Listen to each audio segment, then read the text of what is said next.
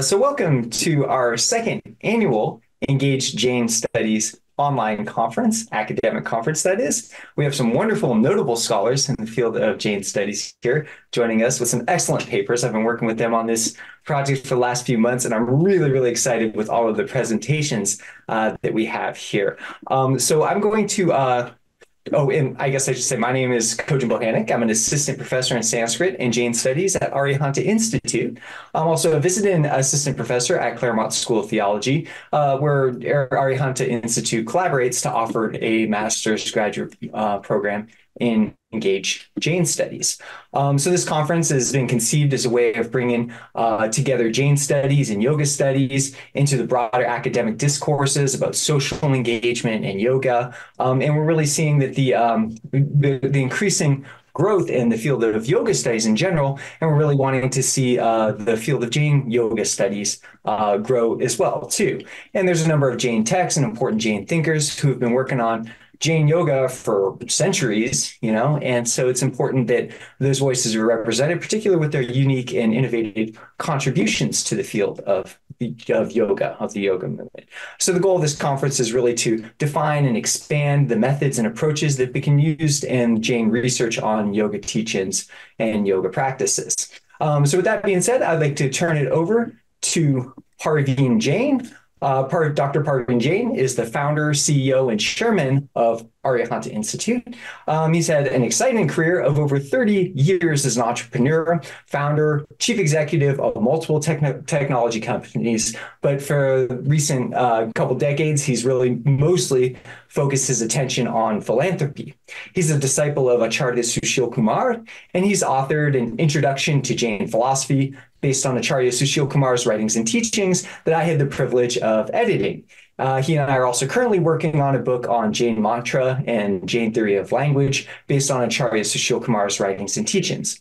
Please welcome Dr. Parveen Jain. Jai Jinendra. Good to see everybody. Uh, we'll start with Namokar mantra. ॐ नमो अरिहन्ताणं, नमो सिद्धाणं, नमो आयरीयाणं, नमो उवज्झायाणं नमो लोये सब्वसाहुणम् एषो पञ्चणमुकारो सब्वपावपणाशनं मङ्गलाणं च सव्य सिंह परमं हवै मङ्गलम्। जय Jinendra, once again. We are delighted to welcome you to our Jain Yoga conference. As Kodanji said, it's the second in our Engage Jain Studies series. Just to give you an introduction of Arihant Institute, uh, Arihant Institute is a pioneering institute for education, research, and scholarship on engaging the philosophy of compassion and nonviolence, the bedrock of Jain studies. We offer a wide ranging platform to educate, empower, and connect everyone who is passionate about building a kinder and gentler lifestyle. Our offerings include MA in Engaged Studies in partnership with Claremont School of Theology, live and self-paced short courses for non-degree learners, public and scholar exclusive conferences and webinars, and we are building global partnership with aligned organizations. Everything we do is online, so we can reach the global community in short two years, we have received approximately 700 enrollments in 40 courses, 40 short courses, I should say, from over 20 countries. We held two public conferences in 2023 with approximately 200 and 500 registrations. In addition to the above two terms, uh, in addition, in the first two terms of our Jain degree program, which started in the fall 2023, we received 35 enrollments uh, in the six graduate study uh, courses that were offered. And we are truly appreciative of all the support we get from CST. We empower our students and audiences with ancient wisdom to build a modern lifestyle that is in harmony with everything around us. The unprecedented global response we are seeing Um, as, as, as I talked about in the last two years, indicates a high level of interest in what we offer. Clearly, there is a hunger for these studies when they're presented in the right framework. Today's conference is a special one. Yoga has always been an integral part of Jain tradition, fueling one's quest for spiritual awakening.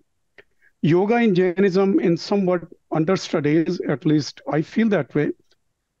And we felt it was the right time to bring together some of the eminent scholars of the field in this conference.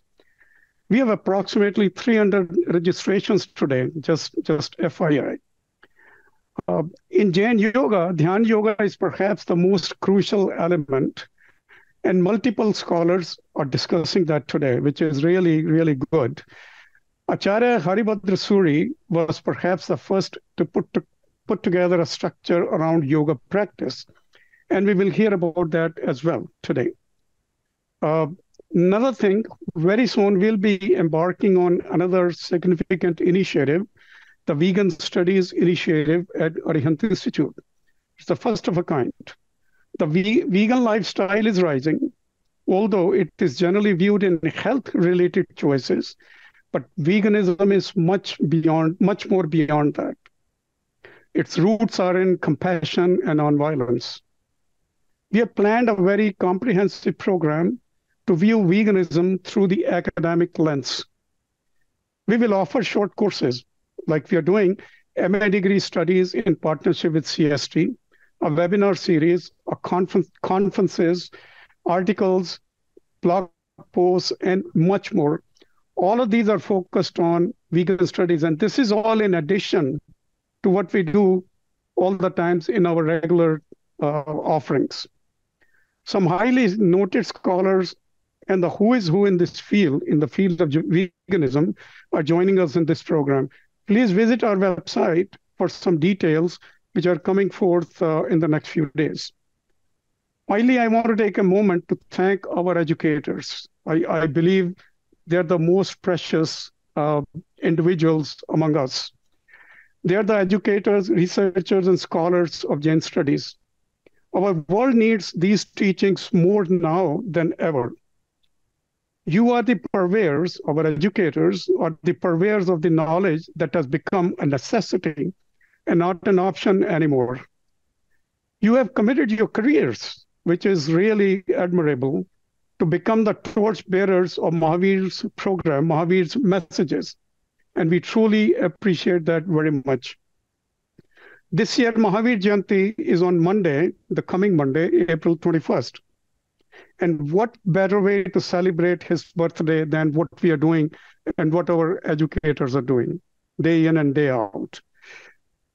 In addition, the Earth Day is on April 22nd. Again, a great day to celebrate for the people who are really affiliated with the characteristics of our planet.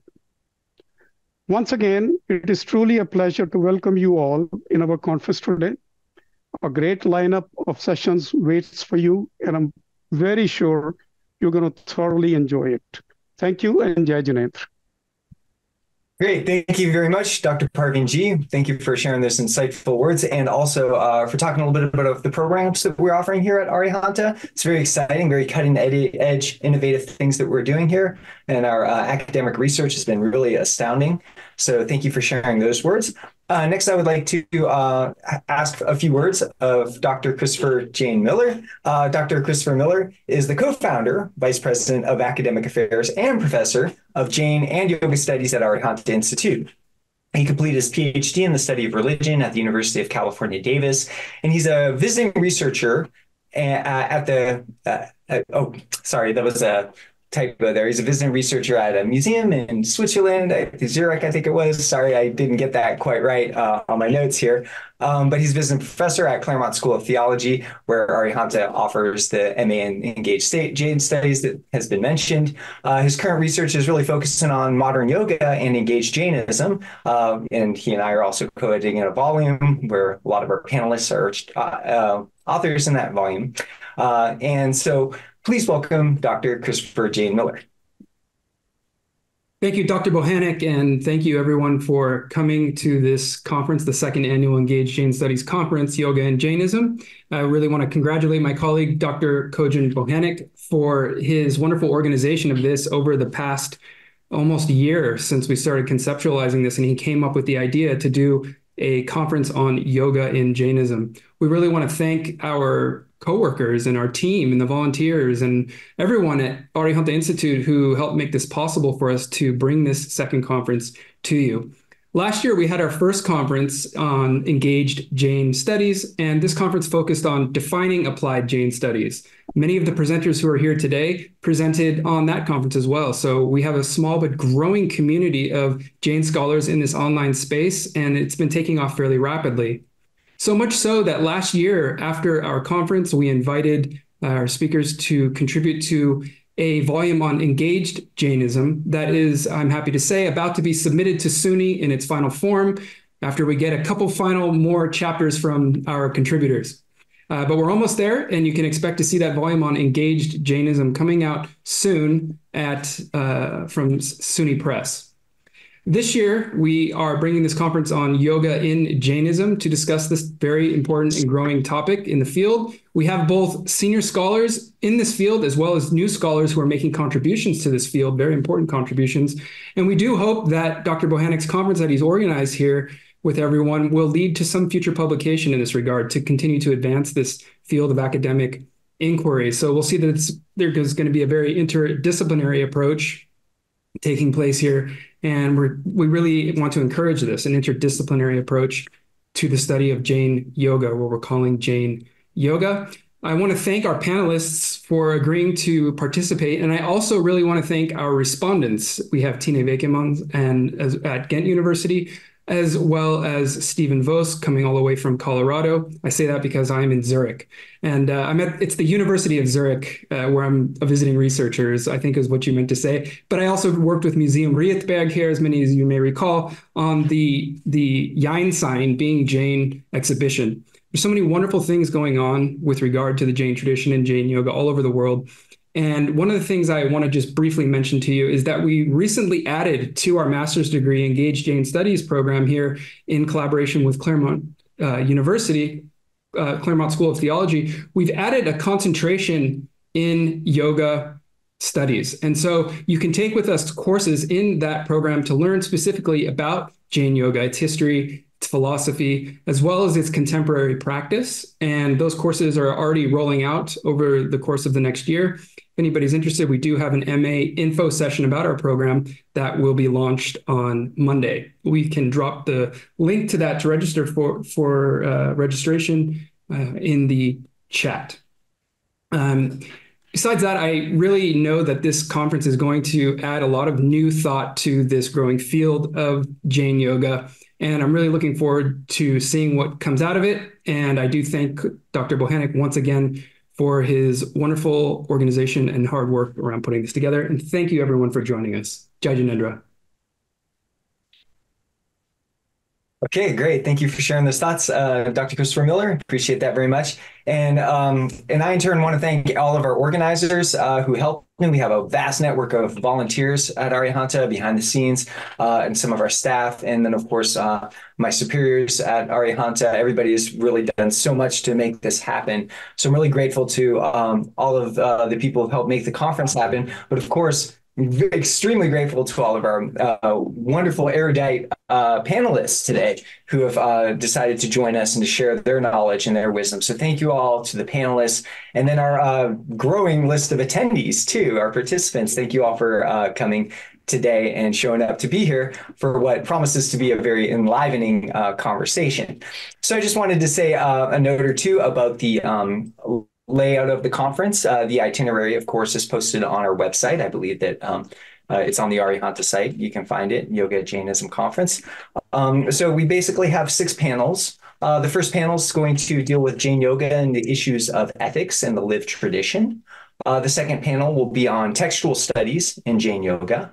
Then we will have a uh, discussion on embodied Jain yoga practices, uh, followed by contemplative practices, comparative yoga traditions, and various different methodological concerns. So this is really actually going to be a pretty uh, broad swath of topics that are covered here. Uh, a lot of what people think of as yoga studies proper and how that all um, is expressed in the Jain tradition and discussed in the Jain tradition.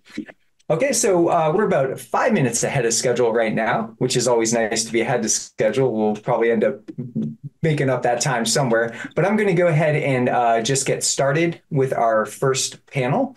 Um, our first panel is going to be the panel on ethics and live tradition, going from 820 to 920. So we have about an hour here.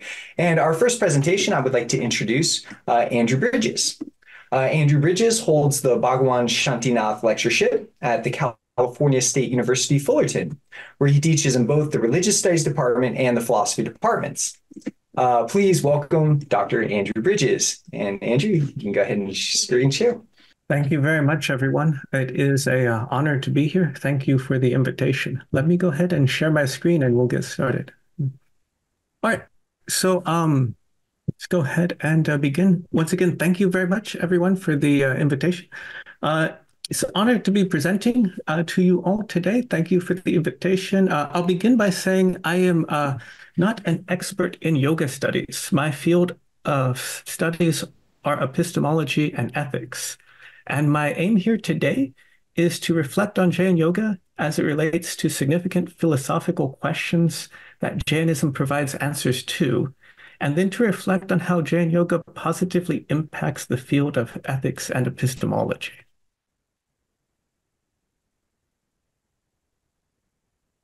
Jainism provides particular answers to what we might generally refer to as significant philosophical questions. Questions such as uh, what ultimately exists?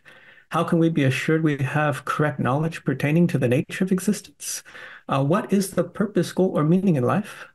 Given the manifold complexity of reality, how do we understand what ethical and unethical behavior is? And finally, how do we cultivate virtue in ourselves and positively interact with society so that moral behavior is more collectively feasible and uh, consistently achievable. Jain scholars um, have provided explanation on various meanings of yoga as well as descriptions of Jain yoga. Some of these descriptions I'll share in a moment, but I but by beginning with these questions, I want to emphasize a dimension of Jain yoga that helps facilitate profound understanding and appreciation to the answers and ideas Jainism provides for these aforementioned philosophical questions, as well as a non-superficial appreciation of the dynamic um, ways the answers to these questions interrelate and cohere. So the first um, sort of explanation I found was from um, the Historical Dictionary of Jainism by Kristi L. Wiley, who writes that uh, in, Jain, in Jainism, yoga has several meanings.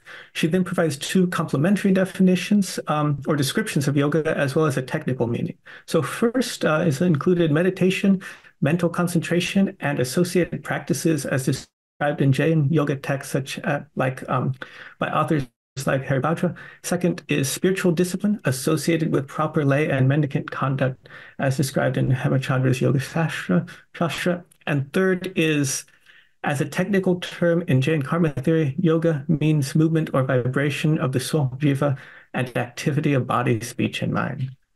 Similarly, addressing the multiple meanings of the term yoga in Jainism in the introduction uh, to the volume Yoga in Jainism, uh, Christopher Key Chapple writes Yoga in Jainism carries multiple levels of meaning. In the early Jaina tradition, the term yoga uh, described the process in which karmas bind themselves to the soul jiva. In the medieval period, yoga came to refer to spiritual practice. In this sense, the word remains in general usage today. Concerning the question of what ultimately exists and the meaning of life in relation to existence, Jainism believes that the world is empirically real, mind independent, and infinitely complex. The Jain philosophical religious tradition is one of four Dharmic traditions originating in India, the other three traditions being Hindu, Buddhist, and later during the modern period, uh, the Sikh tradition. Generally speaking, one of the dimensions of the human condition that um, the traditions address concerns the disparity between what the way we desire the world to be and the way the world is. This tradition or these traditions aim to reconcile this problem by correcting one's view, knowledge, and moral conduct to create congruency between one's expectations and one's experience. Elaborating on this point in his work, uh, Asian Philosophies, John Koller explains that the criteria for determining the quality of life are in derived from the basic impetus for philosophy, the drive to eliminate suffering. The vision that makes possible a life without suffering is properly called true philosophy. Degrees of philosophic truth are determined according to their degrees of alleviation of suffering. Put in a positive way, views are true according to the extent that they improve the quality of life. In the Dharmic tradition, Jain philosophy's primary focus is to be liberated from the samsaric cycle of life, death, and rebirth, which continually occurs through the process of reincarnation. And Jainism does not posit a creator deity or any form of what one might refer to as divine intervention or help with the liberation process in that way. Relating to the reality of the world in the liberation process in Jainism, Christopher Key Chapple explains in the fourth chapter of the work uh, Reconciling Yogas, entitled uh, The Centrality on the Real, that uh, Jainism's core philosophical uh, philosophy, as articulated by Umasvati's in the Tattva Sutra, asserts that the world is real, that the soul is real, and that the pa- religious path involves gradual ascent through se- sequential stages, away from influences of karma and towards final liberation. In one sense, given Jainism's assertion of the reality of the world, reality of the soul, and reality of the liberation process from samsaric existence, the meaning and goal of life is liberation.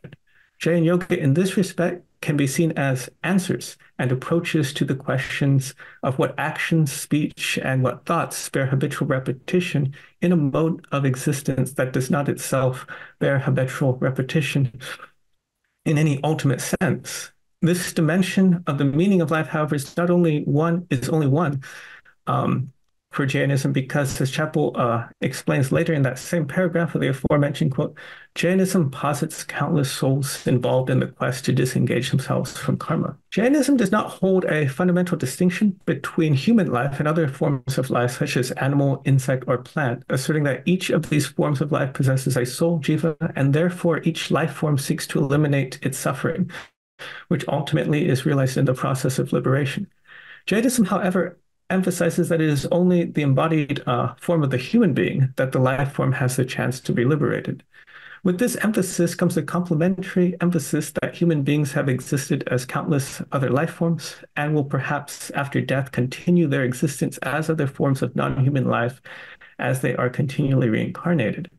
This aspect of the ultimate nature of reality also has implications for the meaning of life in Jainism in the chapter entitled Life Force and Jainism um, and Yoga by Chapple, uh, found in the edited volume, the, the Meaning of Life in the World Religions, the emphasis on nonviolence and the interrelated nature of life forms is explained with reference to passages from the um, Acharanga Sutra, such as the following.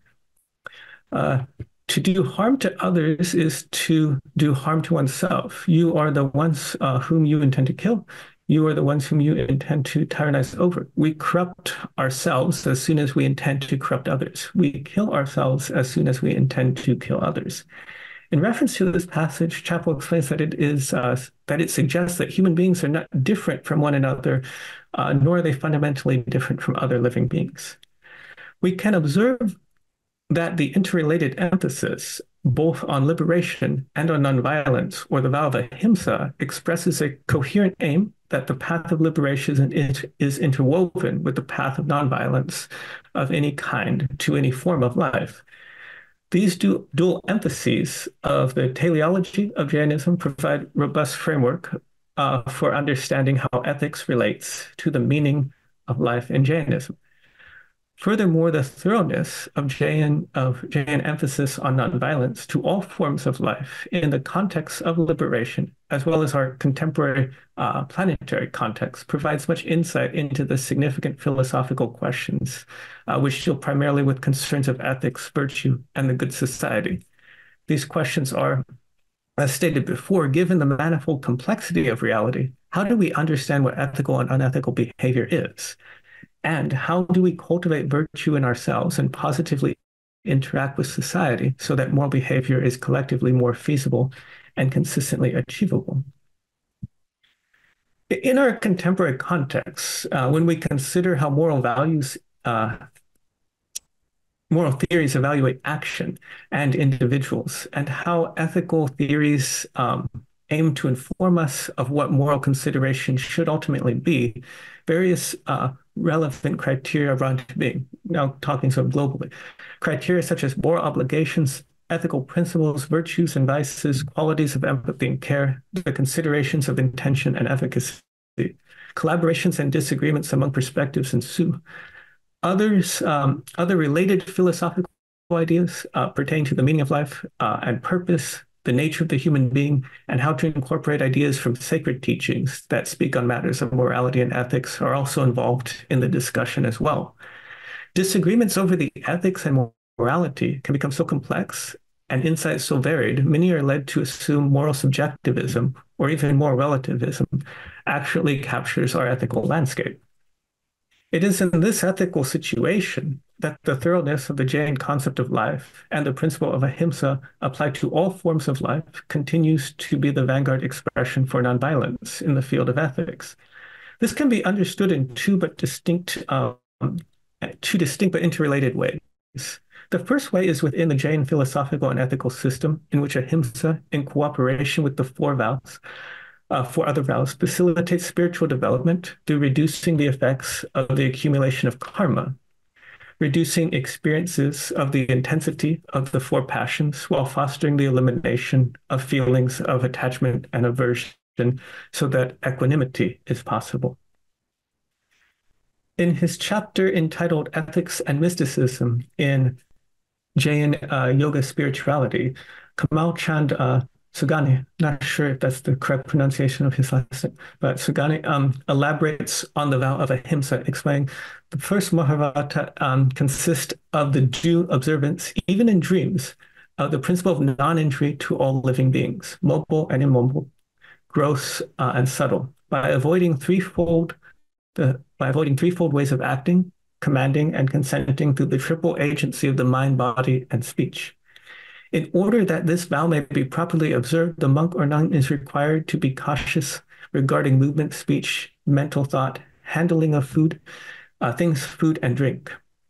Within this context, the principle of ahimsa is lived out, and the feasibility of the scope of nonviolence to all forms of life is demonstrated with the ultimate aim of liberation.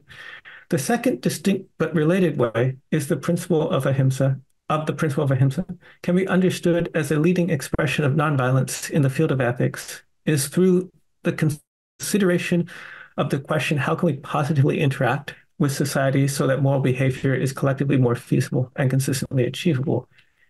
Here, the principle of ahimsa might be seen as a way of reducing harm to all life forms in the larger societal and planetary context. The focus here would not necessarily be on how the direct carelessness of a particular action had direct harm, um, harmful effects on another life form, for example, accidentally stepping on another life form like an insect while walking. But rather, the focus would be on what actions can be taken to reduce harm to all forms of life, given our growing awareness of the interconnectedness we as all life forms are. Not not in the reincarnated sense, but in, in the sort of the um, in the present sense, in the immediate sense.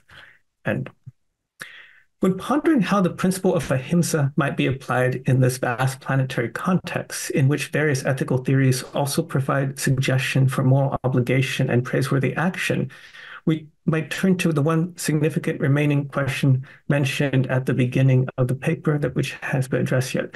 This is the question, how can we be assured we have correct knowledge pertaining to the nature of existence?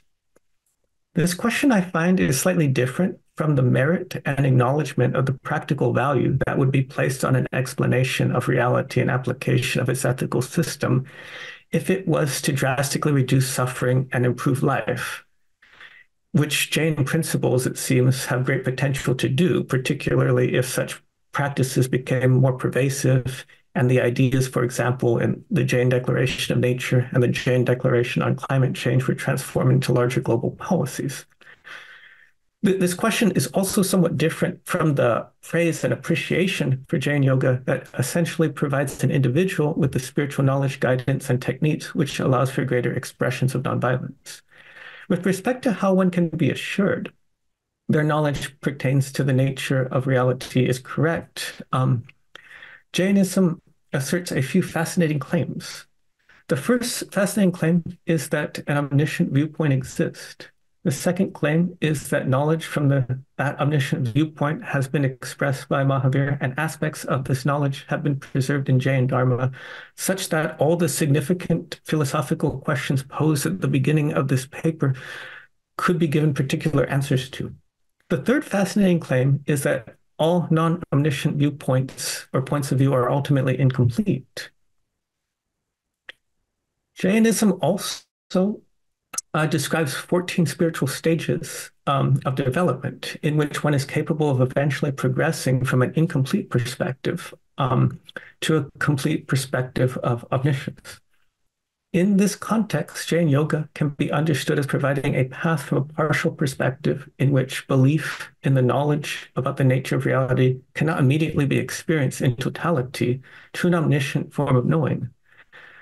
Forms of gradual spiritual progress and their experiential fruits or ex- experience new experiences when approached from fields uh, of cultural, uh, cultural and ph- uh, phenomenological anthropology can be put into other interesting frameworks, uh, frameworks such as um, history becoming nature, following the insights of uh, Pierre Bourdieu's um, and his understanding of habitus. Also, other frameworks uh, such as spiritual kindling, following the insights of T.M. Luhrmann that the main ontological difference between these approaches uh, to spiritual development and their phenomenological experiences is that Jainism has an ontology of plurality expressed in Anekantavada, whereas cultural and phenomenological anthropology uh, does not necessarily assert any unified metaphysical system. Therefore, uh, given these ontological differences in orientation, um, it remains to be seen if Jain Yoga will attempt to provide any uh, larger coherent context um, to appreciate the various, various spiritual insights and practices cultural and phenomenolo- phenomenological anthropology continue to elaborate on in the context of world religions and world spiritualities. So uh, thank you very much, everyone, uh, for your attention. Thank you. Okay, wonderful. Uh, Andrew Bridges, that was really a fantastic uh, presentation. If you could uh, stop screen share, that would be great. Of course. Yeah, thank you. Yeah, you made some really fascinating points there. It's always nice to hear um, reflections from the perspective of philosophy on the Jain tradition.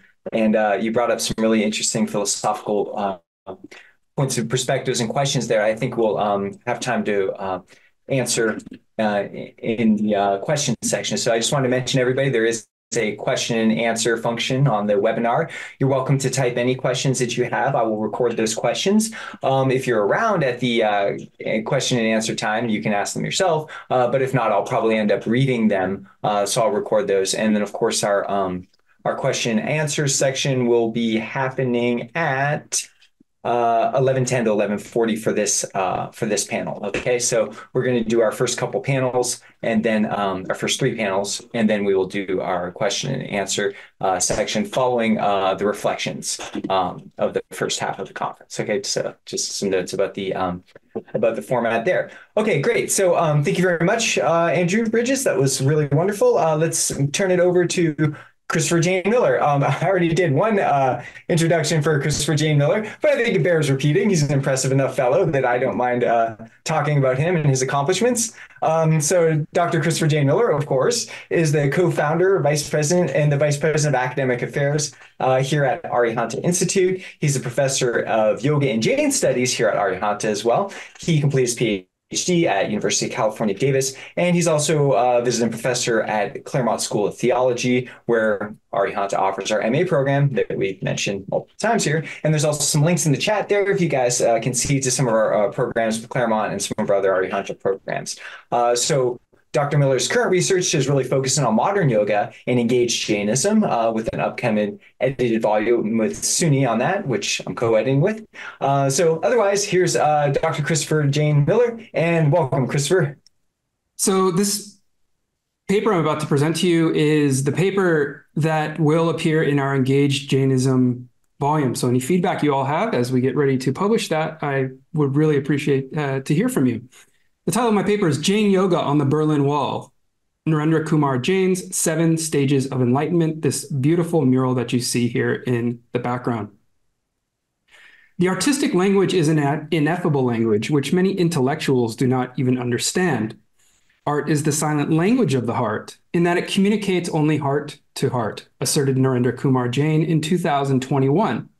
Jain said this during an interview about his contribution of the mural, The Seven Stages of Enlightenment, to the Berlin Wall's popular East Side Gallery in 1989. Along with this ineffable language, I was immediately captivated by the entangled layers of history, politics, and culture which his mural so, mural so clearly conveyed, and which I begin to disentangle here. Even as Jain emphasizes a universal yogic message in the apophatic nature of his mural, he found himself directly engaged with Cold War politics and the international artistic culture operating on both sides of the Berlin Wall before and after its fall. To consider Jain's artistic creation as merely derivative of this context, however, risks missing how he harnessed it in order to visually communicate to his public audiences in Berlin his own Indian culture's situated yogic truths concerning what comprises freedom and enlightenment. His creative choices drawing from yogic traditions also indicate a strategy that Jains in the diaspora use to share their cultural background when the broader communities are not aware of their tradition. I follow a method here of engaged Jain studies from our forthcoming volume, Engaged Jainism, to assess how Jain's ways of knowing brought from India encountered frictions with Euro American ways of knowing at the Berlin Wall. Engaged Jain Studies adopts Anna Tsing's notion of engaged universals and frictions to account for the culturally productive outcomes that occur when universal Jain principles engage with new cultural terrain and wherein Jains attempt to in some way promote their culture. Born in Delhi in 1937, Narendra Kumar Jain is a self professed Indian fortune teller, yogi, painter, and art historian. He learned yoga from his mother when he was two, but also from Gandhi, who he says taught him the lotus position when he was five. Following a lectureship position at the University of Agra that began in 1963, Jain first came to West Berlin in 1967 at the invitation of the German Academic Exchange Service. He arrived amidst an influx of thousands of students and workers from India in the 1960s and 1970s who came to East and West Berlin in the fields of engineering, medicine, and business.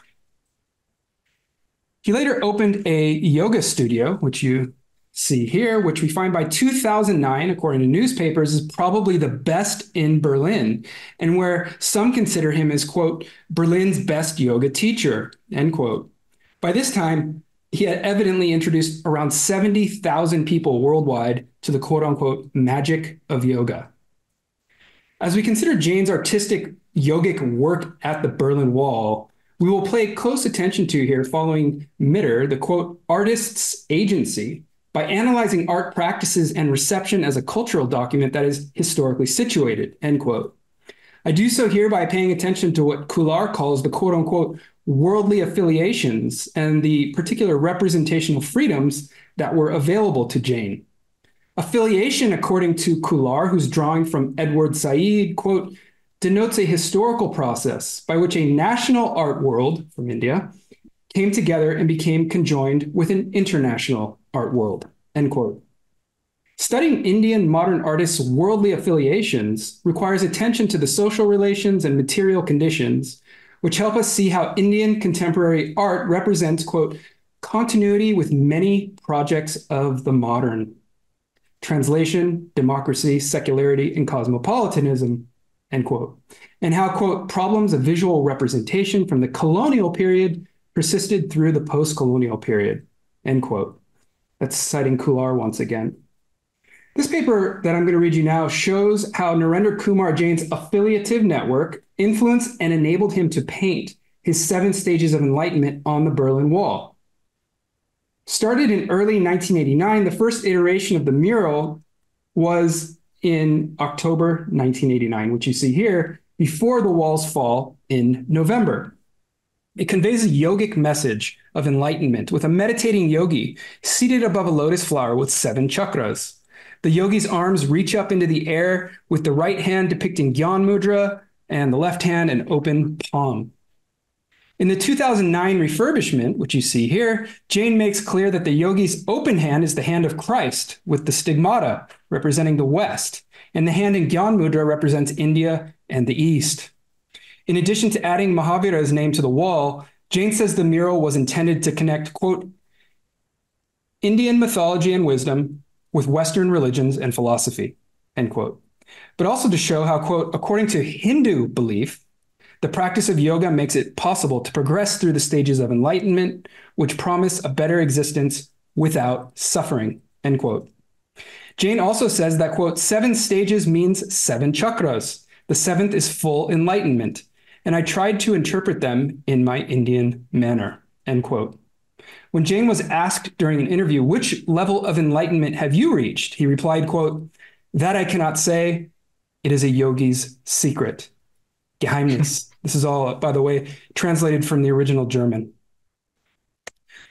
Jain's artistic choices to convey the chakra system very broadly reflect the impulses of 20th century internationalist modern artists such as Rabindranath Tagore, who sought to assimilate Western culture and the arts into his own Indian culture. Hungarian Indian painter Amrita Sher Gil and some who would follow her similarly, similarly sought to, according to Khullar, quote, cultivate an art that was organic and vital, connected to the past and to the West and to generate a national culture synthesizing East and West in the wake of colonialism, end quote. Sher Gil and others, quote, believed the task of great art was to establish between, a connection between national and international community, end quote. Following India's independence in 1947, these twin impulses to develop a national identity and yet maintain a commitment to modern artistic internationalism continued to influence the development of Indian artists. Thought provoking for our purposes here is how this manifests in neo tantric art and Indian muralism. Combined with Western abstraction, common elements found in the neo tantric genre included sexual symbols as well as mystical abstraction marked by the use of Indic symbols. Within this genre, Narendra Kumar Jain's work perhaps best reflects that of G.R. Santosh, whose work you see here on the left, according to Brown, quote, represents the wider movement of neo-tantric art, end quote. Santosh's work is diametrically opposed to the fragmented spirit of Panikkar's work, whose words and symbols you see here on the right had sought to undermine the idea of a monolithic Indian tantric culture.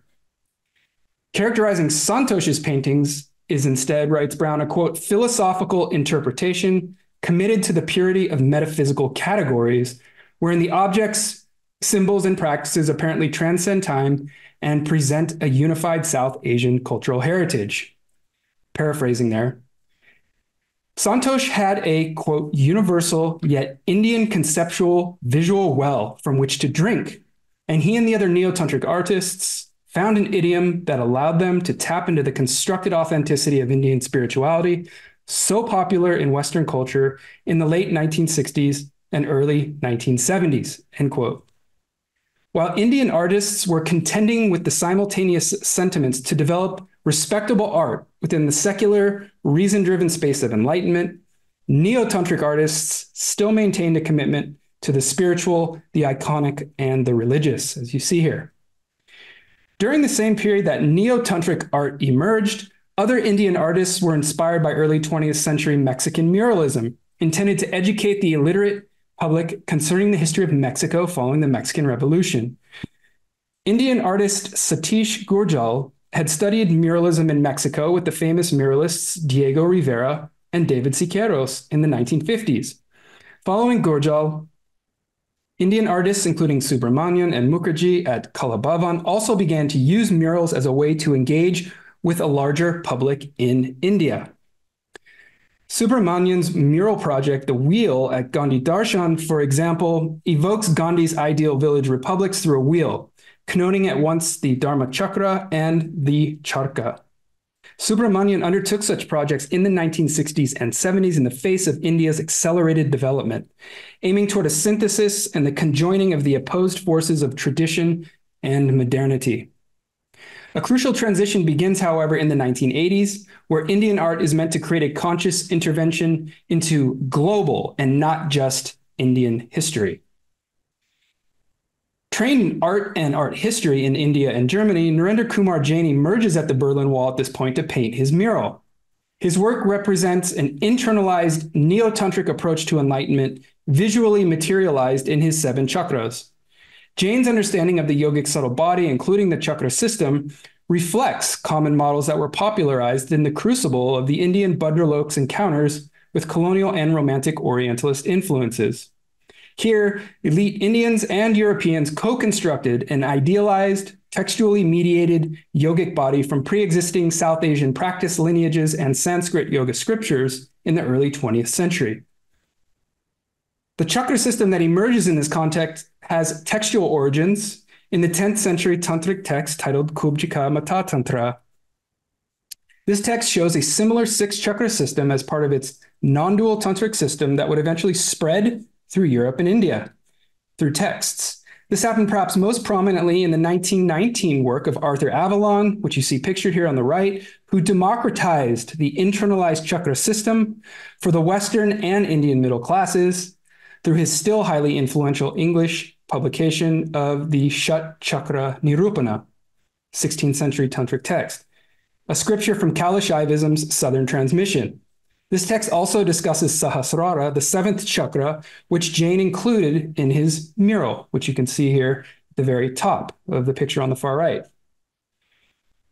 Before Avalon's work, the chakra system was already becoming known in German speaking Europe, including in the work of anthroposophist Rudolf Steiner, who mapped the chakras onto the Western astral body in 1909, and later Werner Bohm, who popularized the system in German speaking regions in his book titled Chakras in 1953.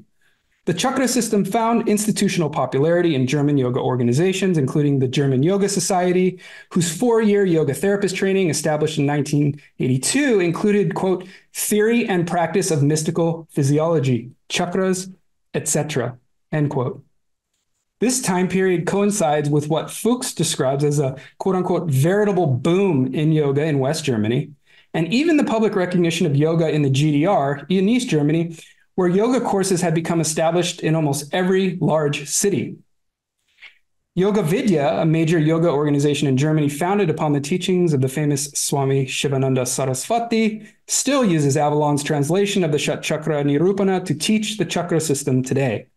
Those involved in these yoga teaching pursuits have been selectively gleaning material from medieval tantric and hatha yoga texts that had begun to internalize, as James Mallinson has shown, these external sexual Kala tantric practices within the yogic subtle body in medieval India, thereby following what uh, Burchett describes as a pre-colonial bhakti sensibility from North Indian forms of yoga practice that were highly compatible with later European and Victorian sensibilities.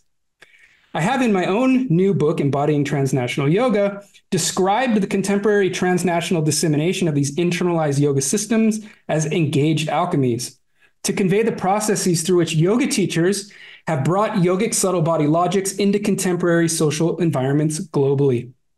Jain's mural clearly reproduces the history I have outlined here. That's why I've gone so much into it. He's capitalizing upon the popularity of what has become a well known transnational yoga system, commonly conveying a spiritual journey through seven chakras on the path toward enlightenment. At the Berlin Wall, Jain encountered a fitting social and historical moment that was well prepared to receive his work.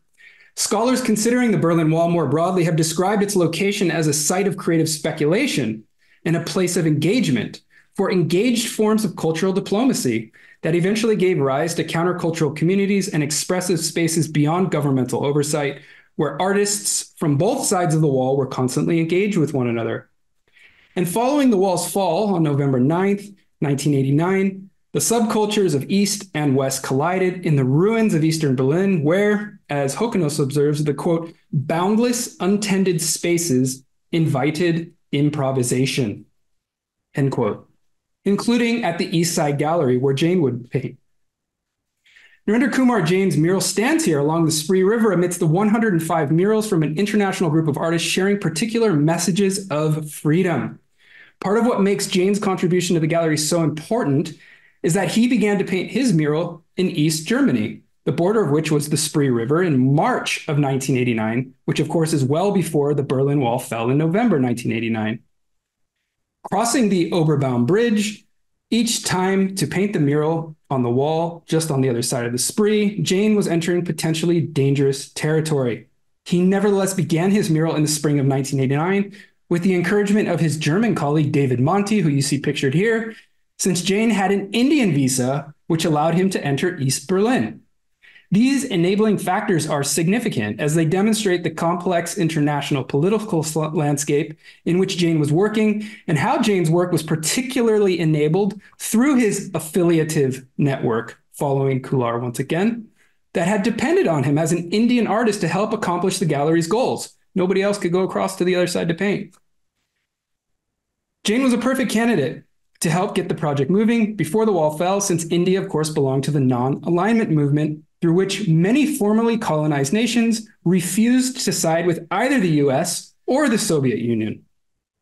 This political situation made it much easier for Indians such as Jain to acquire a visa to study and work in East and West Berlin without the kind of fear or prohibitions that members of other Western nations often had. Aware of Jain's very special status as an Indian citizen, West Berliner David Monti invited Jain to join the open air mural gallery project that he was organizing with his colleague uh, from East Berlin, Heike Stephan. Monti had personal connections to the border guards and encouraged them to allow Jain to cross to East Berlin to paint his mural with his visa.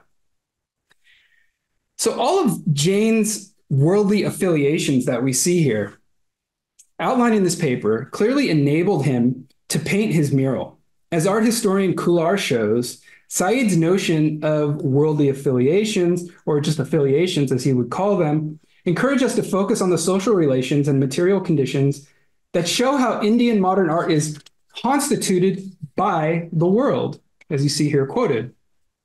However, Khullar also encourages us to pay attention to Spivak's notion of re-worlding, which you see here quoted, which, just the opposite quote, shows how the world is produced by and through the imagination, end quote. And thus how Indian modern art simultaneously constitutes the world and how the image can actually become a world.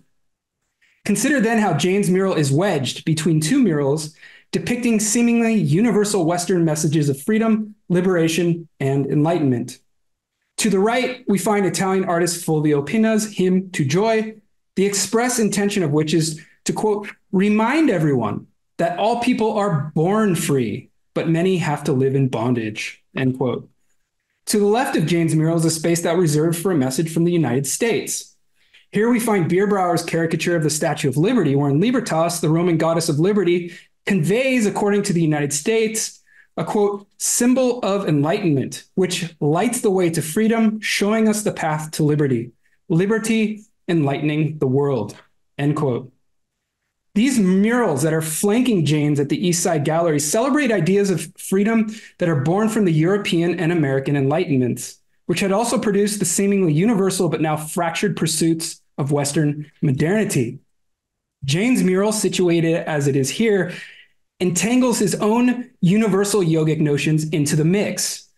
Rather than beginning from Pinna's notion that people are born free on the right here, Jain's mural instead expresses the notion drawn from a number of Indic traditions, which assumes that people are instead perpetually reborn into suffering and bondage.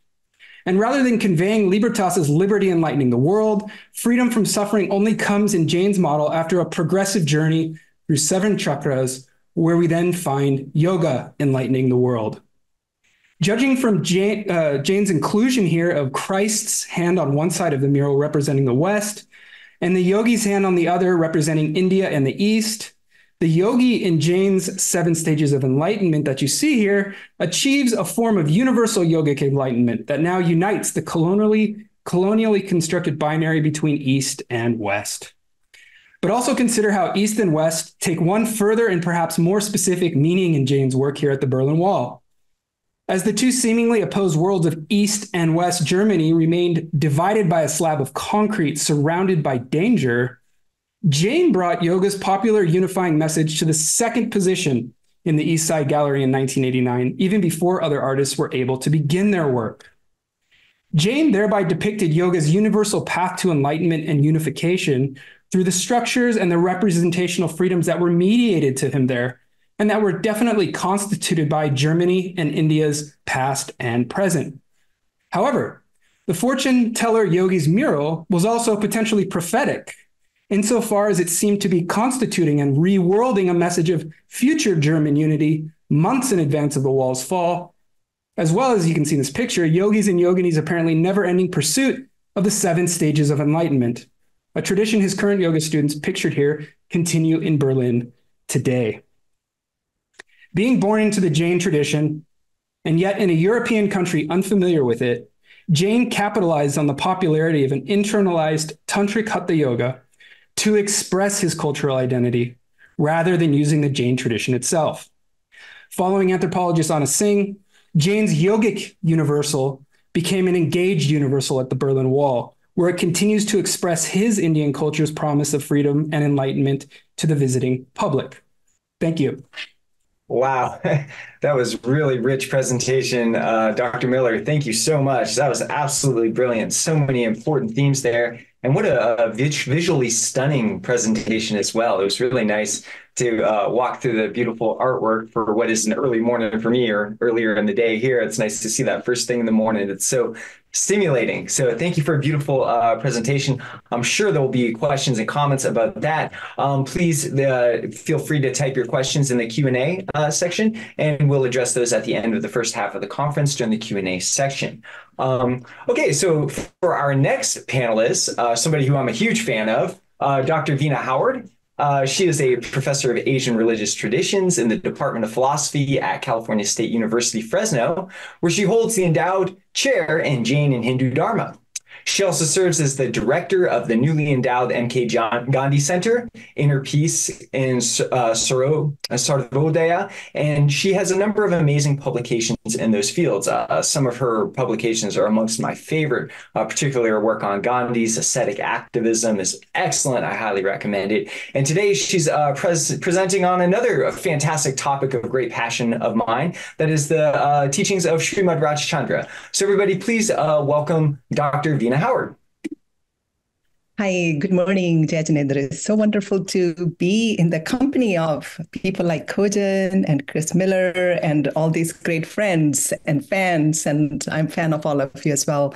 The morning presentations have been just exquisite. And I mean, Chris Miller, I mean, you did such an amazing job there. So congratulations.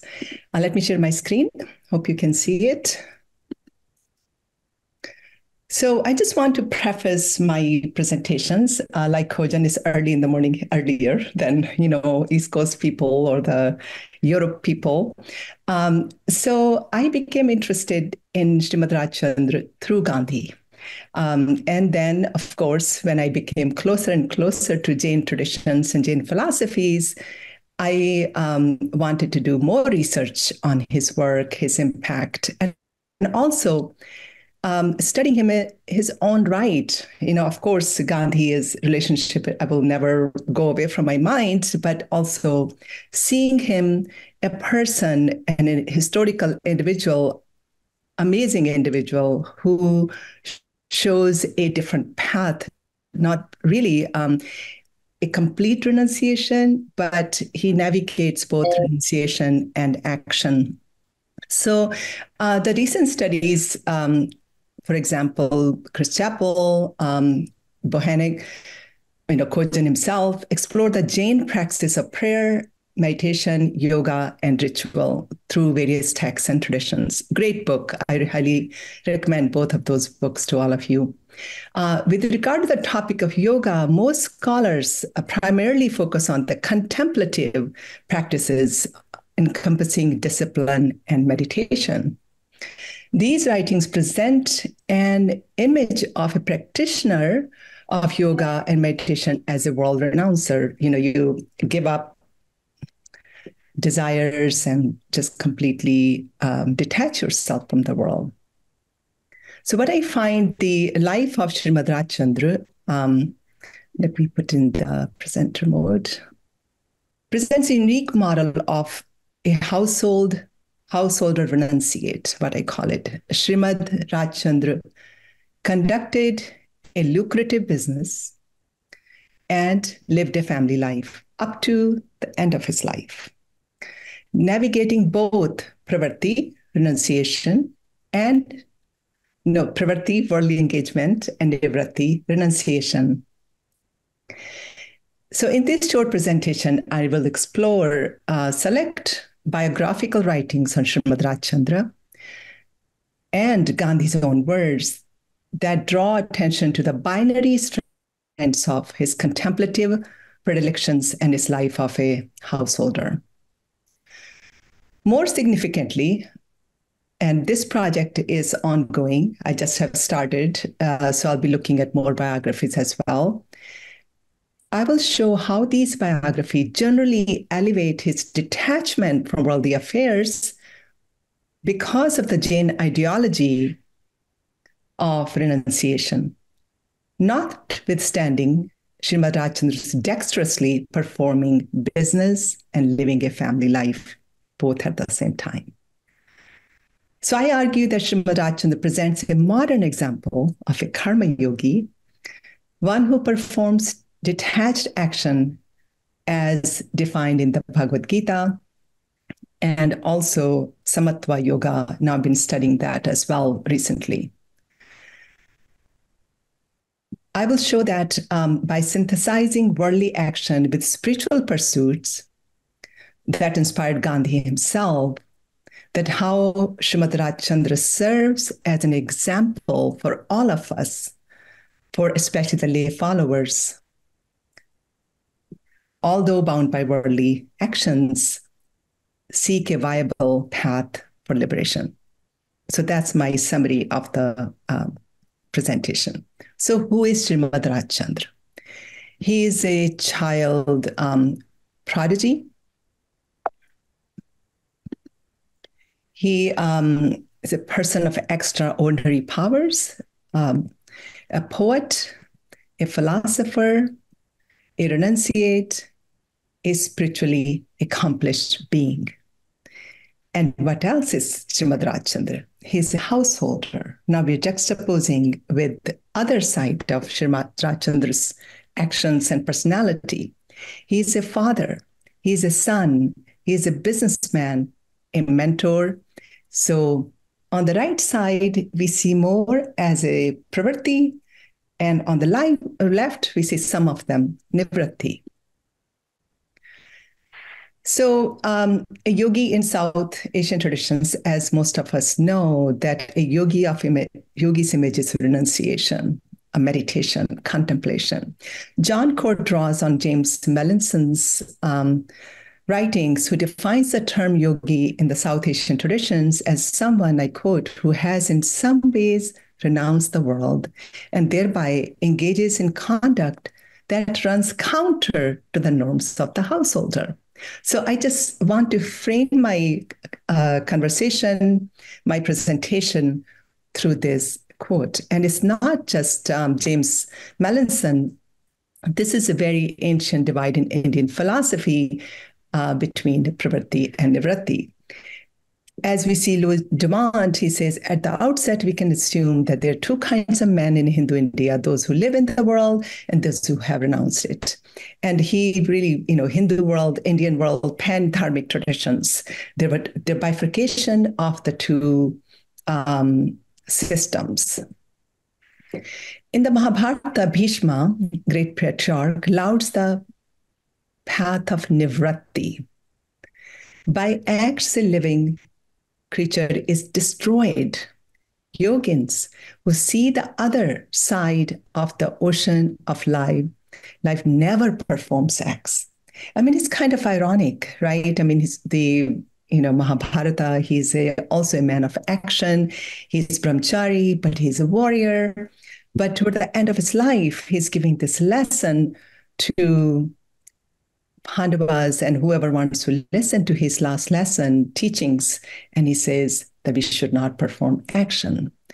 So that is kind of frame that we see the yogi has to renounce in order to seek liberation. So, pan-dharmic traditions elevating Nivritti for liberation uh, is from Patrick Olivelle. He says the household life is a dusty path full of hindrances.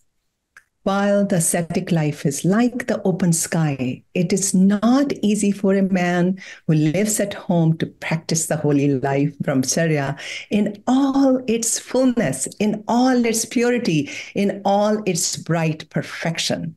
Because the householder life is a mud, it is uh, we are very difficult for us to really experience that that kind of bliss when we're living in the household life. So it's quite interesting that we um, bright perfection we can only achieve when we are in the renunciation stage of life. And then uh, Jacobi uh, notes in um, Sutrakritanga Sutra, men, Sutrakritanga, uh, he says, men who do not see light as it were domestic life are the beloved of the people. Those heroes free from bondage do not desire life. So it is that one has to renounce in order to really feel the bliss of liberation. But in the, in the Bhagavad Gita, we see, and Srimad Rajchandra read the Bhagavad Gita and quoted the Bhagavad Gita, and he was, you know, both. He was um, his mother was a Hindu and uh, Vaishnava, and the father was a Jain. So the Bhagavad Gita says, therefore, giving up attachment, perform actions as a matter of duty, because by working th- without being attached to the fruits, one attains the supreme. So there is a another layer of yoga that one can attain liberation without renouncing this world. By performing their prescribed duties, King Janak and other attain perfection. You should also perform your duties to set an example for the good of the world. So action can be done in a way that is liberating. It doesn't bind us. And the two ingredients are very important in such kind of actions, vairagya and dharma, detachment and a sense of doing everything as a sense of duty. Whatever actions great persons perform, common people follow.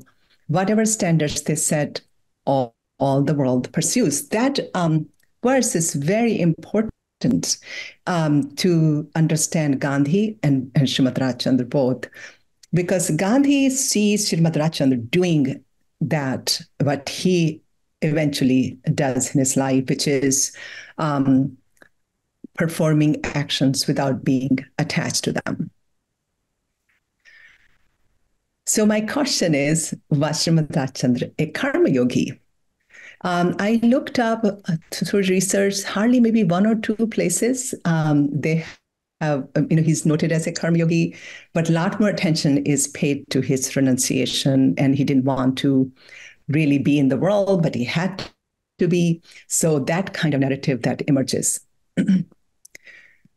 so the two main ingredients, vairagya, without passion, without attachment, um, to be disinterested toward the objects of sensual and physical pleasures is detachment, according to the Tattvartha Sutra. And dharma is to duty and virtue. And it is the um, talks about righteousness, forbearance, modesty, straightforwardness, purity, truthfulness, restraint, austerity, renunciation, the 10 dharmas in the Tattvartha Sutra. So dharma is not simply doing your duty but doing your duty with all this framework of virtue, of uprightness, doing the, the right way, ethics, morality, then one is able to do dharma. Sometimes we just see you just do your worldly duty, but I think it's very important to see those components of dharma when we are doing the duty. Renunciation does not mean here completely renounce the world, renouncing the desires of the fruits of actions. So, um, Srimad Rajchandra was a householder, and the stories, the biographies that um, discuss uh, his worldly life, they always say he was not eager to get married. In the, in the least, despite harboring a deep innate desire for renunciation, the twist of fate created by his preordained karmas carried him to the marriage altar. So it's um, like, of course, the karma always plays an important role in what we do, where we are. But I think there is a choice. Did he have the choice to not go to the marriage altar? Or was it all karma? So it really is because we cannot see what is laid out for us. So, but the, here, the always the emphasis made on that he didn't want to do it, but he did it because of his past karma. So that's very important to note. And then it says, harboring an intense desire for complete renunciation, Srimad inward journey was soaring high. However, his parents did not grant him the permission to sever all worldly ties and adopt the ascetic life.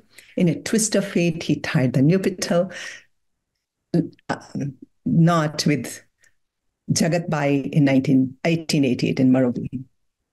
So, accepting the outcome of the past karma, he ventured into the jewelry business in Mumbai. A fine confluence of wisdom and morality, he left a lasting impression on anyone who met him. He spent nearly a decade as a householder. Nonetheless, Dharma reflected in his every activity. His heart found no other solace than the self. So if he's if we see it that he did get married, he had children right? I mean, he has kids, he has a fine, very lucrative business, he's very successful at it. But then the emphasis that his um, he's really is detached. And Gandhi um, quotes one of his poems in his um, writings, and that's on Vairagya. He said, when, I shall, when shall I know that state supreme? When will the knots outer and inner snap? When shall I breaking the bonds of, that bind us fast? Tread the path trodden by the wise and the great. Withdrawing the mind from all interest, using the body solely for self-control, he desires nothing to serve any ulterior end of his own, seeing nothing in the body to bring on a trace of the darkness of ignorance. So this is a poem that Gandhi quotes of Srimad Rajchandra in his writings on Vairagya. So that is the how we live in the world is through Vairagya and Dharma, as I mentioned earlier. So my emphasis also that he cared for a householder. He didn't want everyone to be, of course, our goal is liberation, renunciation is eventually our goal, but he was concerned about how we live life like a householder. So he gave his 12 best householder, lesson 12 advice to householders in his Mokshmala.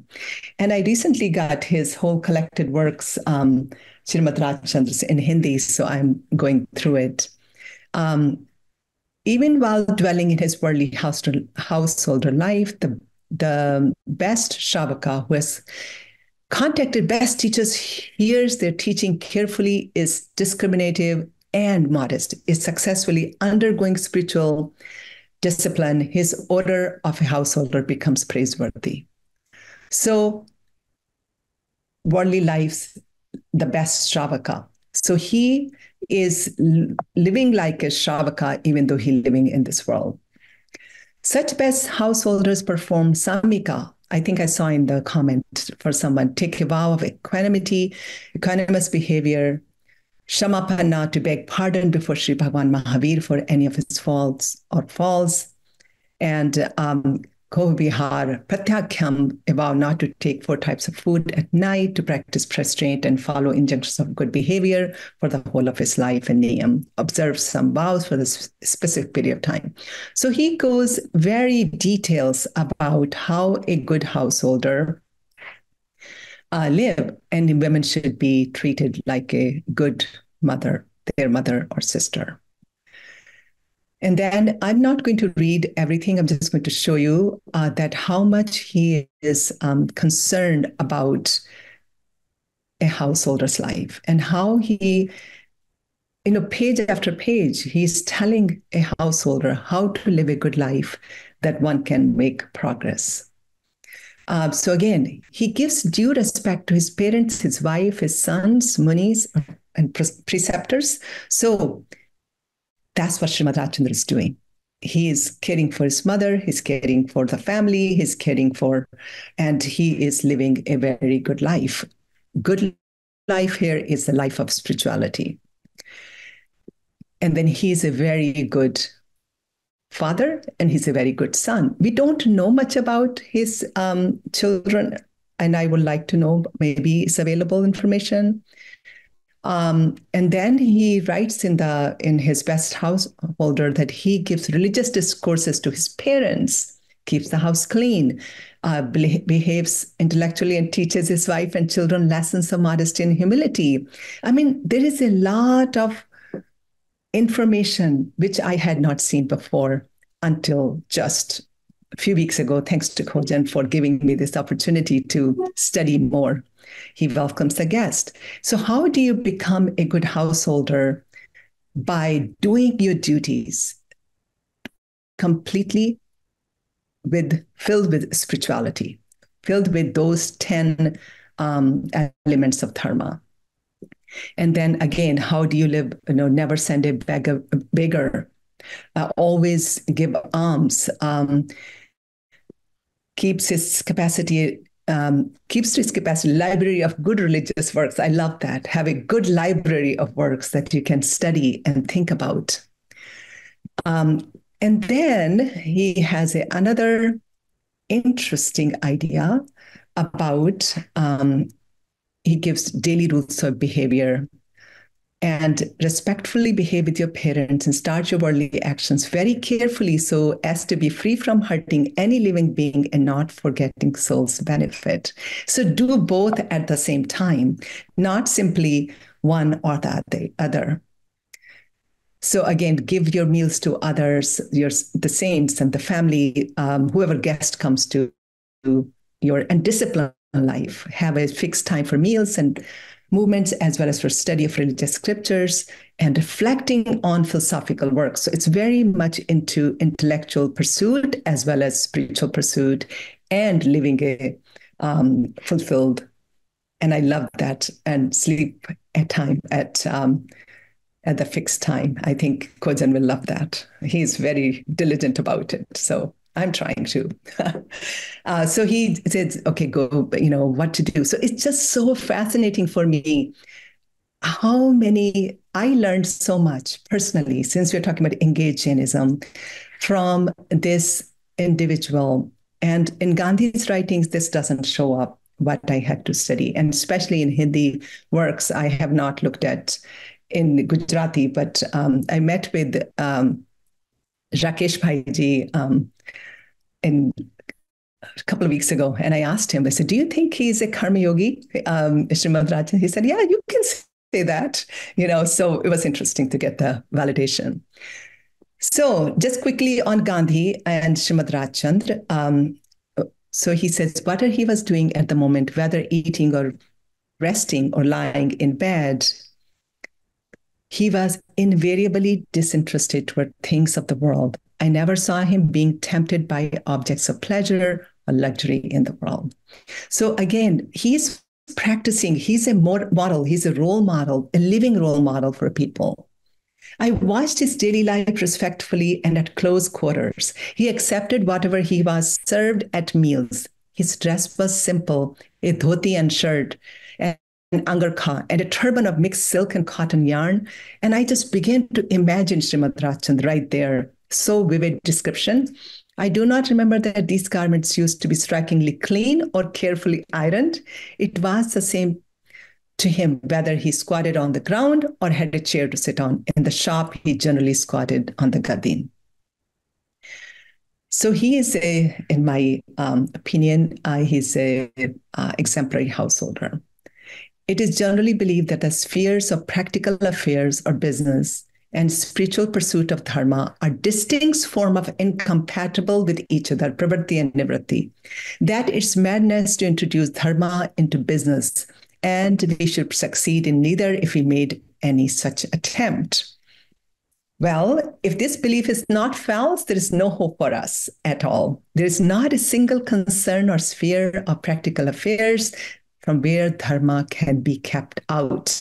Srimad Rajchandra Bhai showed, though his life, through his life, that if a man is devoted to dharma, this devotion should be evident in every action of life. And that is my thesis statement. So it's it's really is the karma yogi um, you see. Uh, how much time do I have? A couple of minutes? Uh, time is about up. You're about one okay. minute. That's okay if you want to wrap it up. Take just a minute. So, so he um, disapproved the idea that I'm just going to um, skip that. So I've been reading a little bit on Samatva Yoga, the fundamental yoga of Jainism. So this is from um, Sagaramal Jain, um, who wonderful essay uh, called The Historical Development of Jain Yoga and Impacts of Other Yoga Systems on Jain Yoga. And he talks about Samayika or Samatva Yoga as a principal concept underlying Jainism. It is the first and foremost of the six essential duties of both monks and householders. In order to explicate the nuance, meaning and use of this word, we must first explore how it's translated and defined in various sources.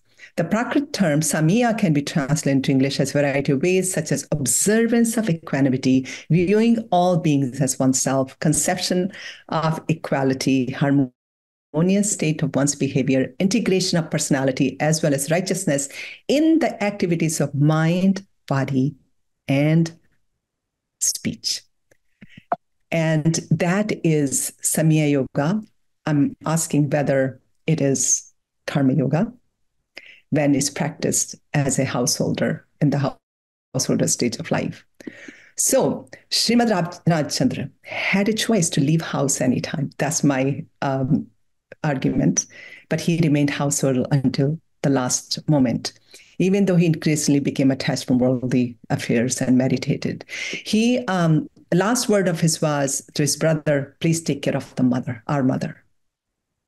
He wanted to be a good son, fulfilled his duty of a father, husband, son, friend, and, and a guide, guided to become a good householder. Lots of letters he wrote to people, giving wisdom to people, giving guidance, giving knowledge. Did not take Sallekhana vow despite his grave illness. He went through the whole idea and, and he gave in meditation, sitting up very gracefully, left his body. Exemplary to householders, how to remain in this world a karma yogi. Thank you so much. I appreciate it and we'll talk soon. Thank you. Yeah, wow, what a powerful presentation, Dr. Howard. Of course, I'm always so inspired to hear you talk, um, especially about this topic in particular. It's such a wonderful uh, subject. I too got interested in Srimad probably two decades or longer ago, uh, based on Gandhi's writings. And so it's so nice to see increase in scholarship in that direction. So thank you very much for sharing. Okay, so now we will be entering our uh, second panel. Uh, the previous panel, in case you're aware, was on the ethics and the lived tradition of Jain Yoga. Um, and now our next panel will be on the textual studies of Jain Yoga. And we're going to start off with Corinna Lhoir. Okay, so Corinna Lhoir, uh, she's got a master's degree and she's currently a PhD student of classical Indology and a contract lecturer for beginner Sanskrit and origins of yoga, yoga at the University of Hamburg. She holds a bachelor's degree in languages and cultures of India and Tibet with a focus on classical Indology from the University of Hamburg. And she has an MA in the traditions of yoga and meditation from SOAS, the University of London. She also has an MA in Oriental languages and cultures uh, with a focus on Jainism from Ghent University in Belgium.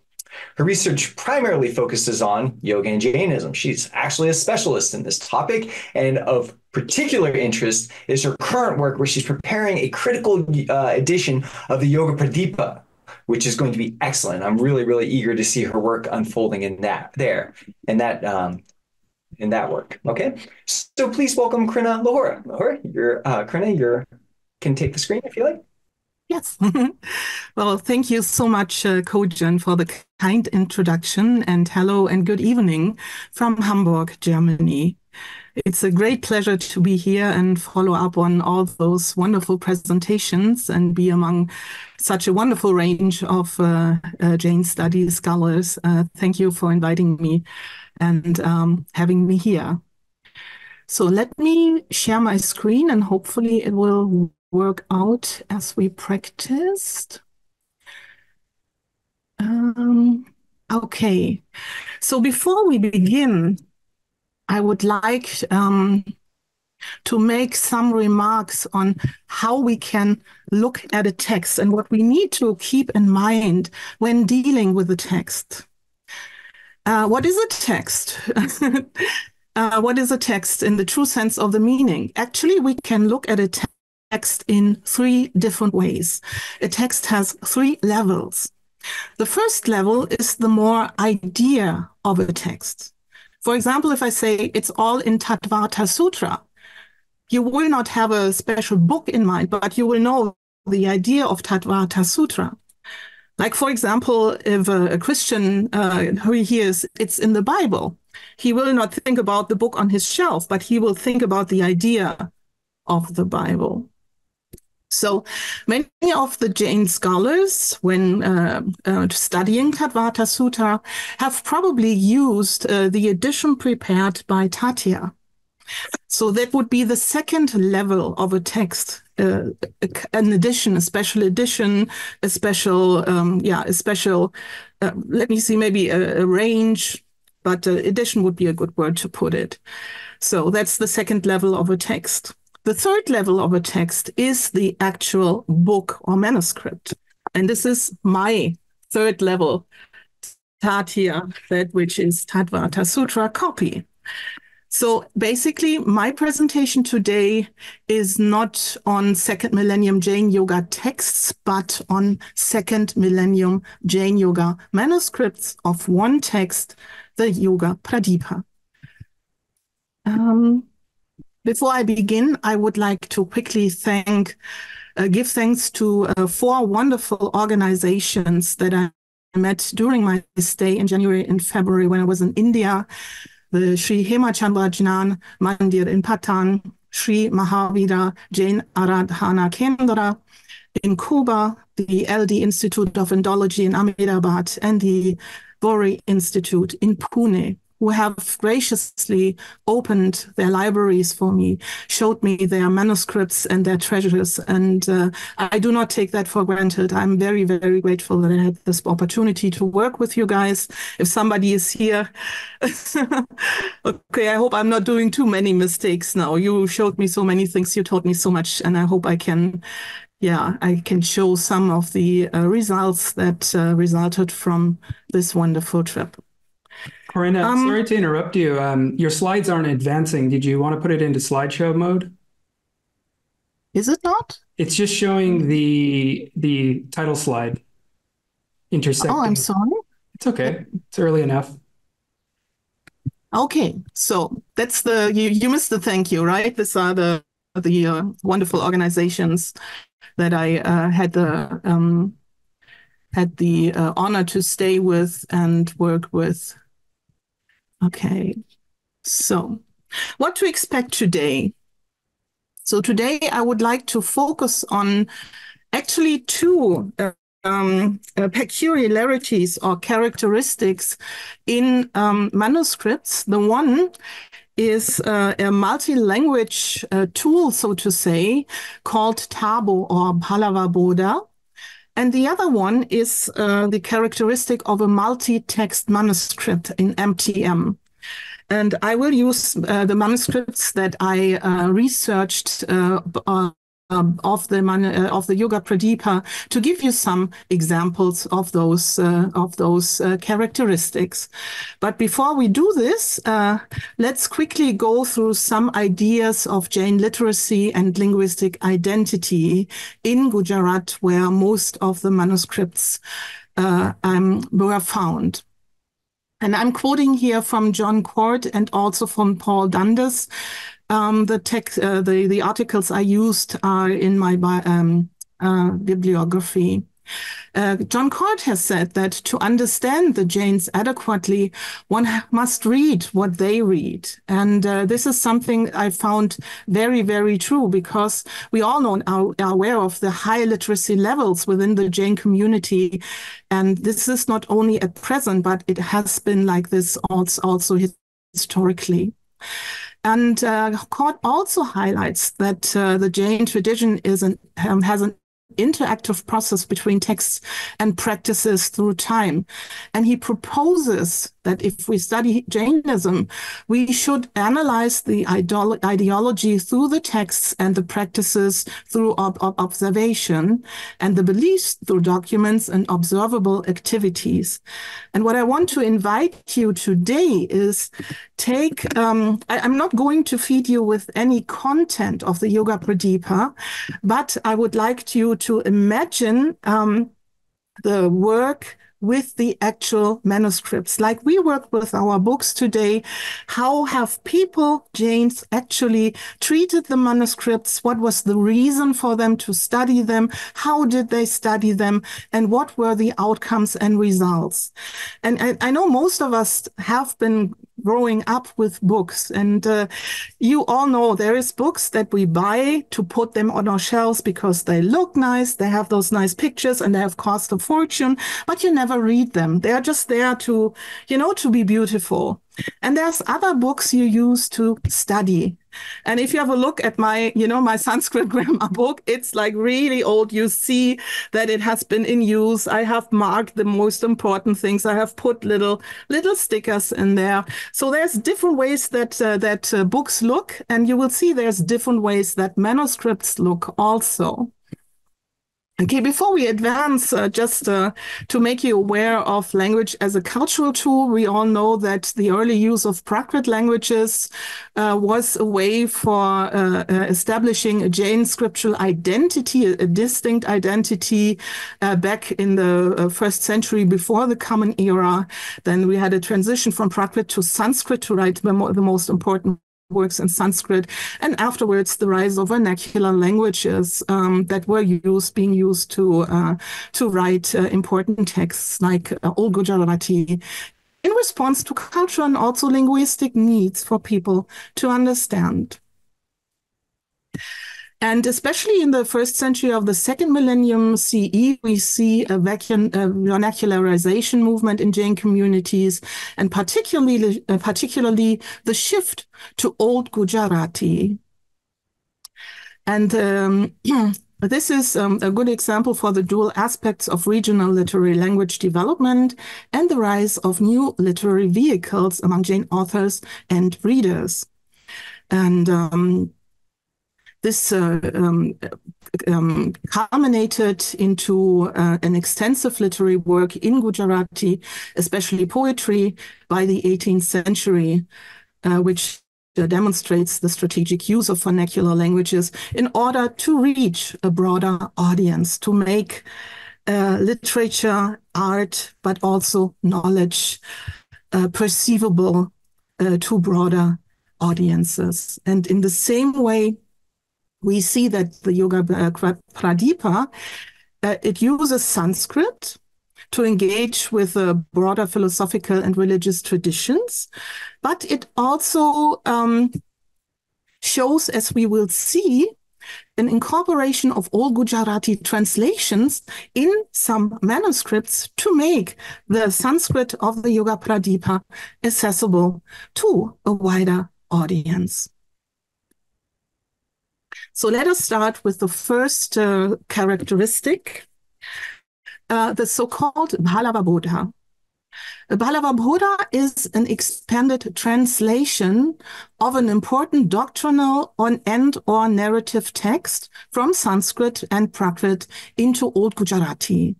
And it is designed to make a complex religious text or complex text in themselves accessible to lay people with minimal education or new monks or munis or young learners.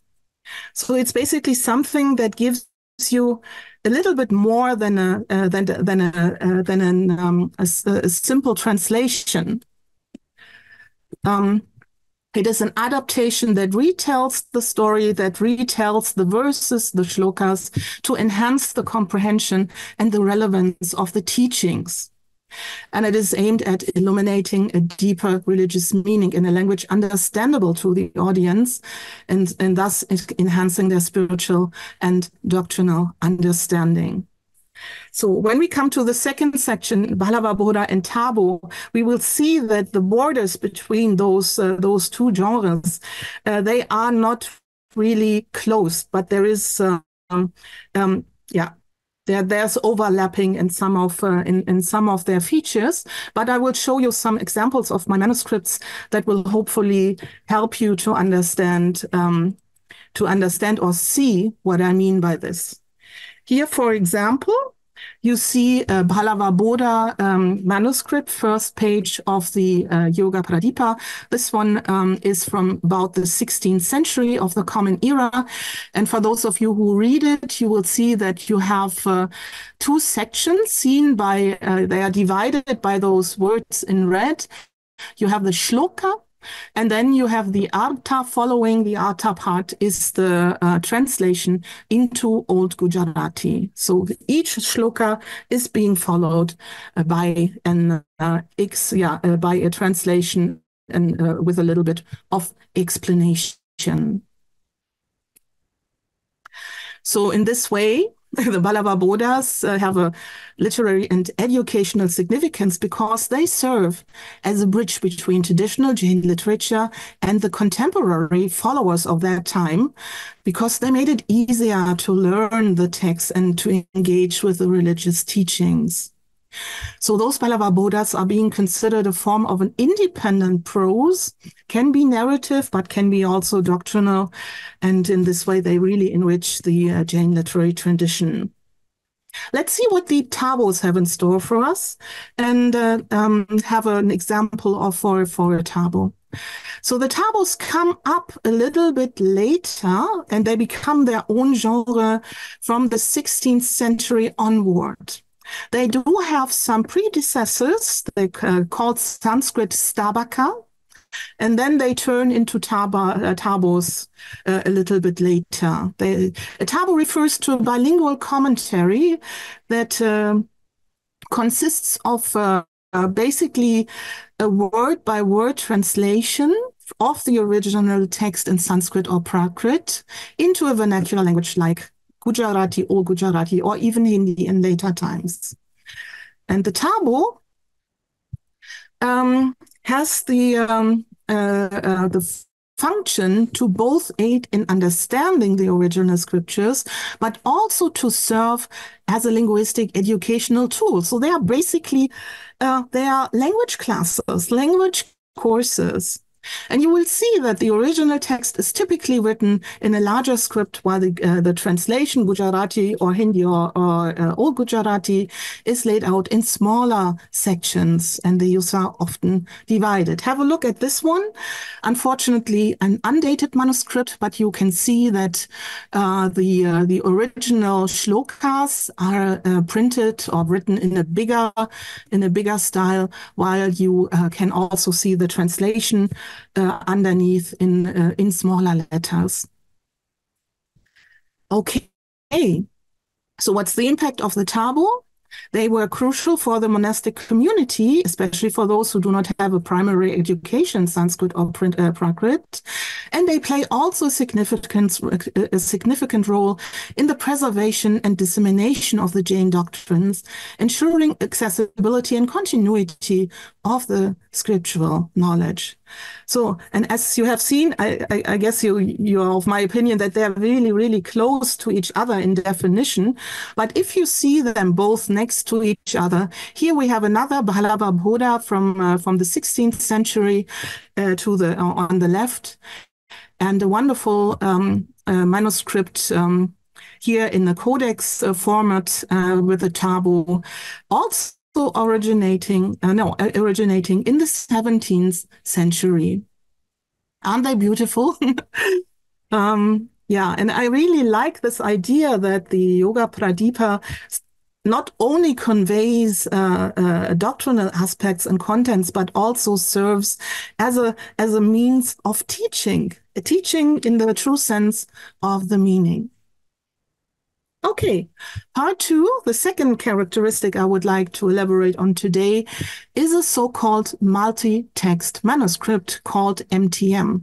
And all of the following definitions are coming from Nalini Balbir, who has worked extensively on uh, those subjects. And I can really heartily recommend her two uh, articles uh, on Jain manuscripts. Be they are eye opening for people uh, wanting to deal with the subject. So, what is the definition of an MTM and what's the historical context? An MTM contains more than one text within a single codicological unit. So, and this integration implies a deliberate design to combine texts that share thematic, doctrinal, or pedagogical linkages.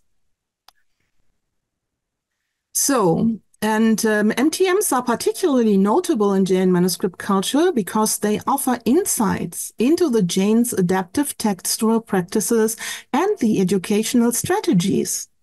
Why was one text being grouped with another? Why do we have, what kind of collection of texts were made for what purpose? And uh, yeah, what was the bound that held them all together?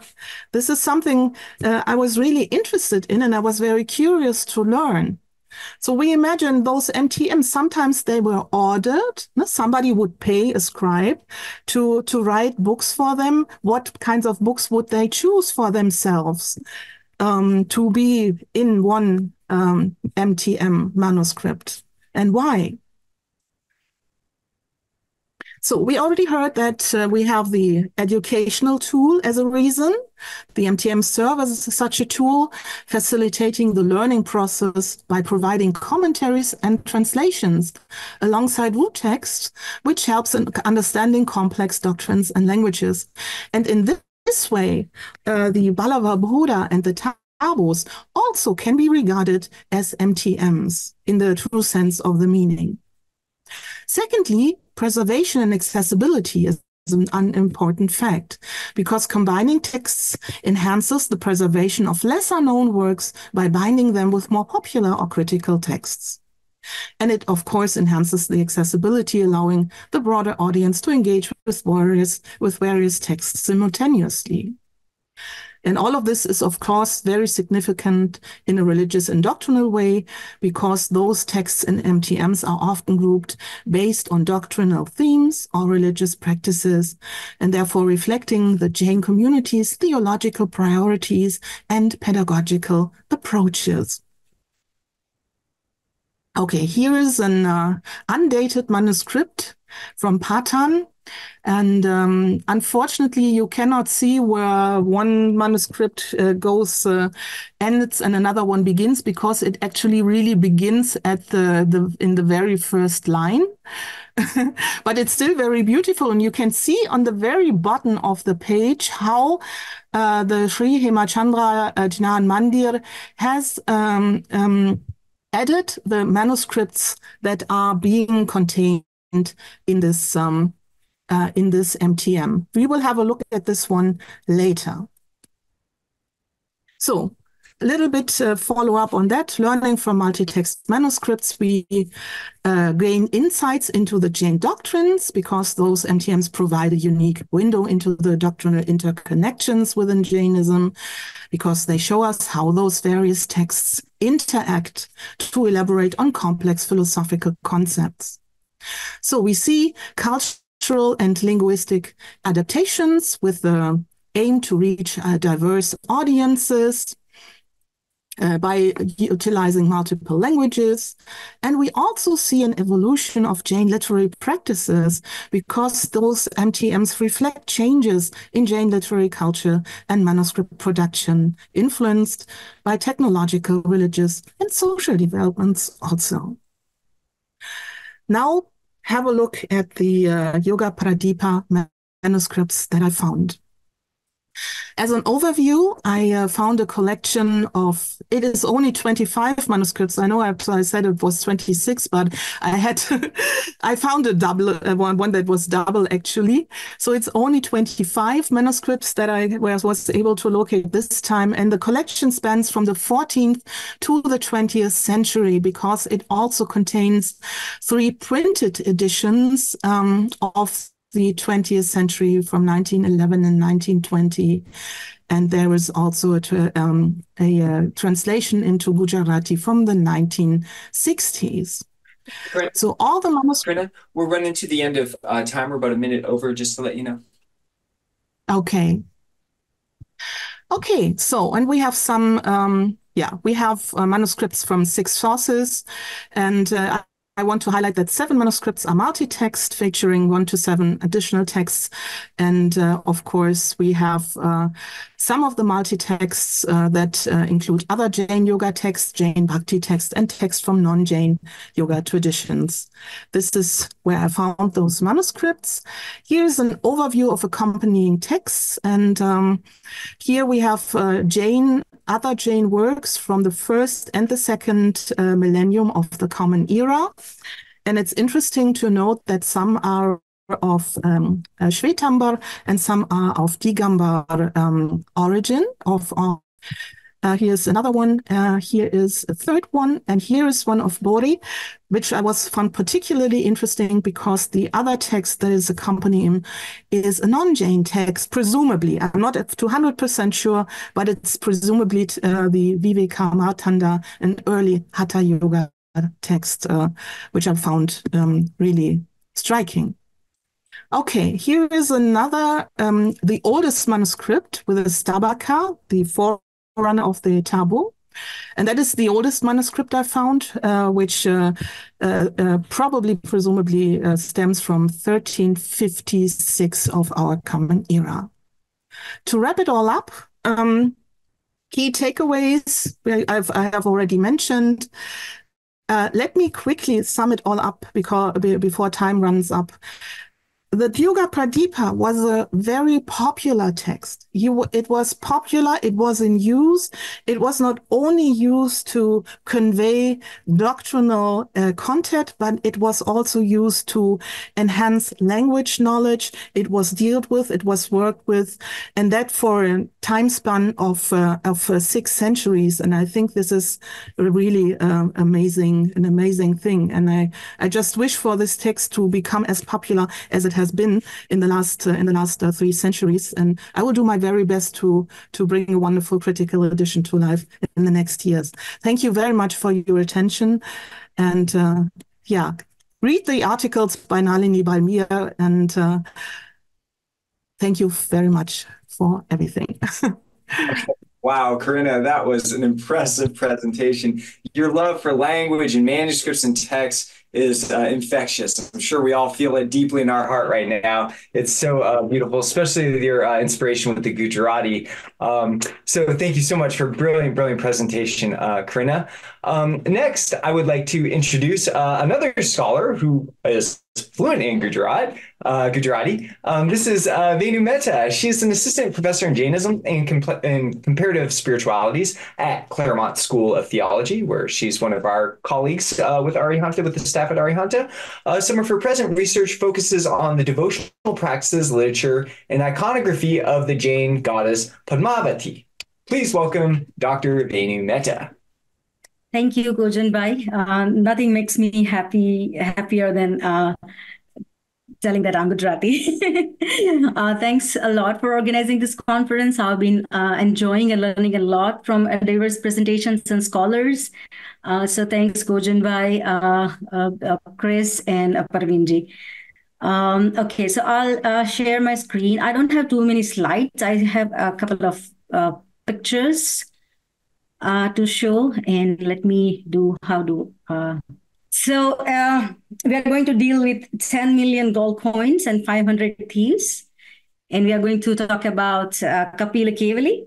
So this is very interesting. I came across, I met Kapila Kevali in Uttradhyana Sutra as I was going through all the uh, sutras and uh, canonical scriptures to look for where the yakshas and yakshis come for my uh, PhD dissertation. That was my doctor, uh, my supervisor, Dr. Narayan's instruction. Go for every uh, you know script and look for yaksha and yakshis and there where i came to know about uh, this and i found the chapter from this uh, uh, Sutra very interesting.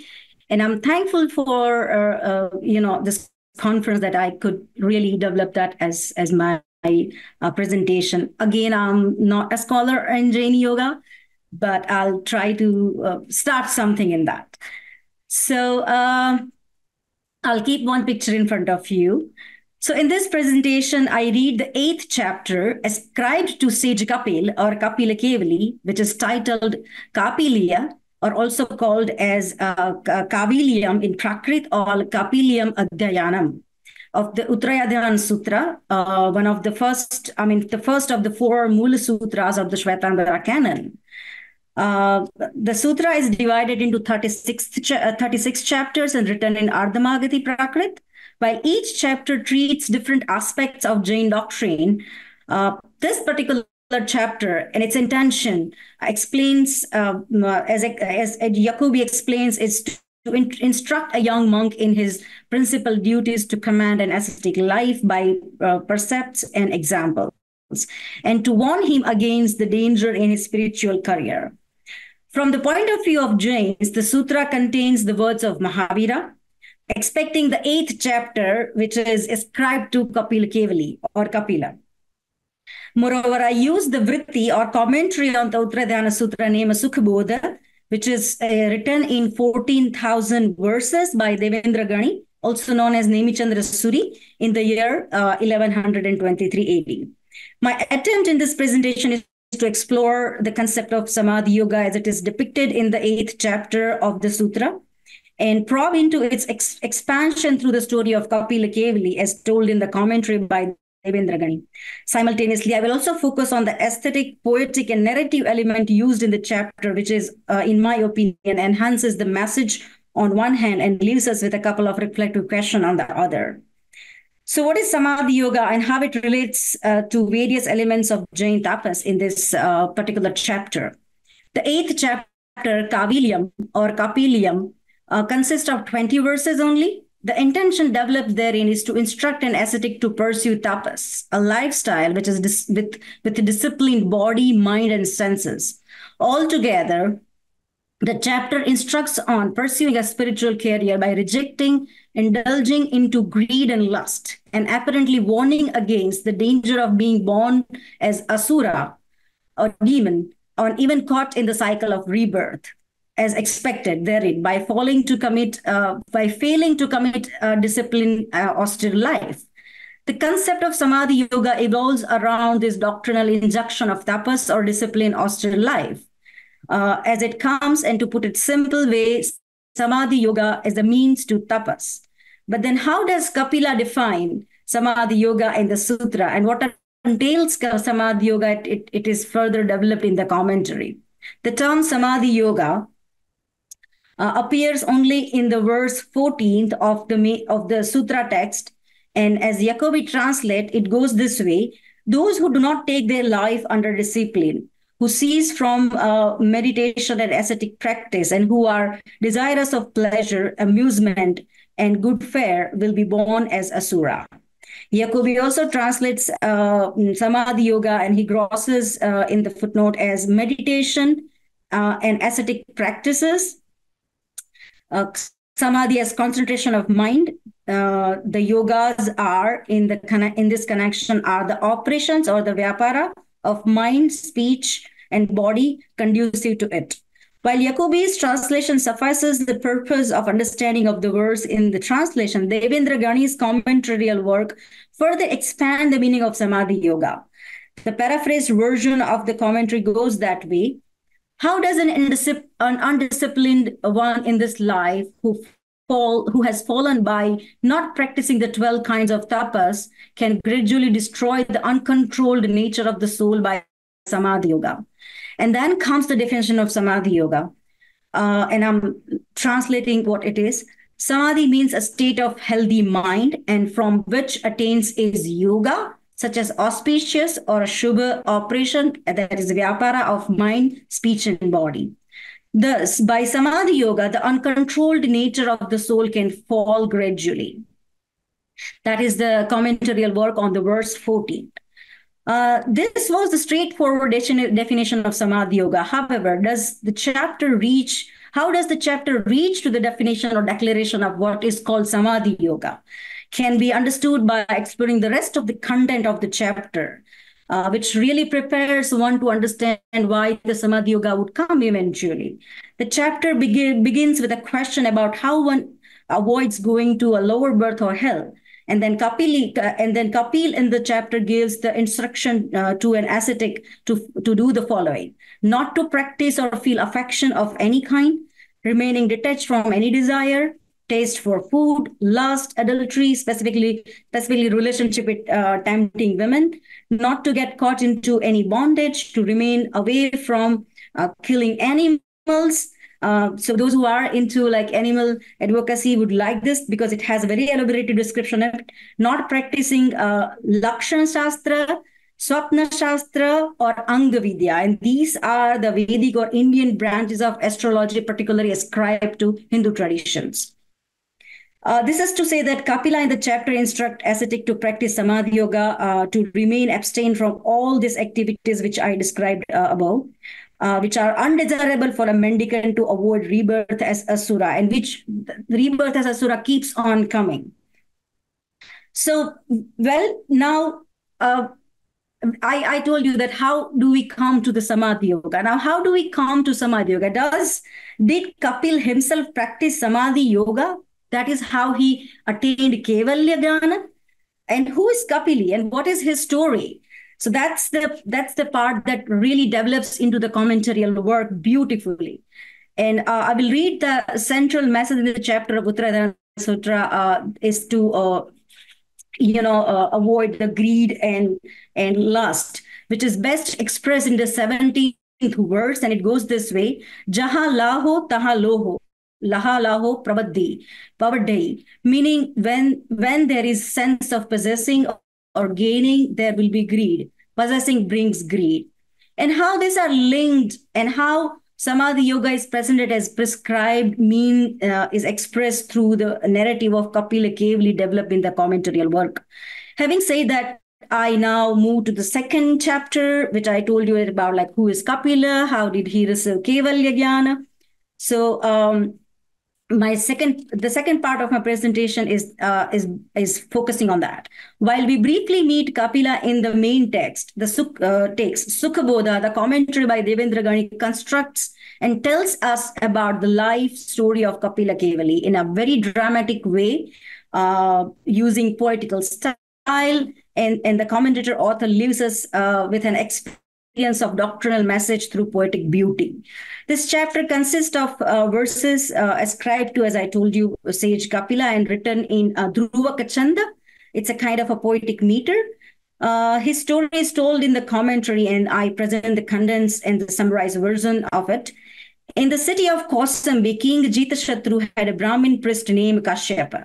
When Kashyap died, the king appointed another priest and the Kashyap's uh, widow and her uh, son fell in poverty. To get the boy an, educa- uh, an education, the, the widow sent him to the city of Shravasti, where lived Indradatta, a friend of Kashyapa. Indradatta was willing enough to let the boy study with him, but he too was poor to lodge and feed him. However, he got mer- uh, a merchant named uh, Shalibhadra to take him.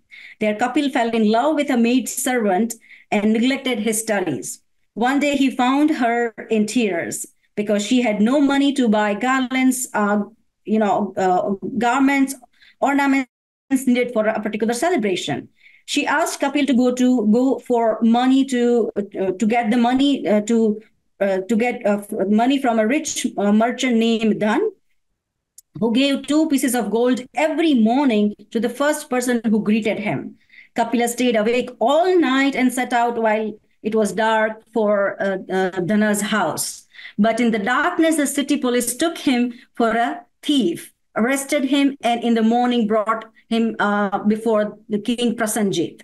The king saw at once that the boy was uh, no thief and asked for uh, his story. And the boy told promptly the king was pleased and offered Kapila a boon. And Kapila went outside in a grove to reflect. That's where the samadhi begins in. Um, although his first thought uh, had been uh, for two pieces of gold, he quickly saw that 100 would be better. Then he saw that a thousand, or as we speak in, in Indian language, a lakh or a hundred thousand, a crore, like 10 million. Just at that point, his good karma ripened, and he recognizes that desire starting from very little quickly becomes limitless. He himself was neglecting his opportunity for study by running after a, a servant girl, and uh, even a, a, mountain of gold would not satisfy him. Uh, he tore his own hair uh, because the you know his his uh, process of becoming Keval is defined as Swayam Buddha, who is self-enlightened. So he tore his own hair, becoming self-enlightened Swayam Buddha and the gods provided him with a monk's garment. Then he preached to the king on the text, uh, on the text that is the stanza 17, which I uh, spoke in the very beginning. Uh, then uh, the more one gets, the more he wants. Desire grows with acquisitions like this. The masas would be enough, yet 10 million do not satisfy. Renouncing everything he set out on austerities, eventually obtaining omniscience. But now it's the interesting part comes in. He saw that in the forest, 18 yojans from Rajgriha, band of 500 robbers was ready for conversion. So he sensed that he knew that from his clairvoyant knowledge. He went there and they caught and bound him and took him uh, to their leader. The leader commanded him to dance. Uh, uh, so the leader commanded a Kevali to dance. The robbers clapped in their hands to mark the rhythm, and he began to dance. As he danced, he uh, he sang the verses of this chapter, and that's why it's in a Dhruva Chanda. And which each stanza, some of the robbers were uh, robbers were converted, until the last, uh, all 500 had uh, seen the light and becoming and, and become his disciple. Now that the Uttaradhyayan Sutra becomes one of the earliest Jain texts introducing definition of Samadhi Yoga, and it also in a way presenting, you know, what exactly a Samadhi Yoga is, um, uh, also through narrative, also through doctrinal uh, aspect, we are left with a few questions that who is Kapil? And can a Kapil, an omniscient, dance? While uh, Winternitz, in, in his uh, um, 1933 work, uh, History of India, Indian literature, uh, volume two, calls Uttaradhyayan Sutra a religious poem, he also notes that this Kapila does not appear to have any connection with Kapila of Sankhya system. And I also looked and searched a lot on that, and I could not find connection. Although we have two very, you know, Hindu traditions and yoga centered name in this text like kashyap and a kapila which looks like there is some relevance but it's not yet found so Besides uh, the discussion on Samadhi Yoga, the inquiry regarding Kapila, who becomes the Kevali as uh, Swayam Buddha, can be of our interest. The 17th century Digambara lay author Hemraj Pandey's Chorashi Bol Ki Bhasha, which uh, gives the tradition of polemic discussion between Shvetambara and Digambara, also mentioned the point of uh, Kevali's dancing, and which is uh, uh, described and uh, included included as translation in, in Padmanabh Jaini's essay, Hemraj Pandey's Chorashi Bol. Um, and the, then the line, the question, the point goes this way that Kapila was a Kevali and yet he danced. So this is, I guess, a very interesting um, formation in which there is a doctrinal message, there is a very early uh, mention and reference uh, or introduction to yoga, specifically Samadhi yoga, which really includes not only just mind, speech, thought, but also body, because he sits, and which is described in a, uh, you know, very poetic way, which is a very interesting story that will keep keep us reflecting and asking the question that why would a Kevali dance? So what could be the reason for that? And maybe I'll, I'll, maybe I'll continue with this uh, topic and do uh, some more research, and we'll have some uh, answers. I'll just show you this uh, picture. Um, uh, so this is from uh, a manuscript uh, Normans edited. and it's before in this picture we have kapila before the king prasenjit and and after his enlightenment and his uh, preaching to the king. So he was there for gold coins and now he's kevali. You know the Im- like immediate realization.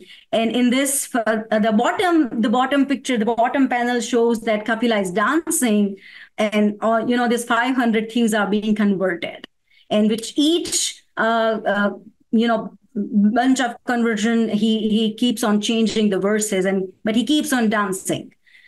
So um again we have here uh, the story about like uh, now kapila in front of prasenjit and then kapila uh, plucking out his own hair and becoming kevali self-enlightened swayam buddha so i guess i mean this is very fascinating um, which has a mix of a lot of things. So I'll stop sharing. Thank you. All right, what a brilliant presentation of Anu Mehta. Wow, a lot of really good stuff in there. Um, I particularly like the point about embodiment too. I think that would be a really good um, topic for questions and answers. So, uh, hearing more about your thoughts on that, the the relevance of embodiment uh, in that aspect, and also you alluded to the idea that he was there for gold but got uh, dancing. Something about the material world with proper attitude might be an indicator for higher spiritual ways or something like that. Very interesting stuff there. I have a lot of thoughts. I'd love to hear more about that. Um, but alas, it's not our Q&A session just yet. Um, that will be coming up soon. Uh, but now we have to transition into yet another panel. This will be our third panel of the day. Uh, and this is a panel on the topic that yoga often gets reduced to, and that is embodied yoga. Uh, obviously, the transnational modern yoga movement very much focuses on embodied yoga. Uh, and actually, embodiment has always been a theme uh, in yoga traditions, perhaps not with the uh, degree of emphasis that it has in modern yoga, uh, but certainly it's always been a theme. Um, so it'll be interesting to hear what our next panelists will have to say, uh, starting with uh, Samani Pratibha Pragya. Um, now, uh, Samani Pratibha Pragya received her PhD in Preksha meditation, history and methods from SOAS.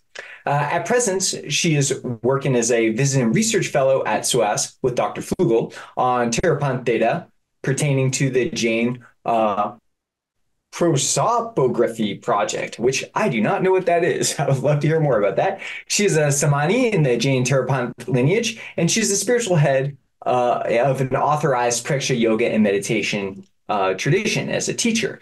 Uh, please welcome Samani Pratibha Pragya. Hello, Om Arham, Jai Jinendra. And yes, um, thank you, Cogen, for introducing in a way. Uh, finally, I'm a Samni. And uh, yes, the Kayut Sarg is the practice, which is the part of everyday life for monks, nuns, and Samni. And therefore, I'm taking the Kayut Sarg in a way that ritualistic and non-ritualistic forms. So here non-ritualistic is the secular form which is open to all. And mainly I would like to introduce how the Kayut Sarg prominently important because this is the uh, first practice and the last practice as well. And this is documented uh, not only the Jain Agamas, but we, we can see a gradual development of Kayut Sarg. Here, I would like to notice that um, Professor Leumann, he presented uh, the Avashyaka literature, and there we can see that he said, like, Avashyaka has many models, and one of them is might be before Mahavira himself, and the time of Mahavira, and after Mahavira. And I can add that, okay, the fourth, fifth model, that could be the recent and modern model, and modern model is non-ritualistic, and also it is a secular model. So this is uh, one thing, but I would like to present this paper with the chronological framework. So early, like dating of the Agama is the Herculean task, and even nobody can claim it is perfect. So I'm on the same boat. So early canonical, late canonical, and medieval and the modern period, because Jaina has specific um, uh, interest to develop even commentaries on the Agama even today.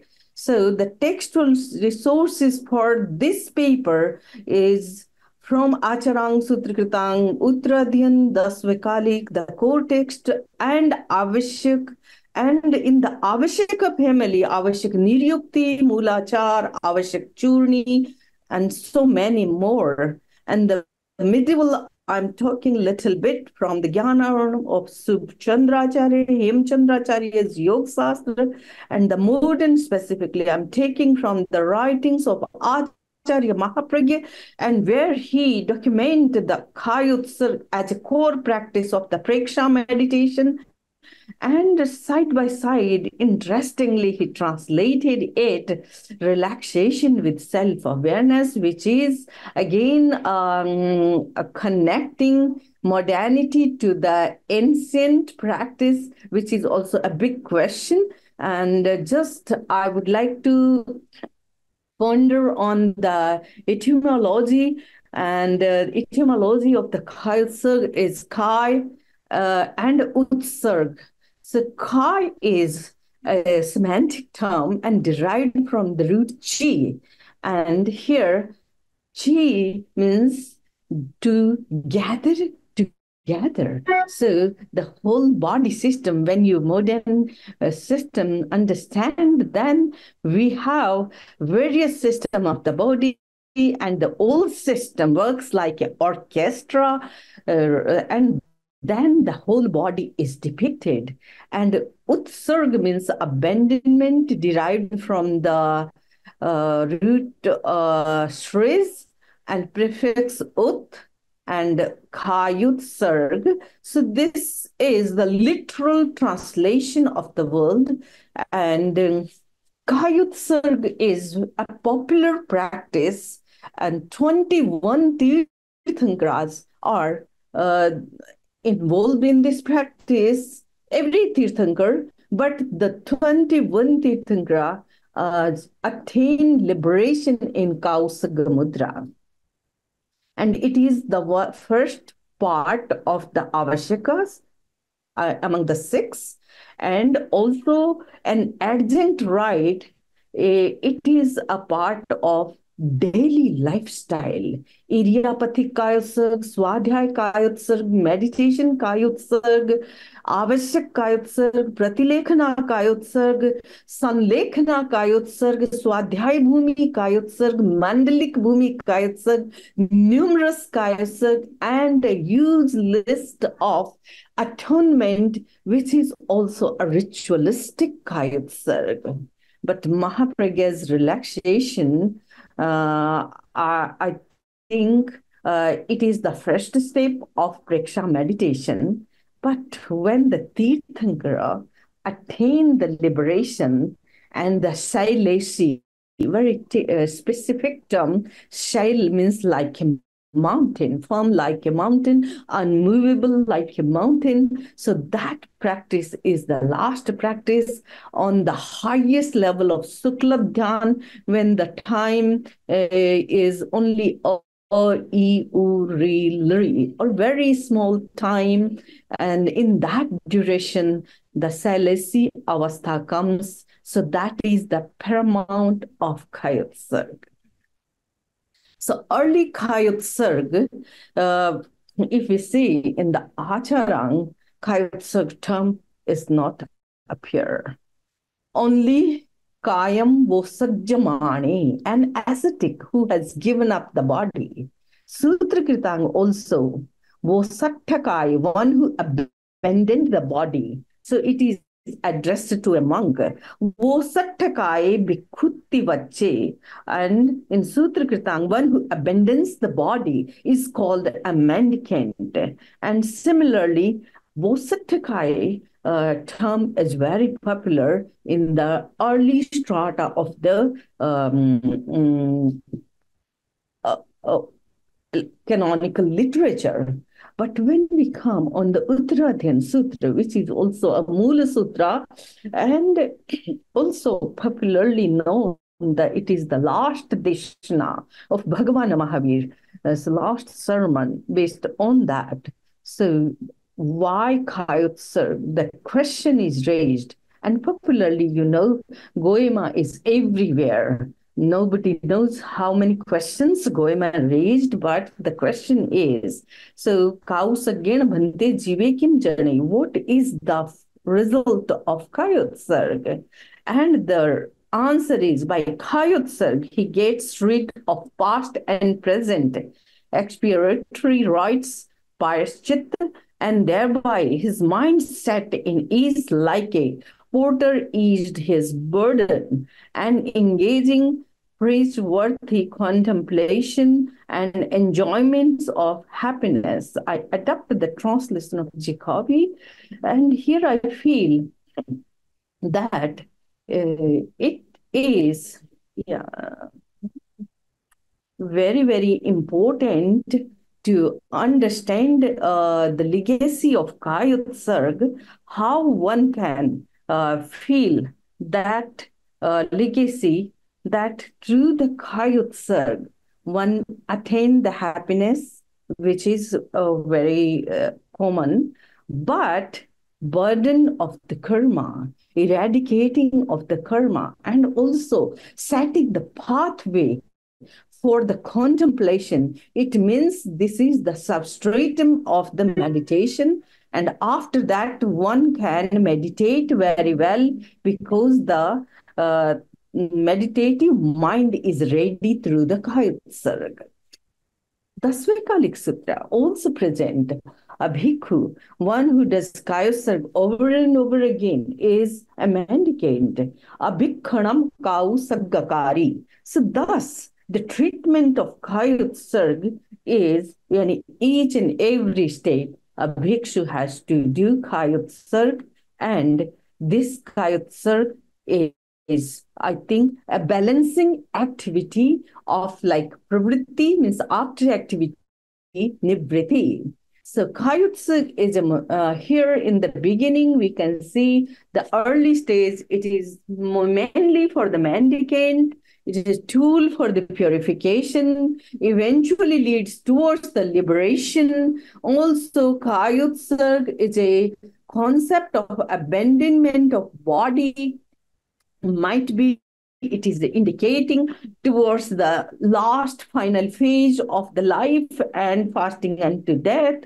And no detailed procedure is given at this stage and we can see the Kayutsarg in Uttaradhyan, Dasve Kalik Sutra is more developed than Acharang Sutra.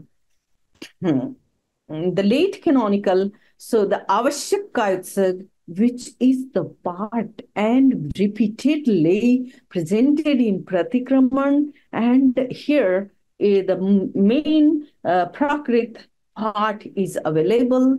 So making an additional effort, uh, one who want to come out from the um, sinful activity, doing atonement, doing purification, extracting evil from myself. I stand in the Kayutsarg in order to end sinful acts with the exception of inhalation, exhalation. So his the procedure, if you stand in the Kayutsarg, might be some voluntary uh, act you can stop, but the involuntary act is not in the hand, like blinking of the inner eyes, blood circulation, sneezing, coughing, and so many more. So here I say that these are exception during the Kayutsarg. And also, Kayutsarg is prescribed uh, for the monks, nuns, and also a practice for the householders,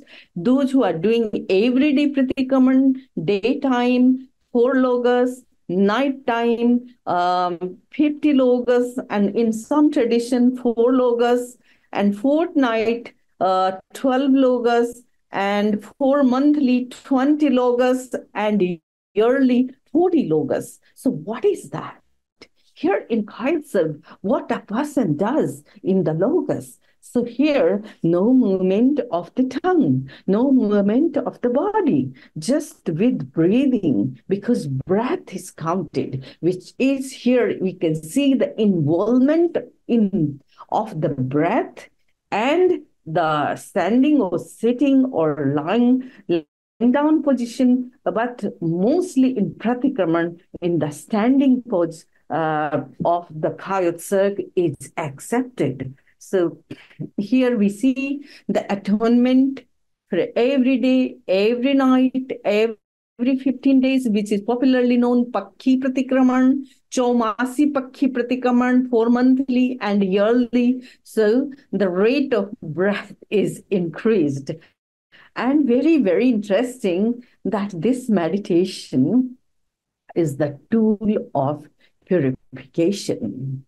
So Avashika has many connotation for the Kailsag. It is a use list and might I I'm not going to read everything, but the abandonment, giving away, removing, sweeping, and so many meanings of the utsarg. And similarly, I have not uh, put it uh, put here in the meaning of the body because puri meaning of the body. So I think it is a type of style during the Niryuktikar or during the Bhashyakar. But the idea developed time to time, the later text divide Kaitsar in two types. The exertion is Chesta Kaitsar. Abhibhav means overcoming any natural calamity or any difficult situation. So these two types of Kayutsarg are very important. Two uh, category of Kaisar merely standing, uh, unmindful and unaware, that is Dravya Kayutsarg. And mindful state is Bhav Kayutsarg. So Lokik and Lokotter, two, two types of Kayutsarg. You see, if someone have to call a deity, someone needs some help, someone wants to protect, if there is bad omen, bad dream, bad thing, and at that time there is Kayotsarg. So I think this is Abhibhav Kayotsarg. It is not only for purification, but the safety, security uh, of the congregation. And interestingly, this Abhibhav Kayotsarg is deeply rooted. When someone in need, they can get different help for their life support. And there are numerous examples uh, for the Abhibhav Kayotsarg, but I am very restricted to the time and topic, so I'm not going in the detail of Abhibhav Kayotsarg. The posture of Kayotsarg is uh, Urdhva Kayotsarg, it means standing, sitting, Nisanna Kayotsarg, and lying, lying down is Nivanna Kayotsar. So the third one is the lowest, second is the middle category, and the standing is the highest category. And here you can see the mind boggling, the longest duration of Kayotsarg. Hem Chandracharya documented in the Swapagyatika that Bahubali at uh, the, uh, the statue of Bahubali at Shravan Belgola, Karnataka, must we must visit a 57 feet high statue exemplify the standing Kayasag over one year period. Historically, the longest duration of the Kayasag. So, which is, I think, uh, commonly not easy to practice, but it is. And Acharya Mahapragya is sitting in the sitting Kayutsarg, a child in the Langdan posture. So you see the late canonical period, during that time, the substantial development of the phenomenon of the Kayutsarg and complex and extensive list of the Kayutsarg is attached to that time. And um, uh, a whole section of more than 100 slokas are dedicated in Avashak Niryukti and Kayasuk practice, prominently uh, monastic affair, but slowly, slowly moving towards the uh, common masses. And here we can see the practice of calling goddess and goddess potentially for the worldly boons or sometime purification of dullness of body, intellect, and development of the contemplative uh, mood. So all these are uh, the medi- medieval uh, development of the same practice. And the medieval period, uh, if we see the 8th to 16th century, and Acharya Shubhachandra and Hemachandra, so here we can see the term Hemchandra used, Shithili Karan, the first included as a part of meditation. And here, no detailed description of the Shithilikaran. Mm, is it the same which is today relaxationism? But it is there, and the term, and the clear evidence of the practice that it is um, uh, different from the acharang and here indicate the complete bodily relaxation also.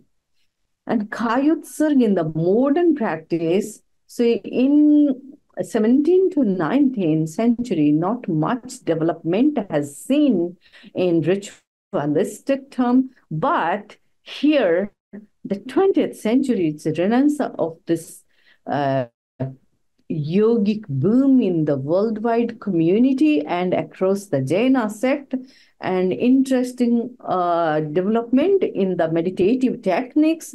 And Mahapragya developed the Kayut Sarg, which is as a monastic practice also.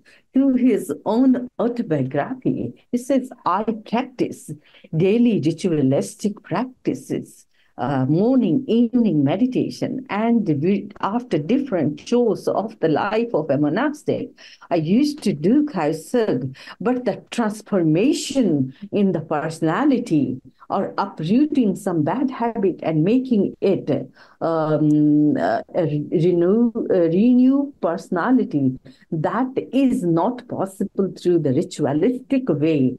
Uh, ritualistic way could be a liberating tool for the soul.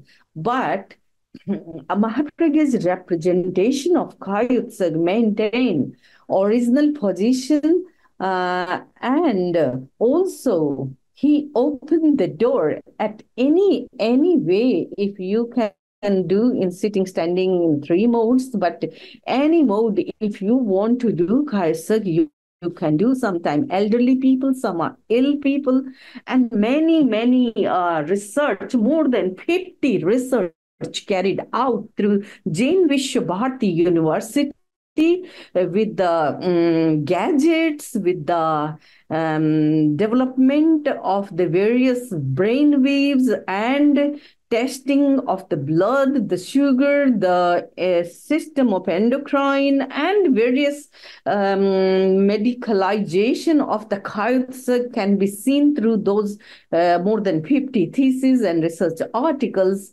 And All India Medical Institute also carried out some research through the Kayutsarg in the leading uh, professional uh, medical professionals and uh, collaboration of the uh, meditative teachers. So that is also a landmark of the modernization of the ancient and century old tradition.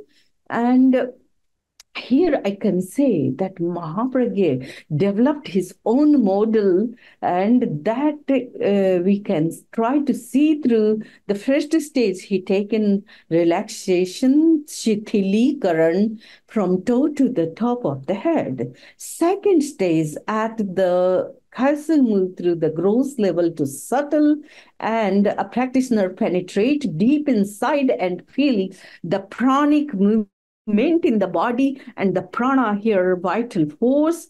And uh, this vital force can be experienced. The third stage of the kaiser move from subtle to the subtler levels. And here the oral colors the leshya can be seen and the um, uh, some can feel the difference between the gross body, Audaric Sharir, and the fiery body Taija Sharir. And uh, this uh, stage is also can be seen in the uh, modern popular development in the psychology, the um, uh, states of the various states of the psychological uh, movement. And here, the altered state of the uh, one who are in the deep stages of the Kaiser. Fourth stage is moving towards the subtle level and at that time, one can experience the level of uh, karmic body. So uh, the discriminating state means Bheda Vigyan uh, of that stage so this is, I have a lot more um, examples from Acharya Mahapragya's life and others uh, practitioners who are very deeply engaged with Pragya's movement and uh, those who did, and also my own personal experience of the altered state during the Kayutsag, but time has its limit. But where I can see that uh, a new um, development of the Kayutsag at the various conscious level and the formative influence if we study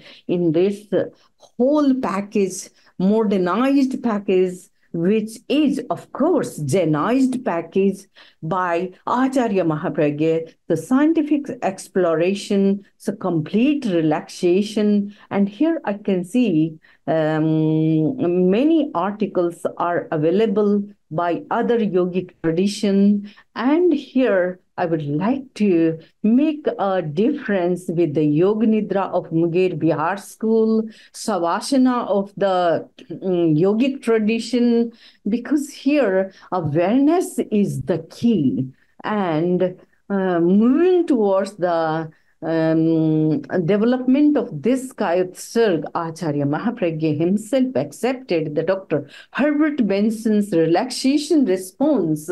We have studied it and it influenced Acharya Mahapragya's um, making of the modern Kayotsarg and Kayotsarg is now presented in a effective practice for the combating stress and um, to be amazing in the corporate world, in the schools, in the colleges, and fast learning track, also meditation towards the meditation. So it is, uh, yeah, moved towards a more secular practice. And Mahapragya given this practice, uh, even one can use in the medicalization of the yoga and uh, many therapeutic aspect he presented in his book.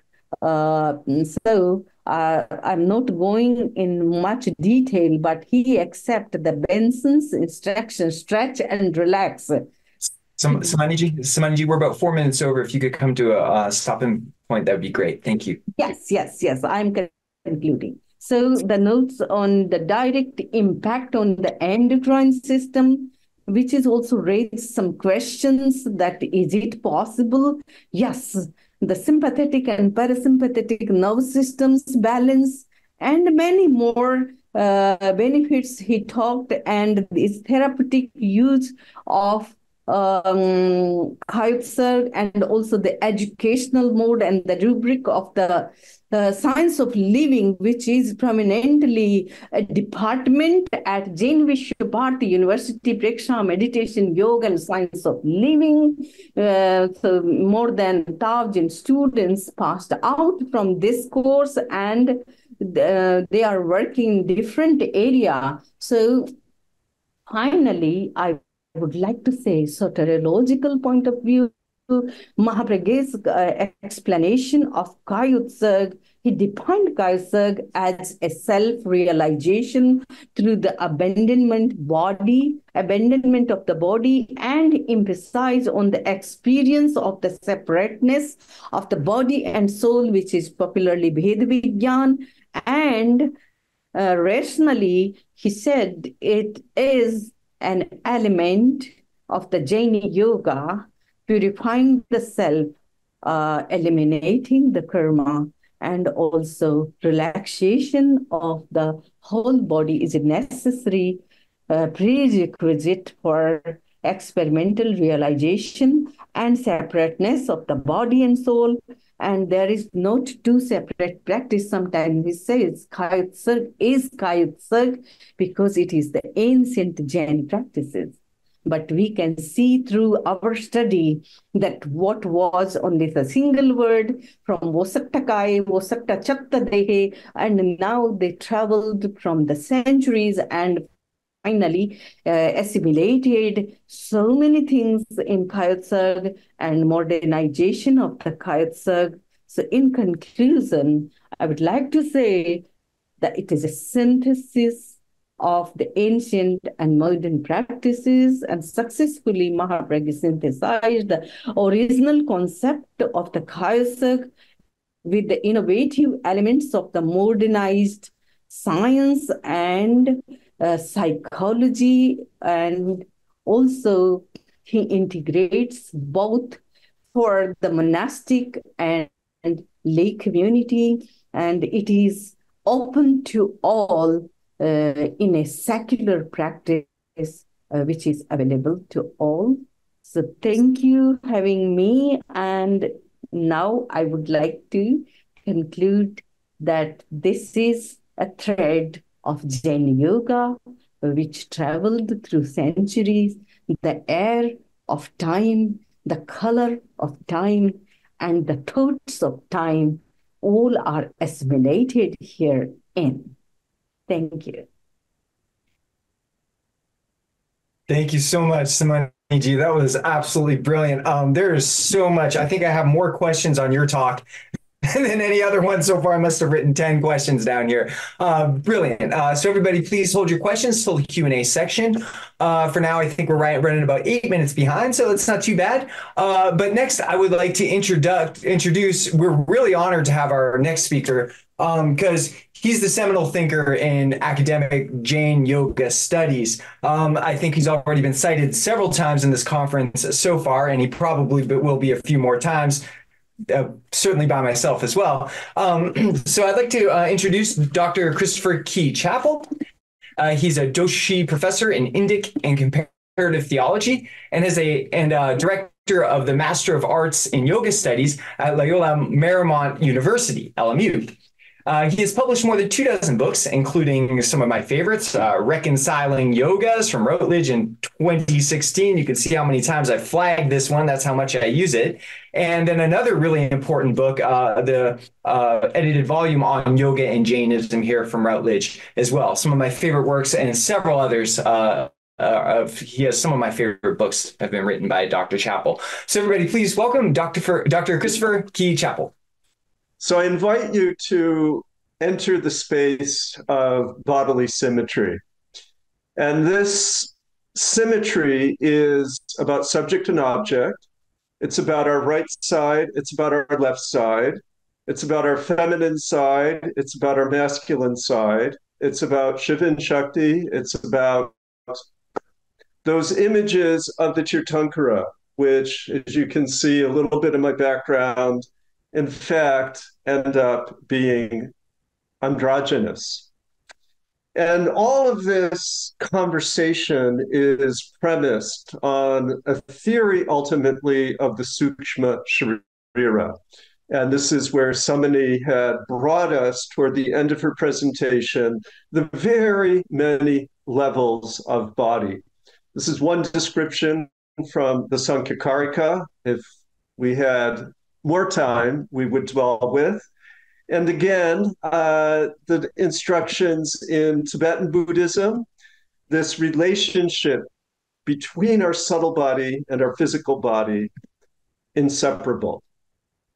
So I'm going to set us in a context of bodily perfection to begin with and invite you to just consider uh, this imagery of the Buddha. Recall 32 marks of perfection.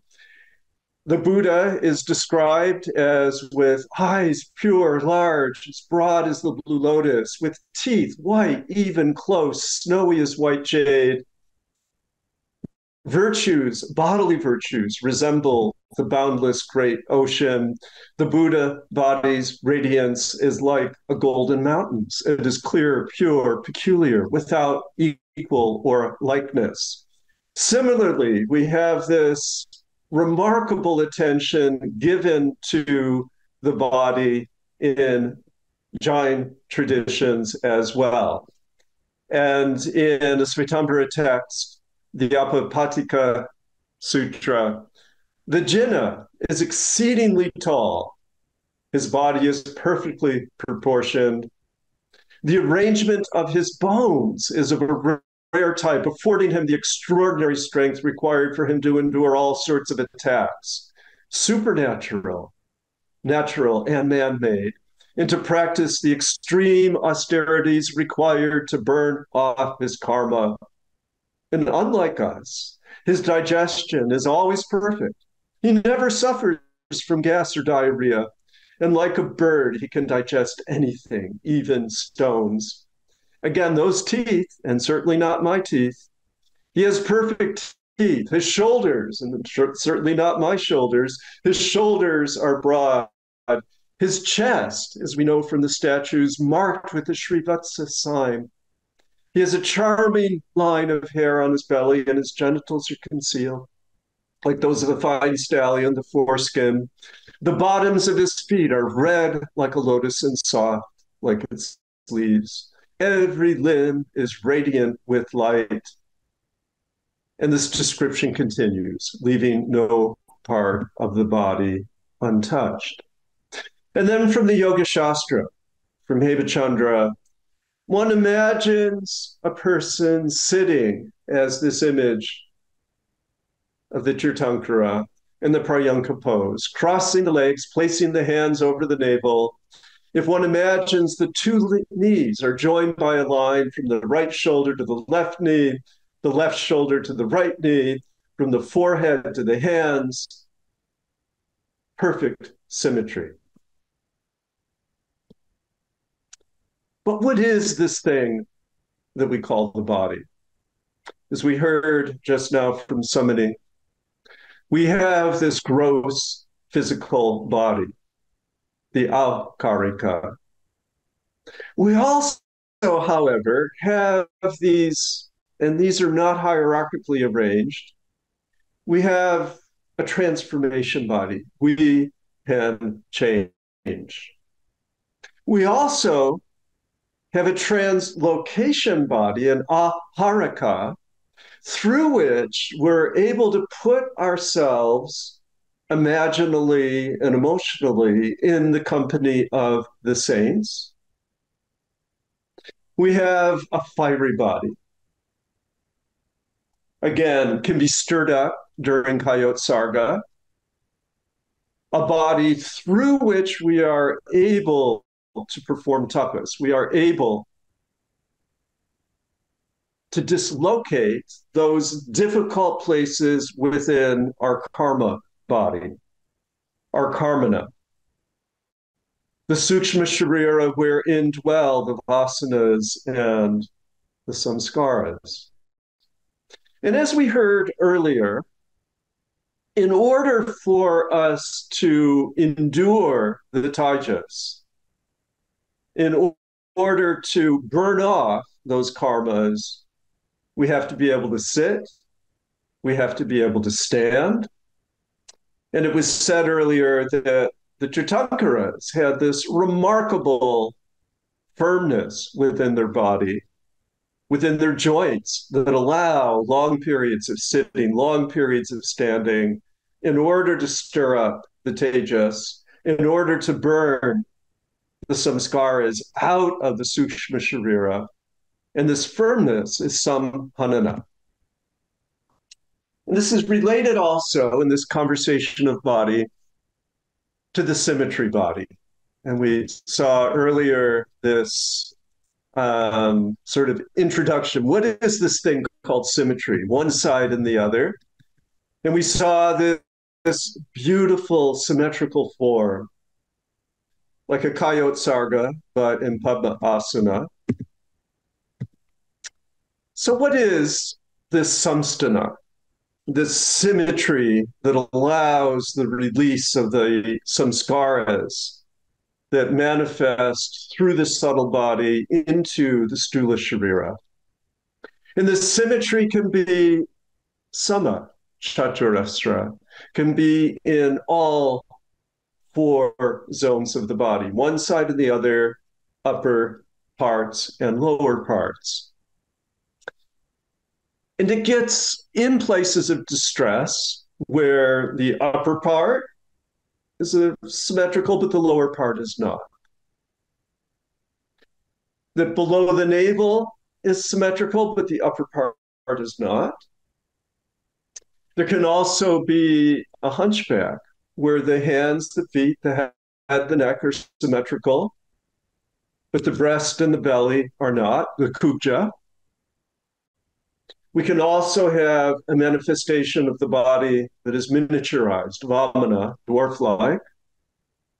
Or we can have someone who is born into a body that is radically asymmetrical or hunda. And I think if we, we do a little bit of an internal check, um, we know our bodies well enough. I remember going to the shoe store as a little boy and he put that foot measurement on one foot and on the other and said to my mother, Oh, one foot is differently sized than the other. We might want to compare ourselves to the bodies of the Buddha or the Jina and say, Oh no, but not all is lost. And this is from the Svetambara Upadhyaya, Meghavijaya. You can see his dates here. Is for physical prowess, men or women who were lame, dwarfish, or subjected to extreme illness, hunda, are not prevented thereby from attaining moksha. For there is no fixed rule concerning their capa- incapability. Merely having deformed limbs is not determinative in this matter because moksha is possible even for those who have the samsthana, the asymmetry of a hunchback or a dwarf. And Kristi Wiley quoted early, earlier,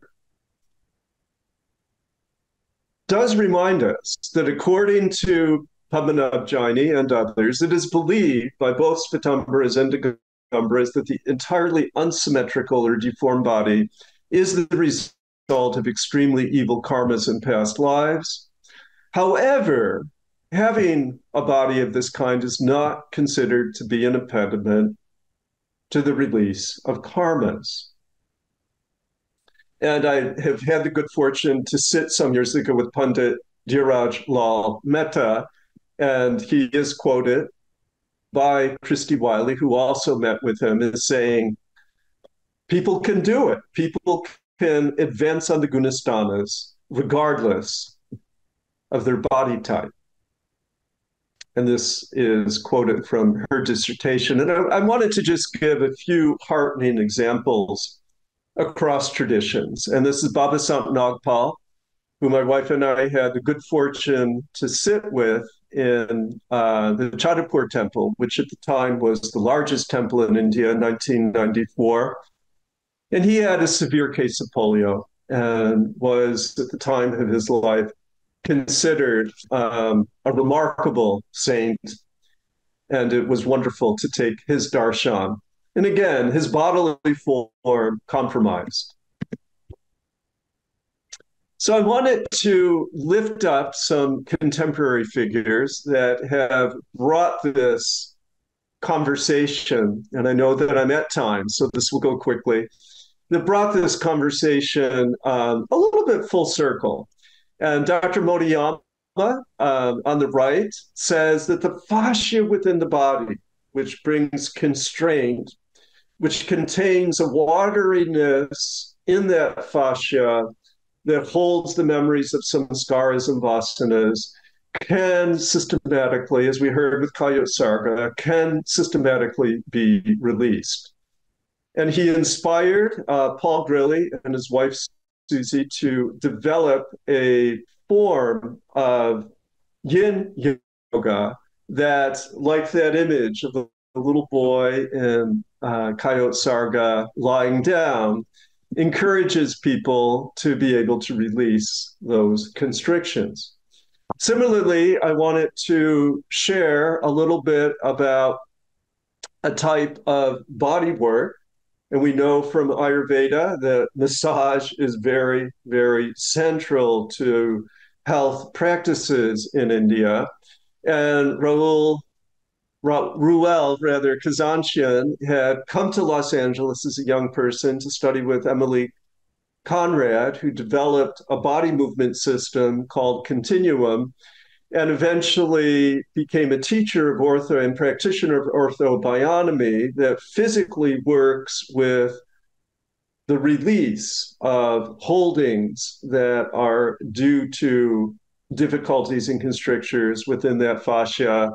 And similarly, for decades, uh, this physical yoga teacher in Santa Monica, and we're doing an event in her honor tomorrow, developed slow, long holds. And, and you could see a little bit of Kayotsarga in this particular move, uh, sort of a dynamic Kayotsarga.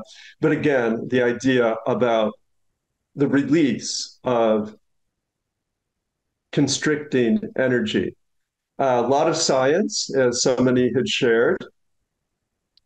The Yoga Sutra says beauty of form, strength, adamantine stability. That's a goal within this very physical manifestation of yoga.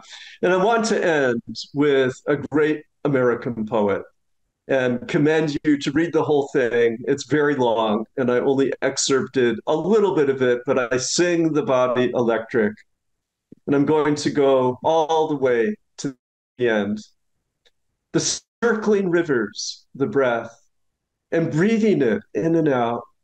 The beauty of the waist, and thence of the hips, and thence downward toward the knees the thin red jellies within you or me, the bones and the marrow and the bones, the exquisite realization of health.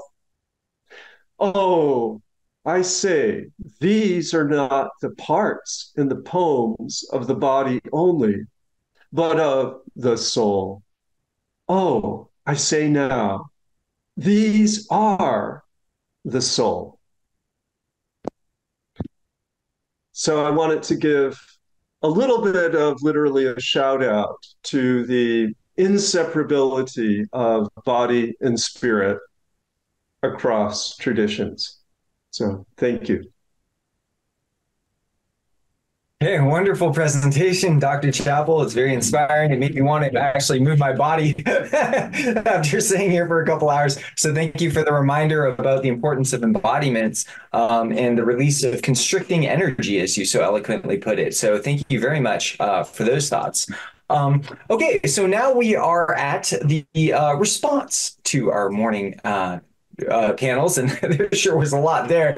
Uh, so I'm sure our next guest will have much to say uh, about this. I would like to please invite our respondent. Uh, this is Tine Vekemans. And uh, Professor Vekemans holds the Acharya Mahapragna Chair for Jain Studies, which was established at Ghent University in 2022.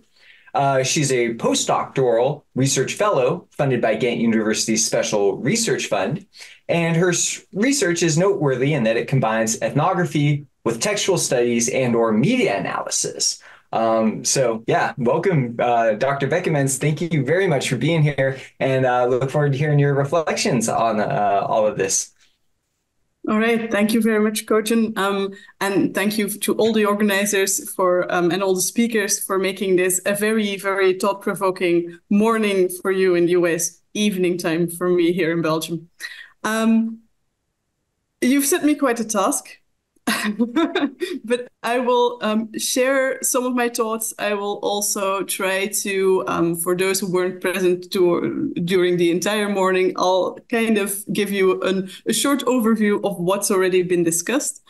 Um, I probably won't fill up the entire 20 minutes, but I'm sure you guys won't mind that much. Um, so when I got an email um, asking if I wanted to contribute to this event, uh, which looked absolutely wonderful from the beginning, um, honesty demanded that I say that my work has only really touched upon yoga rather than gone into it. Um, so not only do I not consider myself an academic yoga specialist, I'm not even a very accomplished practitioner of anything remotely resembling yoga. I've tried, it wasn't successful. However, I'm an educator, and meaning I'm a teacher, but also always, always, always a student. And I always enjoy listening and discussing with my lovely fellow colleagues um, and friends who are here. So actually, I'm thrilled to, for the job as a respondent, is what I emailed to Cogen. Um, now, I'm sure that when I was a student, uh, my professors here at Ghent University must have, must have read excerpts of Hemachandra with me. Um, however, the mind must be ready for deeper knowledge, and I was very much preoccupied, being 20 years old, with the details of the grammar that I had to um, learn rather than looking into the meaning of the text. Later, as part of my ethnographic research, though, um, I did well, I came into contact with yoga um, as I joined families and different organizations in the US and the UK in yoga sessions. Sunday morning yoga with the young Jains in London, online pandemic yoga during um, the lockdown. Um, I particularly enjoyed elderly chair yoga with Navnat in London, um, as well as the animal themed toddlers yoga class I got to join with the Jains in Antwerp. So my in with Jain yoga is very clearly um, the way more and more lay Jains engage with practices of yoga. And in my research, that is, touches very much upon Western or Westernized yoga practices. Um, Jains add yoga to their cultural repertoire, sometimes overtly designating the practice as Jain, seeing it as an extension of, of dhyana, uh, talking about samayik, but also sometimes just a bodily practice um, aimed towards relaxation.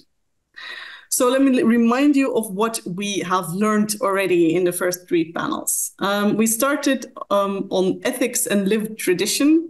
Um, and so that was the first panel, but I kind of suspect that some of the papers that followed in later panels could also kind of be seen as part of that lived tradition thing, which I very much enjoyed. Um, Andrew Bridges started today um, reiterating some central points of Jain doctrine, which is always good at the start of an event such as this, um, and linking Jain yoga directly with ethics, um, positing that the drive to eliminate suffering is central to philosophy, and Jain yoga then being a tool to um, advance towards liberation. Um, this clearly linked also to ahimsa, non-violence, um, what I particularly enjoyed about this philosophical talk on Jainism, ahimsa, and yoga was that ahimsa and yoga was presented not as an individual, not only as an individual tool towards liberation, but also as a kind of as something that has a collective um, impact on the planetary collectivity that we are part of. And I think that that move from personal um, advancement towards liberation um, on the one hand, and then the broader societal impact of this on the other, that theme kind of came back in a lot of the later papers as well.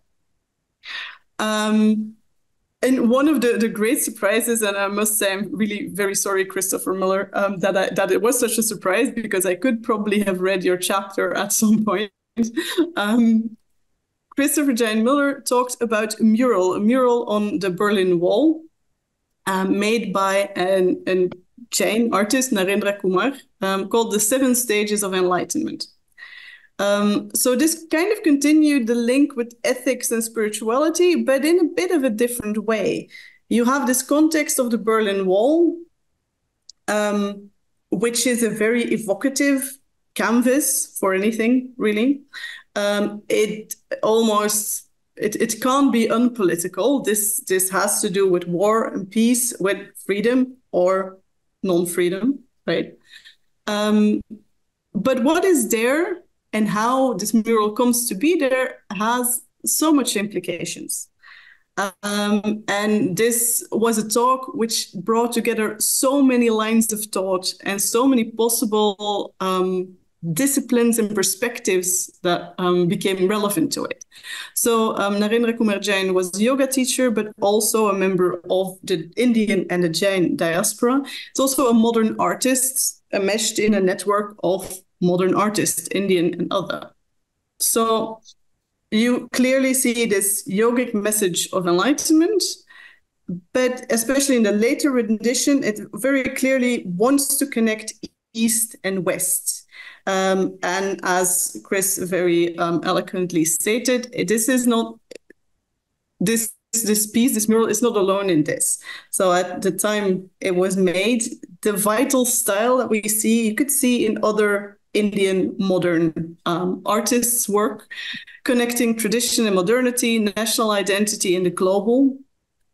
But what you actually then see on the mural is the tantric body, which has come back just now in the last two presentations, with the chakra system um, as it was co-constructed through colonial scholars and um, Indian scholars in the 19th century. This is the central theme uh, which is a sensible choice given the, the, the, context. It was quite well known in Germany. Um, and the, the artist, Jain, as an Indian national, was perhaps the only person who could have painted it, both topic wise and canvas, meaning place wise, where German nationals, other European nationals would not have been allowed to paint where he was painting, making him uh, well, a, a very avant-garde artist in that sense, um, and a forerunner of all of the artistic and peace um, establishing um, initiatives that came after.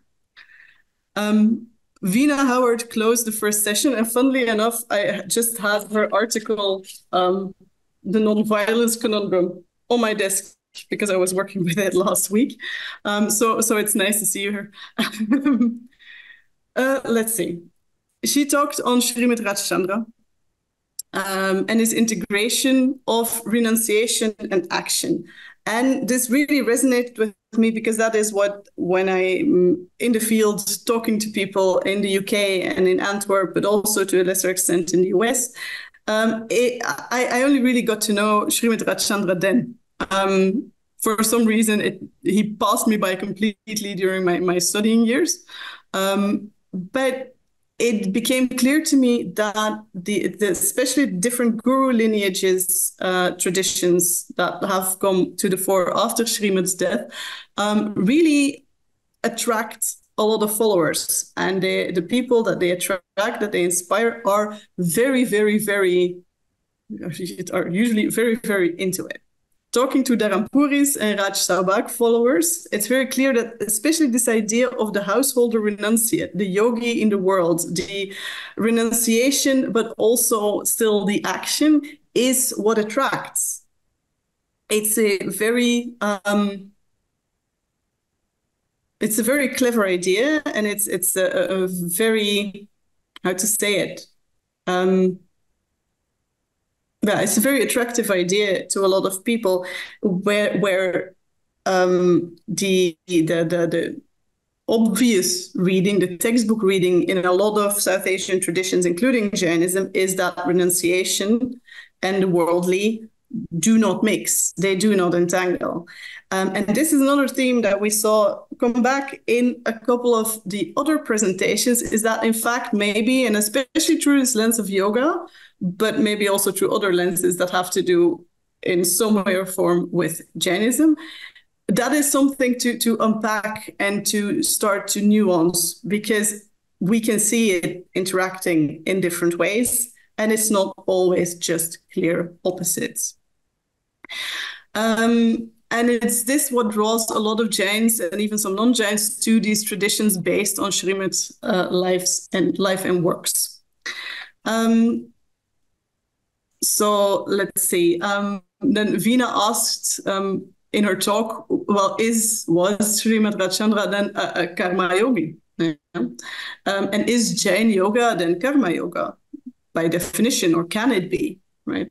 And then you had these two prerequisites of detachment um, and then dharma, which are also stated in, in the Gita.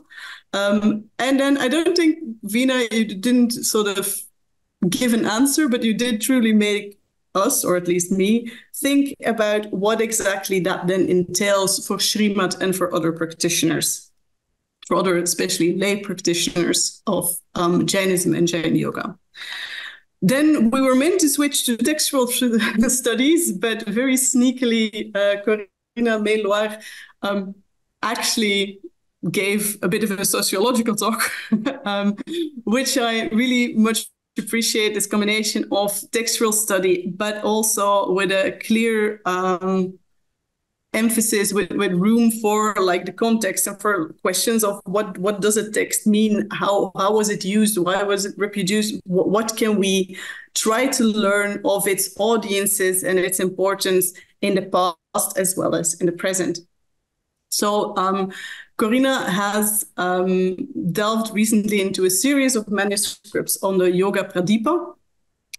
Um, now we learn we learned very little of the content of the text, but I'm sure that we, we will learn more of this as your project advances, and I'm looking forward to it. Um, but taking her cue from John Cort's article on academic models of Jainism, she wonders about the social and cultural context of these manuscripts how the Jains interact with the texts, what, what, what does that mean? And then we learned about the practices of Balava and the Tabos, which are expanded translations and then bilingual commentaries, showing that these texts were important and that they were used at least at the time that they were reproduced. Um, the the the sense of making that kind of adaptations or, or adaptive translation is to contribute to linguistic learning, to contribute to make it possible for less advanced lay people um, and and sort of younger monks to get an idea of what is in a text. Um, so I found that really enlightening. Um, she went on saying that the presence of this text, the Yoga Pradipa, within uh, multi-text manuscripts can also really teach us a lot about in which sort of in which sphere we should place the text, but also the topic of Jain yoga in the intellectual history of that time in those communities. What are what is the yoga pradipa combined with? And then we we can see themes revealed pointing towards sort of specific yoga focused um, yeah um, selections, I call uh, with Jain, but also non-Jain yoga texts combined. We can also see combinations with uh, Jain Bhakti texts, which is interesting to see that apparently those kind of went together um, to an extent. Um, so I think that's a really enlightening way of approaching um, the, the social life of texts well in, in a few uh, um, centuries into history, um, and I applaud you for it. Um, as I've said before, I really look forward to seeing how this uh, goes further. Then with Venu Mehta, we actually went into the content of a text, the Uttaradhyayana Sutra, more specifically the eighth chapter, attributed to Kapila, which consists of advice and guidelines to, to young monks and instructions on tapas and austerity and how to actually get to those practices. And there we see the term samadhi yoga, um, which is interesting um, in itself. Samadhi yoga is presented as a means to come to practices of tapas. The text itself says very little on further details, but the commentary by Devendragani is used by uh, Venu to further our understanding of what this then is. Um, the cultivation and control of the mind through contemplative and meditative practice is kind of the standard um, definition that I understand. Um, and the central message of that eighth chapter is to avoid greed and lust. But then, interestingly, Venu asked who, who was Kapila? And did he actually practice this Samadhi yoga in his attainment of Keval Gyan?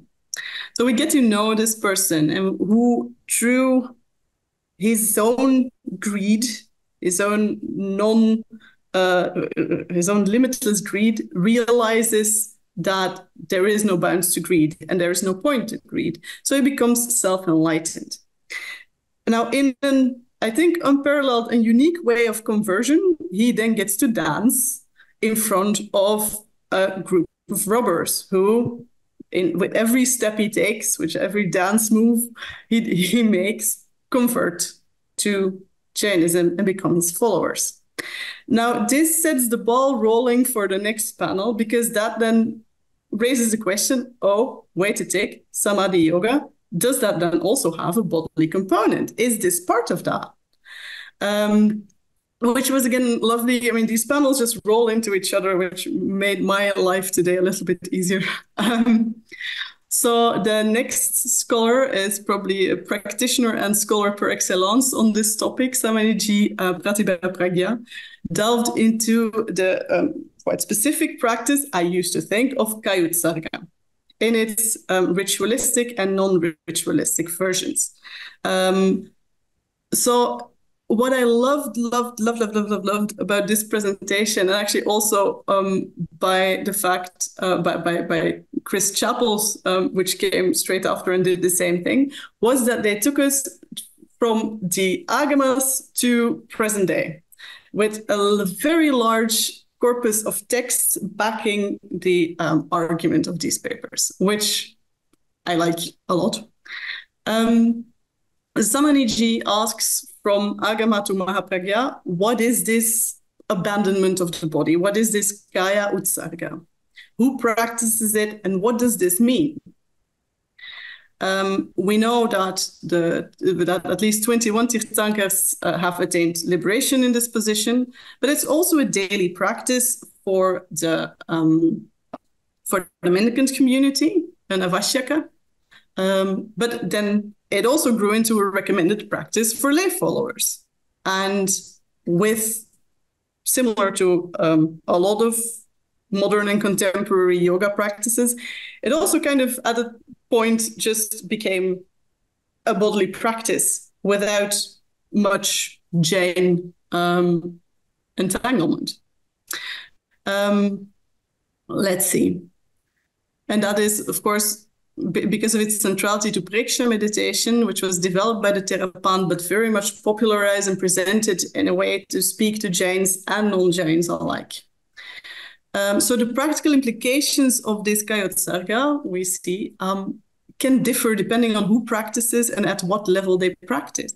It contributes to the purification of the, so- of the soul. It's an, a, a defining attribute of mendicancy but it's also a transitory practice to, to transition from sin to focus, and as such, to prepare the mind in an effective way for meditative or, or contemplative practices which come later.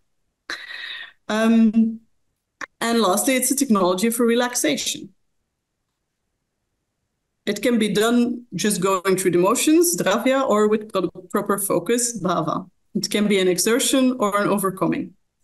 What struck me is that in this diachronic reading of the changing and overlapping meanings, we hear an echo also of Andrew Bridges' thing, first paper of the day, assertion that ahimsa and Jain yoga are a tool for both individual spiritual advancement and a practice which can have at least collective, planetary, in Bridges' words, um, implications. Um, Jain yoga, as analyzed by way of Kayotsarga, um, also shows this. It acquires ritualistic and non-ritualistic applications, particularly developed from the middle period in Hemachandra's um, Yoga Shastra, where, where for the first time Shitilikarana, or relaxation, is found in relation to Kayotsarga. And it widens, it democratizes first to lay Jains throughout time, in a ritual and non-ritual way, and then to non-Jains in, by necessity, a non-ritual way too.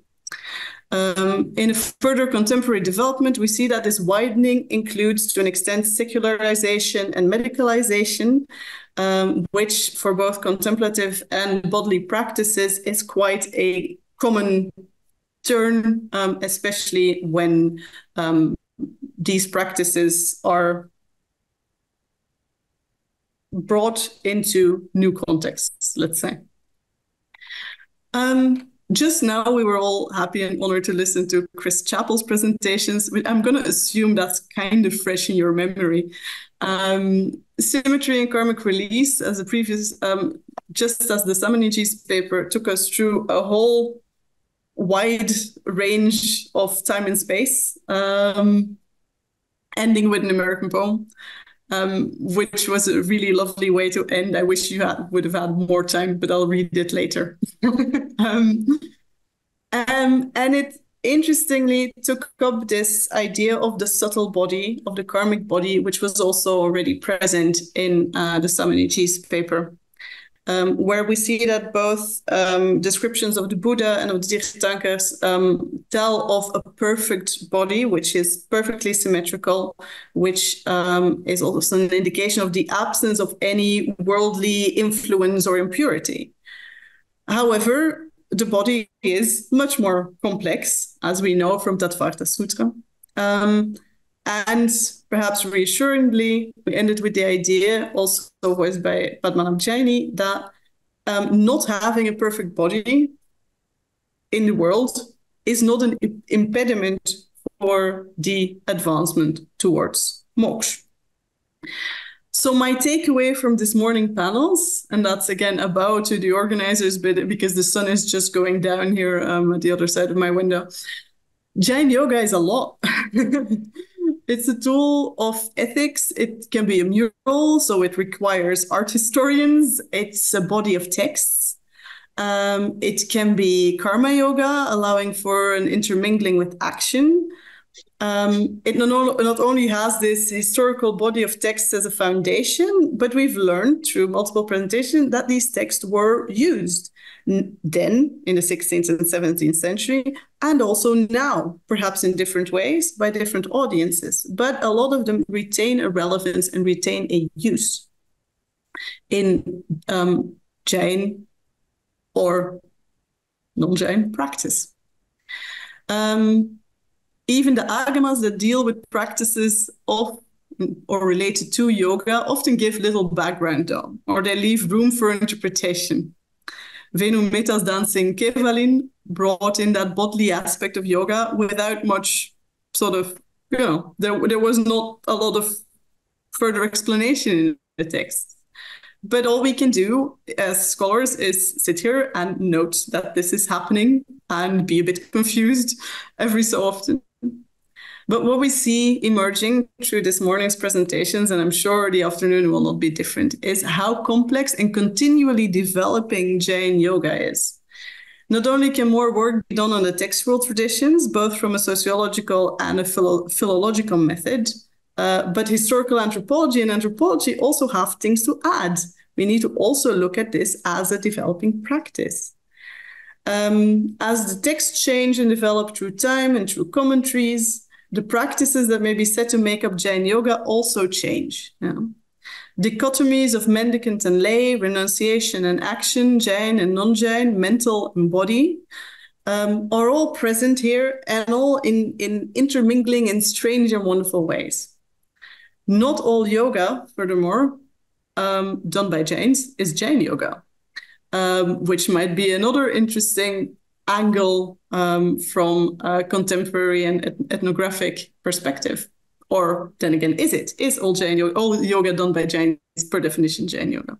I very much look forward to the continuation of this conversation. I really do. And I hope it will include as many perspective, as perspectives as we can find.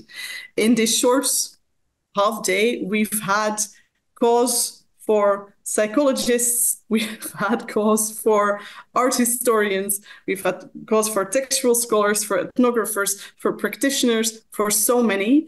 And I really think that this is one of the avenues where we can have a truly rich and very diverse um, conversation advancing Jain as well as yoga studies. So I think I'll leave it there. Again, thank you very much to all the speakers. Um, I really, for a non-specialist in, in Jain yoga, I had an enlightening morning, evening. Wow, what brilliant reflections, Dr. Vekemans. Thank you so much. Um, you really, uh, you really found a structure and a flow to that conference. You know, it felt it felt very harmonious to me as we were going through this all. But it was nice to have you really underscore how each different paper really unfolded into the other and how the themes so nicely seem to uh, fit with each other. Uh, I, I, said to Chris in a message that it's like poetry listening to your analysis of this. it really was quite nice. And I really appreciate your uh, that that final thought that you left us with about Jain's doing yoga. You know, is all is it by definition yoga if a Jain's doing it, or do Jains do non-yoga? That's such a great um, way to end uh, with all this. Very provocative. Thank you very very much. Um, okay, so uh, right now we're about 13 minutes ahead of schedule. My inclination is to try to keep to the schedule as much as possible um, so that we're not too late for our start for the um, afternoon. So I believe we're going to um, do questions and answers now until 1140. Um, and I would like to, uh, if you don't mind, uh, I would like to start with some of the questions that have been put in the question and answer box uh, throughout the conference. And I'll go through those in order so that the people who ask their questions first will get their uh, questions addressed first. Okay. Um, so the first uh, question I have uh, from our dear friend and colleague uh, Anand Vaidya. Uh, and this is a question that he um, asked towards uh, during uh, in the context of Dr. Christopher Miller's uh, presentation. And Dr. Vaidya asks, is there a difference between how chakras are defined in Vedanta and Tantra and various schools of Jainism? It's a good question.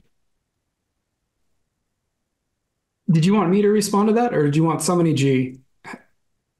Yeah, I can start, and I know uh, Rohini Pragya, somebody also had a, a, response to this. But one of the things I find fa- fascinating as I was looking at this image on the Berlin Wall, and what struck me was the seven chakra system, which is so often associated in the history of yoga and the field of yoga studies, which has kind of taken a very close look at this system.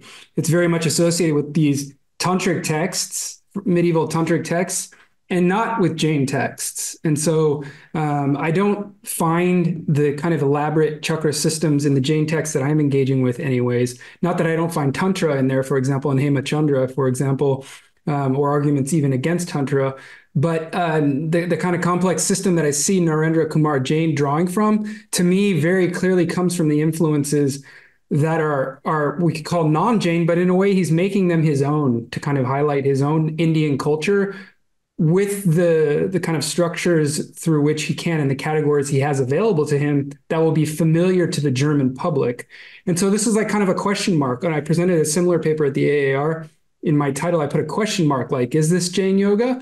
What does this mean? Um, and so I don't want to say it is or it isn't, but I think it shows the complicated uh, situation that Tine pointed out, which is that um, Jains do yoga, but it's not necessarily Jain yoga. I mean, sometimes it is, right? Sometimes it is, very clearly is. But a lot of times Jains are practicing yoga today that are based on systems that were popularized in the crucible of colonialism um, and that that have now become this kind of transnational democratized system that is familiar to most anyone around the world who's somewhat familiar with yoga. So that's my long answer to that. I don't know if uh, Samani ji wanted to add anything to that because she did have some textual references. Yeah, Samani ji or anybody else who might have something to say about the relationship between the Jain tantric Vedantic systems of chakras and perhaps the nadis of the subtle body, etc. Rohini. Okay, if there's yeah. nothing else. Yeah, can you hear me? I'm sorry, I can't. Yes, Can if you, you could go off screen, that would I'm be audible, helpful. right? Okay. Yes. yes. Somebody, somebody, Rohini Pragya is the. Yeah. Is yeah. Oh. This is Rohini Pragya. Yeah. I just came. Can you turn your camera on? Uh, is it okay if I don't turn it? on? If you don't want to, that's okay. Thank you, because I'm audible, right? yeah. So, uh, well, I, I don't see in Jainism like the seven chakras, the name of chakras mentioned, but as my paper will come up in the contemplative practices, I do have the references for Sandhi in Acharang Sutra. And I have given the references like in chapter five and chapter two uh, of Acharang Sutra in Jainism is talking about transcendental realization, the elements of transcendent, uh, the, the element conducive for transcendental realization. And in that case, they are using the term sandhi. So I'll be developing that idea in, uh, in my paper as well. Good, good. That's good to know. All right. So uh, hopefully, yeah. Uh, I'd, I'd like to check in on this just a little bit. The Mahaprajna was very specific in delineating kendras distinct from chakras. And if we look at the Gyanarnava of um, Shubhachandra, and it's then repeated in the Yoga Shastra of Hemachandra, there's always this dance between making correlations and beckonings to Hindu systems, but then doing it differently. So, for instance, in Gyanarnava, which is 9th, 10th century, rather than having earth, water, fire, air, space, an ascension of meditations on the elements that follow the subtle body upward, and each of those associated with different chakras, the order is reversed so that it becomes earth, fire, air, water, and then space. And the dynamic and the procedure which is linked to meditative accomplishment of that tapasya, of the burning off of, of karmic residue and then cleansing it, uh, is distinctly Jain. And I actually asked Sanderson, so do any Hindu Tantra texts follow that order? And he said no. Uh, and it was sort of an interesting moment at SOAS where he was um, trying to uh, say that, oh, no, the change, they just copied everything. But then I said, no, this is different. And then he did say, oh, yes, that is original. So I would say that there's always this a little bit of give and take. And I also wanted to bring out the the lovely nature of what Venu shared, which, uh, and if you noticed in, in my talk, I sort of said a little bit of this, a little bit of that, a little bit of Buddhism, a little bit of Tantra. But what Venu put together uh, was we have Kapila, and we know that the Buddha himself was born in Kapilavastu. We have 500 converts, and we know that the Buddha himself brought 500 people into the state of nirvana. We have the dance. And again, Cogen, I want to know when you performed ballet back in the day, how many people went into states of ecstasy, right? And, you know, so much of this really is performative. And what is that? I mean, in the literature of the Sankhyakarika, we have to do the dance in order to be free of the dance. And that that illusion uh, within Venu's story was just so jam packed and I think that we need to see both these confluences and these distinctions, and that every presentation really pointed in that direction. Thank you, Dr. Chapple. Really uh, filled in a lot of the blanks there. Kind of brought uh, a good answer to that question, I think. Um, uh, I believe Dr. Howard uh, has to uh, leave soon. Actually, it turns out the next question is for Dr. Howard and her brilliant presentation on Srimad Rajchandra. Um, this is from Pratish uh, Muti. Um, and the question is as follows uh, Srimad Rajchandra was trying to practice renunciation as a samsari being uh, that is, I suppose, a being in samsara. What is the reason for him to actually want to become an actual monk, which he didn't get permission to become if he was living a life of renunciation already while engaging in daily worldly activities, such as being a family man and being a businessman? I suppose the question is if he was already a renunciate as a householder, why did he want to become uh, a mendicant? Uh, and it said that he didn't get permission to become. So, uh, if you have any thoughts on that. Yeah, excellent question. So, as we know, even though he was practicing renunciation in his worldly life, but it was difficult to com- to completely dedicate yourself when you are being a householder. So he felt that there was something because of business and the family and taking care of um, all that he had householders' duties were distracting him a bit from the inner work, the meditation he was doing. So you you see that kind of um, on the one hand he could have left, I think, but according to these biographies, they say no, he could not leave because of his karmic. Um, he had to exhaust his karmas.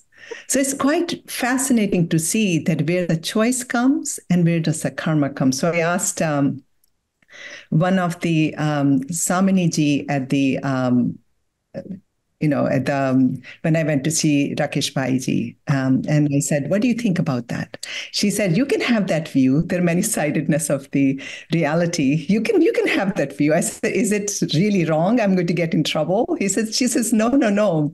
You are looking from the the one side, and the the Jain, uh, the renunciates, and the practitioners are looking at the other side. But you are not doing anything wrong by bringing that side or."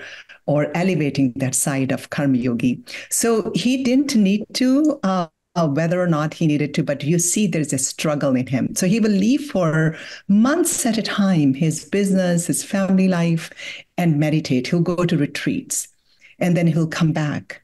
Even Gandhi notes that that he was um, he will be dealing uh, uh, some kind of uh, diamond trade or some kind of precious gems and somebody will try to haggle with him or say he had one price. Imagine that in India having one price, never, right? And he had just one price. This is it, very honest. And if somebody questioned that, in Gandhi's words, his eyebrows will rise up and he will, you can show, he will show anger on his face. So he said, well, I guess he's not completely above all the passions and anger and all that because he is in the world. So I think that is the whole idea. The King Janaka in Hindu uh, mythology or in the Ramayana, he detaches himself completely and he's Videha, right? He's called Videhi. And there are comparisons um, in the biographies uh, with Janaka and Shrimad Rajchandra. So why did he need to go? I think he didn't need to go, but the, the biographies make it that he was struggling in his mind. So there is a way to read uh, whatever we have sources on him. And I think that one of the most uh, articulate um, the resource we have is Gandhi himself, who is seeing him, talking with him, corresponding, and then of course his letters. And they don't talk about as much about the path of karma yoga. He he shows to live a life but the term karma yoga does not appear. Yeah, great answer, uh, Dr. Howard. Thank you. I, am also a scholar on Srimad Rajchandra. I'm writing a book on his life and his teachings right now. Um, I could uh, just add one little thing too to that. Uh, it was an excellent answer from Dr. Howard. But also, you can see that in uh, Srimad's writings, he actually critiques the mendicant establishment. Um, in his opinion, a lot of the mendicants are not qualified to be mendicants because they haven't hit the appropriate gunasthana like fifth gunasthana. And so in his mind, you would have to be at that very, very, very high level, which nobody was of Samyak uh, uh, Drishti uh, before you could actually even become a mendicant. So he very forcefully critiqued the mendicant establishment. Um, so in that sense, it seems like it would be a little strange for him to actually become uh, a mendicant from the establishment that he uh, so uh, strongly critiqued. And it's also questionable whether he would have you know, received that, especially after his main disciple Laluji um, left the mendicant order to become Srimad's, uh, to become, he left his mendicant guru to become the disciple of a lay guru of, of Srimad Rajchan. So there's definitely a lot of complexity there in his relationship to the traditional monastic order. I tend to think of Srimad's movement is, um, and, and I, I think a lot of people wouldn't like that uh, term because they're explicitly non-sectarian. But I think one of the characteristics of that is sort of um, a very orthodox approach to Jain teachings. But at the same time, when it comes to this sort of point of mendicant authority, there's a bit of suspicion that creates a little bit of tension.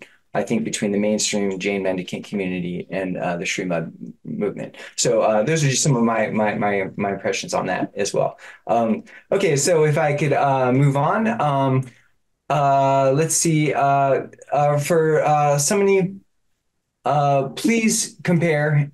Oh, so I suppose this is uh, um, uh, Samani Pratibha Pragya. Okay, this question is. I doesn't say who it's from. Oh yeah, uh, Nehal Bansali. Okay, please compare and correlate Kayotsarga to the four types of dhyana, Artha, Raudra, Dharma, Shukla. Of special interest to me is that Mahavira clearly delineated Kayotsarga and dhyana.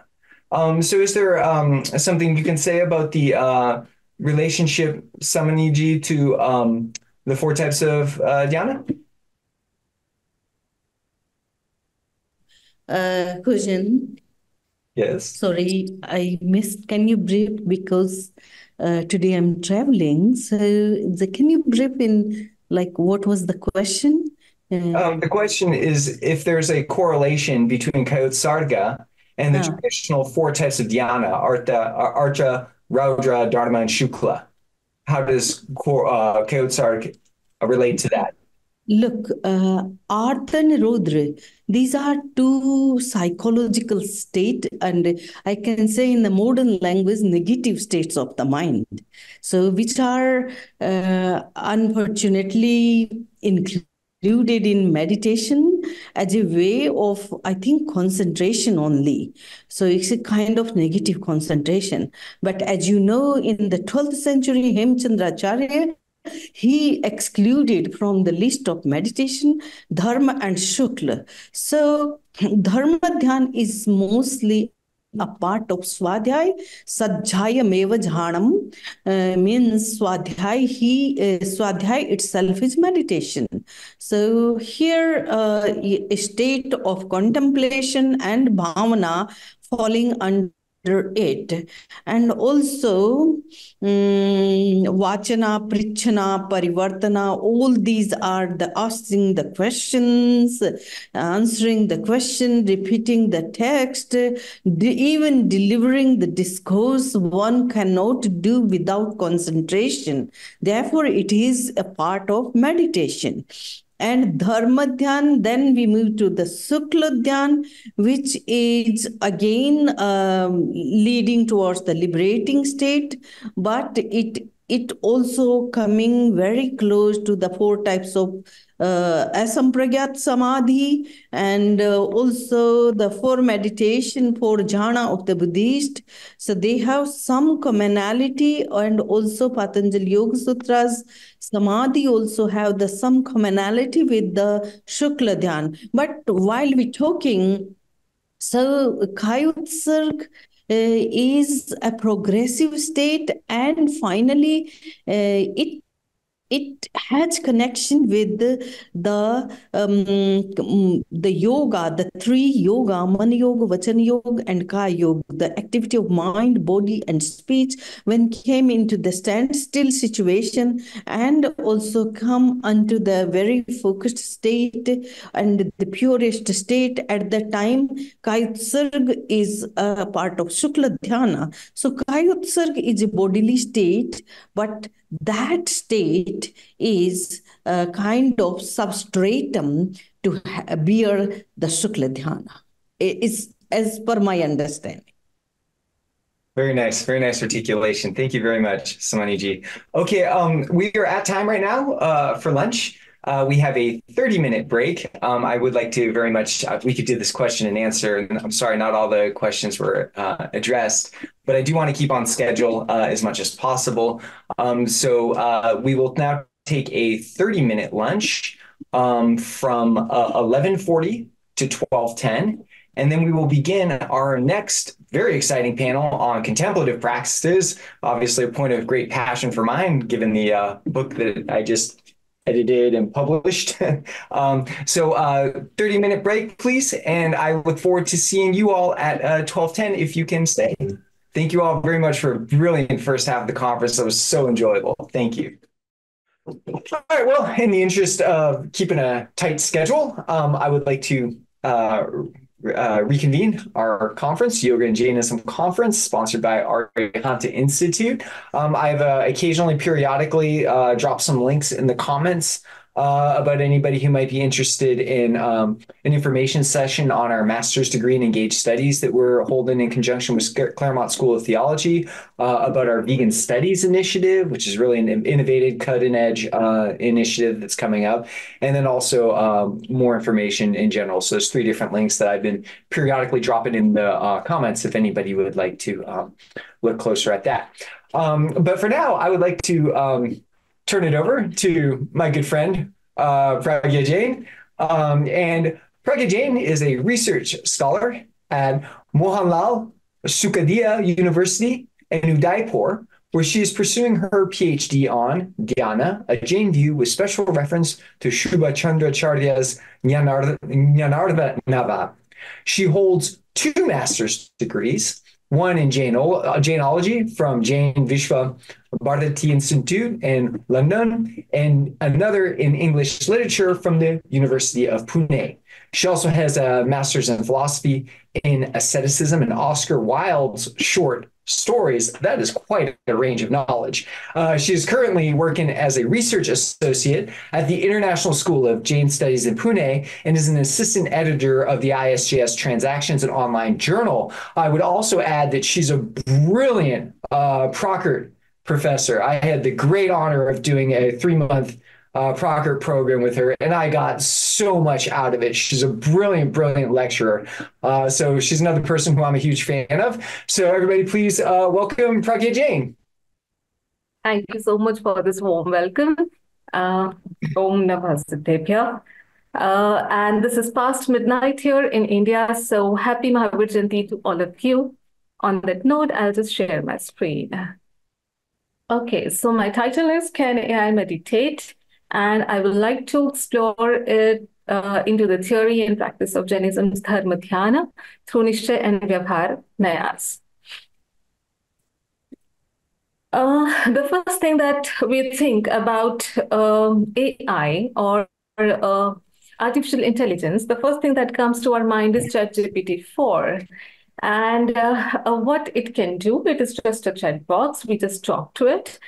But um, look at this image. Uh, it has a lot of balloons, and you can see a small strings to it. And if you ask it, what would happen if if the strings were cut? The balloons would fly away. Is its answer, and it's not very intelligent if you think. But if you ask it uh, explain the plot of Cinderella in a sentence where each word has to begin with the next letter in the alphabet from A to Z without repeating any letters, then it would give the output which a human mind will not be able to answer in maybe a lot of time. So it is uh, expanding, but look at this image. Our user user friendly AI, ChatGPT, Lunchbreak AI, all these are getting outdated every day, or rather, they are getting upgraded, upgraded day by day. We all know about, we are very much familiar with Siri, Alexa, driverless cars. But have you seen this lady, Iris? She is the first robo teacher in, in Indian school. And uh, this school in Kerala has hired three robots uh, to teach uh, its primary level children. So the world is really advancing. Where did it all begin? In 1950, Alan Turing presented, presented this test, and he said that if there is one person in one room and in another room there is a person and a computer, and the first person is talking to someone in the next room, he should not be able to distinguish between a person and the computer. And surprisingly, Google's uh, language model for uh, dialogue applications and ChatGPT, OpenAI's ChatGPT 4 have passed this test. Also, look at this advancement. This headline AI chatbots think in English language, even when asked questions in other languages. So they have this drawback yet, but scientists are working on it. But look at the language that they use. Uh, AI may start thinking in other languages soon, otherwise, it hallucinates incorrect answers. So the words thinking and hallucination, all these words are giving them a direction to consciousness and to awareness. So it leads us to machine consciousness, artificial consciousness, synthetic consciousness, and uh, uh, you can also call it digital consciousness. You all know about this qualia. It is a subjective quality or property as perceived or experienced by a person, like how red is red. It is very subjective. And they are, scientists are talking about artificial qualia, and they have a lot many things to propose. In short, some scientists are presenting a model that possibly gives robots the capability of self-consciousness. So it's not just consciousness, they are also talking about self-consciousness. We do not see computers thinking on themselves yet, but you don't know what is in the future. Some scientists not very long ago, they said that computer is just a slave. So a computer, like a washing machine, is just a slave operated by its components. But who doesn't know David Chalmers? And he says that conscious computer is possible because any system that implements certain computations is sentient. So the right kinds of computations are sufficient for possessing a conscious mind. Now, what is consciousness? Or uh, this is our cue to differentiate between humans or living beings and non living things. Being the students of uh, philosophy and being the student of Jainism, we understand that there, uh, there are two different things, two different substances. There is one thing called matter, there is one thing called living being, and these two are different. They have different uh, attributes, characteristics, though those cannot be mingled, right? So, uh, what is consciousness and what is meditation? According to the Tattvartha Sutra and according to the Tattvanushasana, meditation is not just, uh, okay, consciousness may be uh, being aware of something or knowing something, but meditation is not just knowing, it is knowing something continuously. So, the definition that we have uh, by Tattva Sutra is Ekagra Chinta Nirodho Dhyanam, where Ek means one, Agra means object, Chinta means thought, and Nirodh means to stop. So uh, when we stop our thoughts on one object for a long time, for how long? Maybe for an intra hour, uh, that is Antar Muhurta, if we stop ourselves, um, then it is meditation. Now we can have any kind of thoughts. That object can be anything. It can be something that we like, something that we dislike, something that is uh, coming to our minds uh, mm, consistently that we cannot uh, get rid of, or something that we can get rid of, something that we get uh, with efforts. So uh, that object can be anything. But if you have your thoughts stop on something for a long time, that is meditation. Now, in Jainism, uh, we just already discussed that there are four kinds of uh, meditation, Artha, Raudra, Dharma, and Shukla. So if you are feeling very, very sad, low, you, you are having a mournful meditation, or you are actually having uh, Artha Dhyana, or when you are ecstatic, you're feeling very happy, that is Raudra Dhyana. So we do not realize that when we are happy or when we are sad that we are doing any dhyana, but it is according to Jainism. And when you are feeling very pious, you are doing analytic or pious meditation, Dharma Dhyan, and feeling pure is Shukla Dhyan. Interestingly, the first two cause transmigration and the last two allow liberation. Now, um, to have meditation, we need to have four elements in place. It's the meditator, the object, the process, and the result. So in Hindi, they are dhyata, dheya, dhyan, and dhyan ka phal. For pious meditation, the meditator should be self should have self-restraint. The object should be the reality. The process should be the concentration, the dhyana, and the result should be samvar and nirjara. So if we do not have any of these in place, we are not having pious meditation. Now, these four elements are also kept in the eight limbs of meditation by the Tatvanushasana.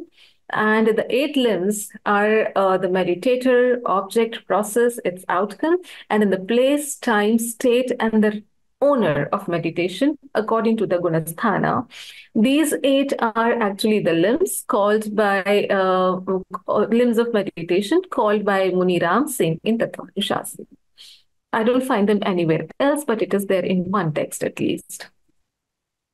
Now, there are two kinds of pious meditation according to the same text. And the first one is principal, the second is secondary, obviously. The first one is mukhya, or we call it nishchaya, which is only possible for those who are situated in the seventh gunasthana. And the second one is secondary or upchar or vyavhara, which is possible for those who are situated in sixth, fifth, or fourth gunasthan. So here we get into the two kinds of pious meditation, which are actually nishchay and vyavhara. Now, this vyavhara, conventional path, it actually favors liberation. Uh, this vyavhar is also of two kinds, according to Yogasar Prabhrita which is written by Yogin Dev, and it says that if the conventional path is told by the jinas, it will favor liberation and it will refute the first two inauspicious dhyanas. But if this vyavhar or the conventional path is told by other than jinas, they will favor transmigration and they will refute two auspicious dhyanas. So according to Yogsar Prabhrita, if you uh, have right conduct, for that, you need to win over the passions and senses, then study the self, and then attain liberation. It's a short, short, straightforward way to attain liberation. But according to uh, the Nishchanaya or the absolute path, it has to be indistinctive and unconventional. It does not refute any other viewpoint. It relies on the self and it supports, supports obviously two auspicious dhyanas. And according to it, right conduct is straightforward, study the self. That's all. So, um, why there are two different kinds of viewpoints? What is the necessity? So the same text says that like a wise doctor diagnoses the patient and treats him accordingly, the acharyas explain the concepts according to the requirements of the practitioners.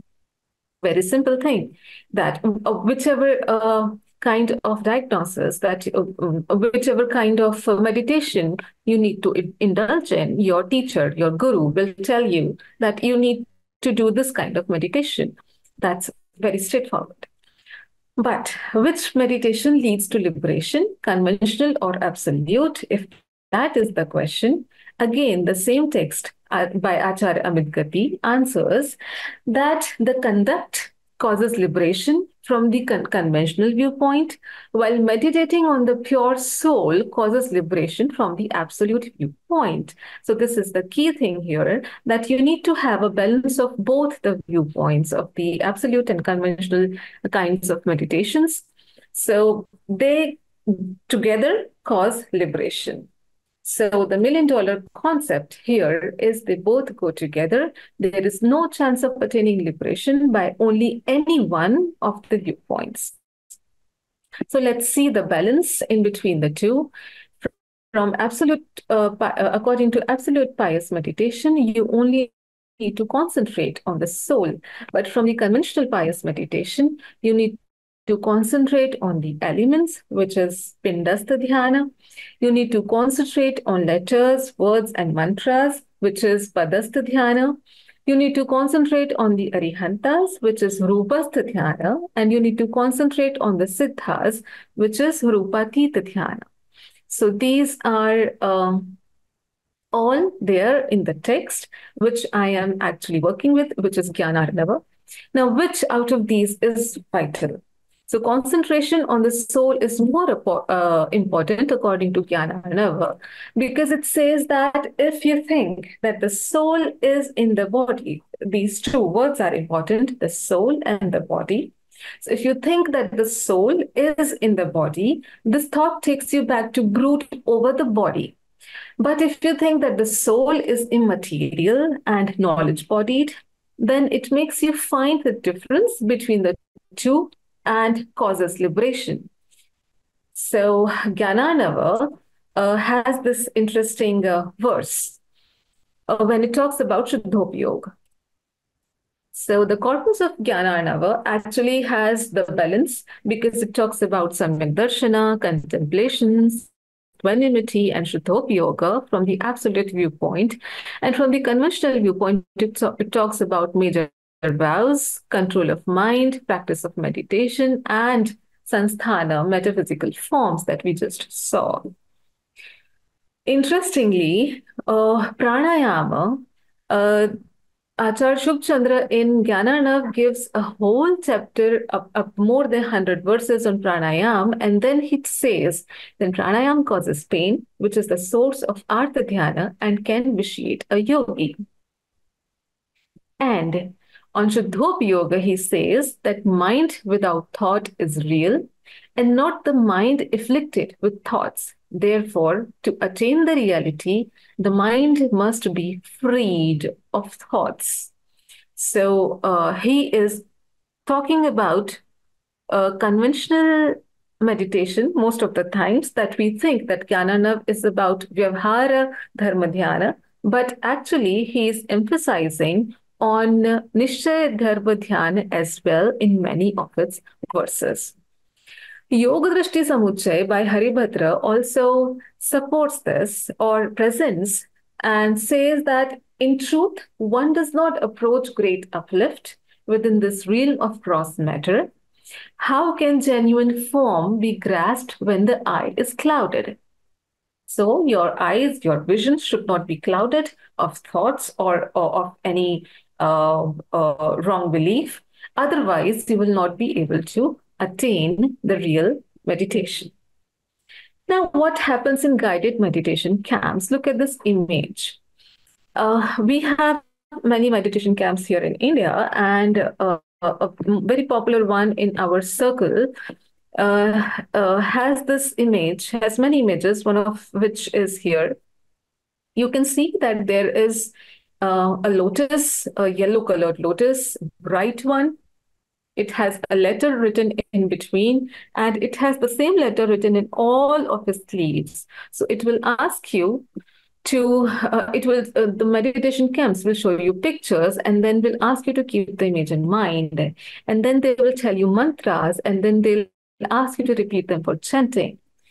More pictures, more letters, more uh, imagination, you can see yourself situated on a big, bright lotus, or you can see there is fire burning inside, and then uh, all your karmas are burning in that fire.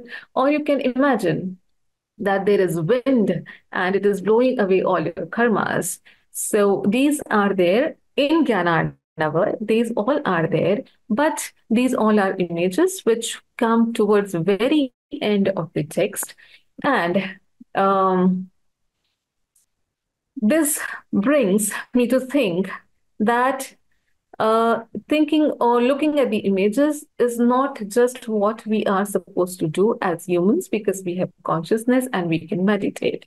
Because Judea Pearl, she tries to find out how machines learn. So she came up with this ladder of causation and she says that uh, uh, deep learning, machine learning, or artificial neural networks are at the lowest rung since they learn by associations and statistical correlations like most animals and babies. So you look at the ladder, and at the bottom of the ladder is uh, a robot and an animal which can learn and understand and associate images uh, with thoughts and ideas only by looking at it. But uh, if we also look at images and uh, stop there, then we are still at this rung, but we need to go upwards. For that, we need to uh, understand and we need to uh, have that um, nishchay dhyan or uh, absolute dhyan so that we can relate to it uh, with our soul or the self. Pragyaji, uh, uh, about two minutes over, if you could find uh, a, a, stopping point soon, but go ahead. So guided meditation has uh, uh, all these things. We will just debunk it directly.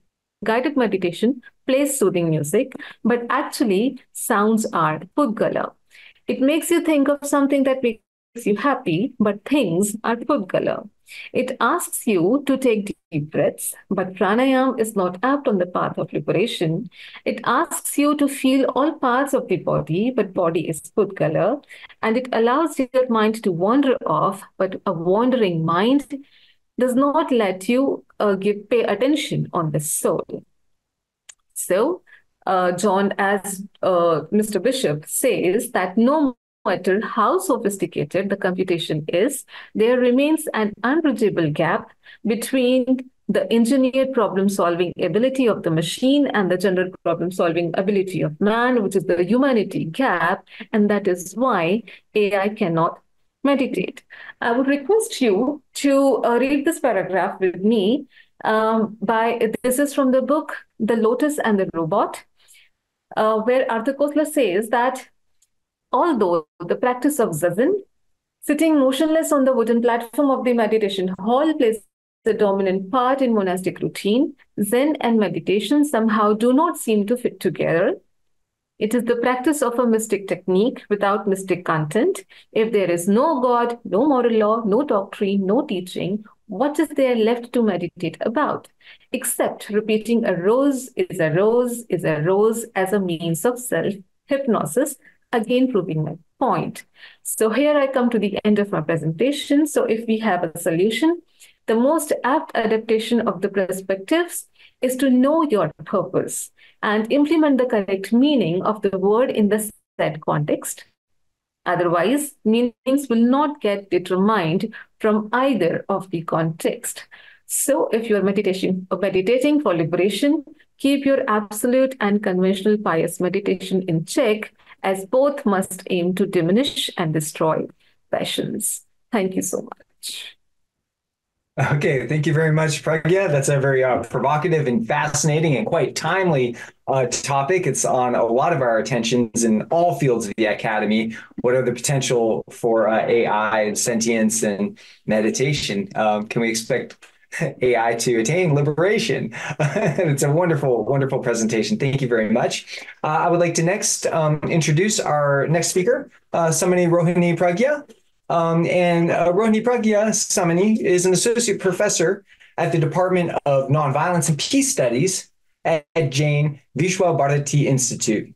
She's been a lecturer at Acharya Kalu Kanya Mahavidyalaya uh, professor of Jainology and comparative philosophy and religion there since 2004.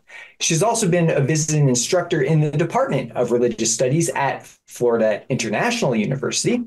And in addition to that, she is an initiate Jain Samani, which is like a, a nun, uh, for the last 22 years, and is disciple of the Shvetambara Terapanth Guru, His Holiness Acharya Sri Mahashramana Ji.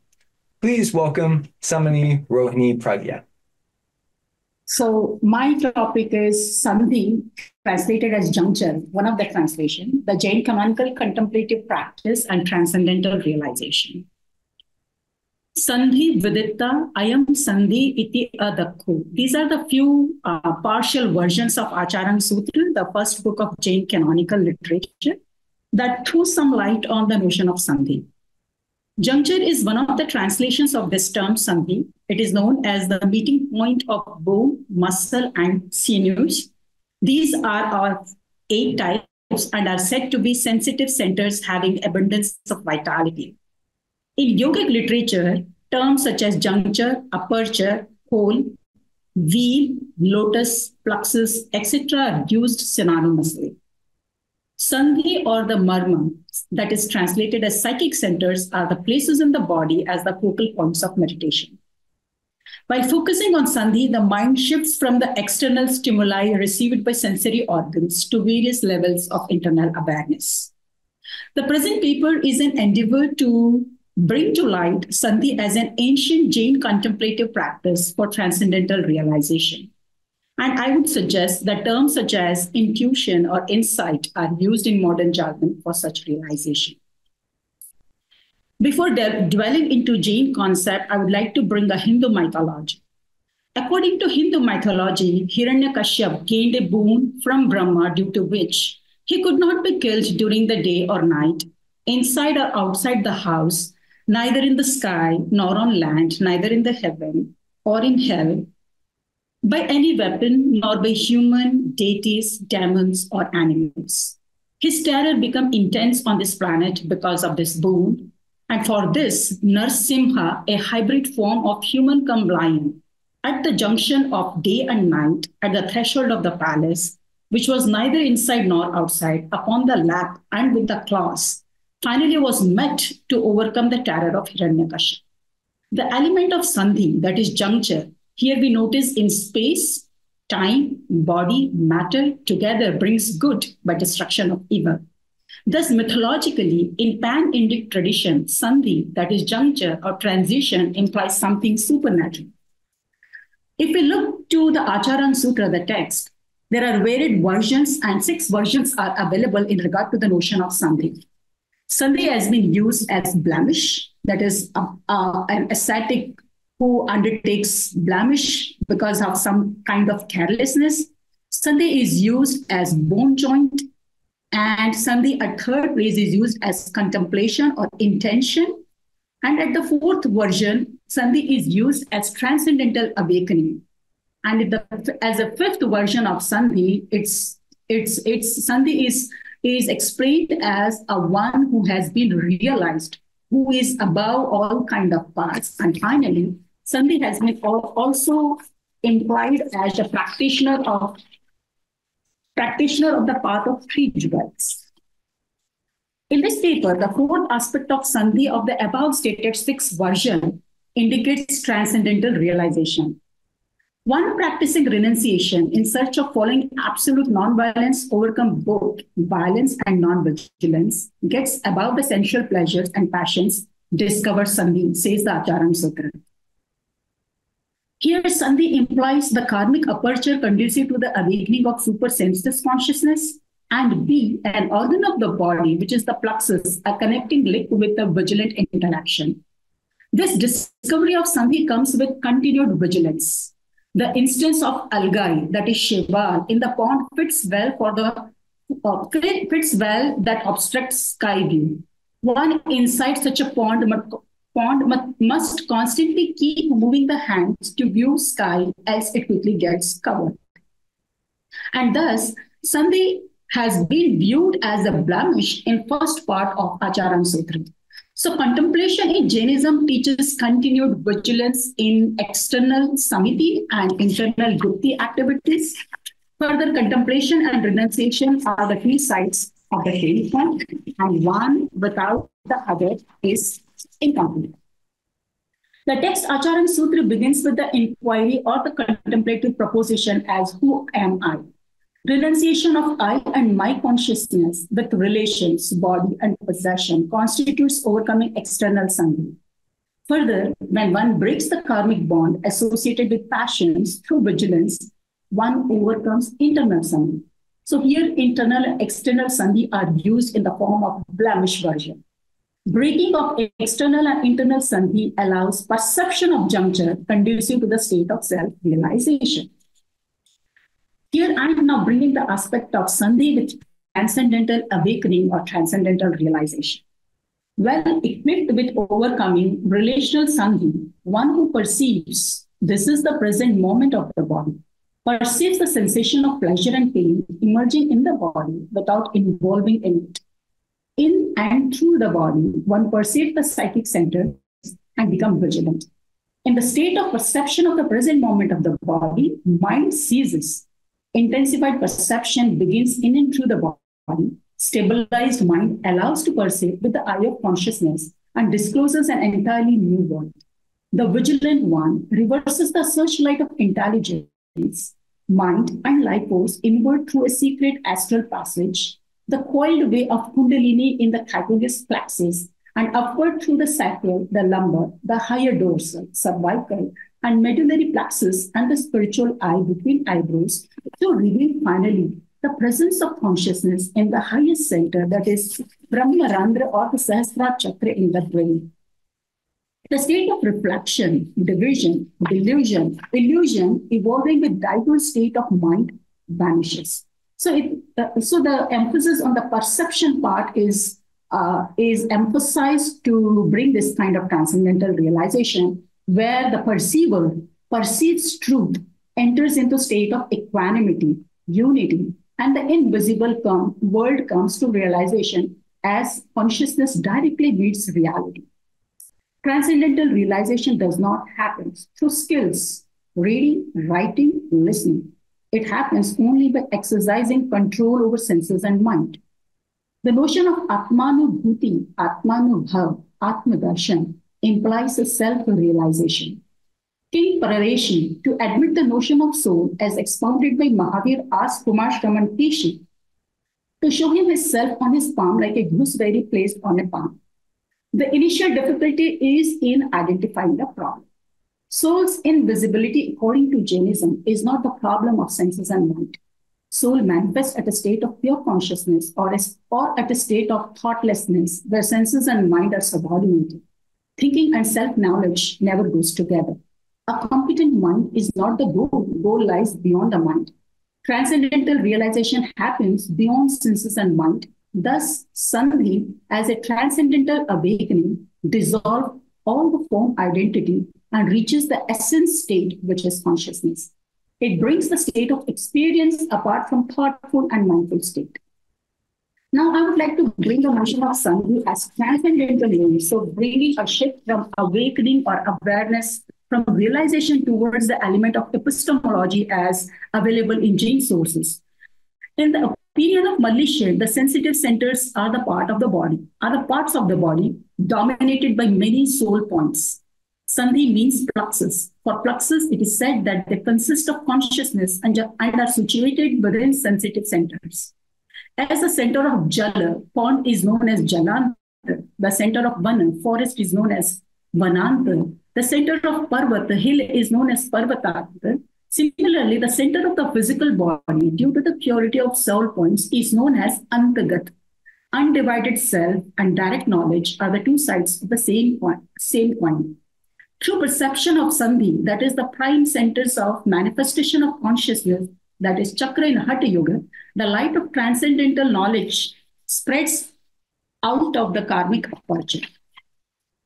In connection with clairvoyance, the word sandhi has been used as as a current. Sorry for that.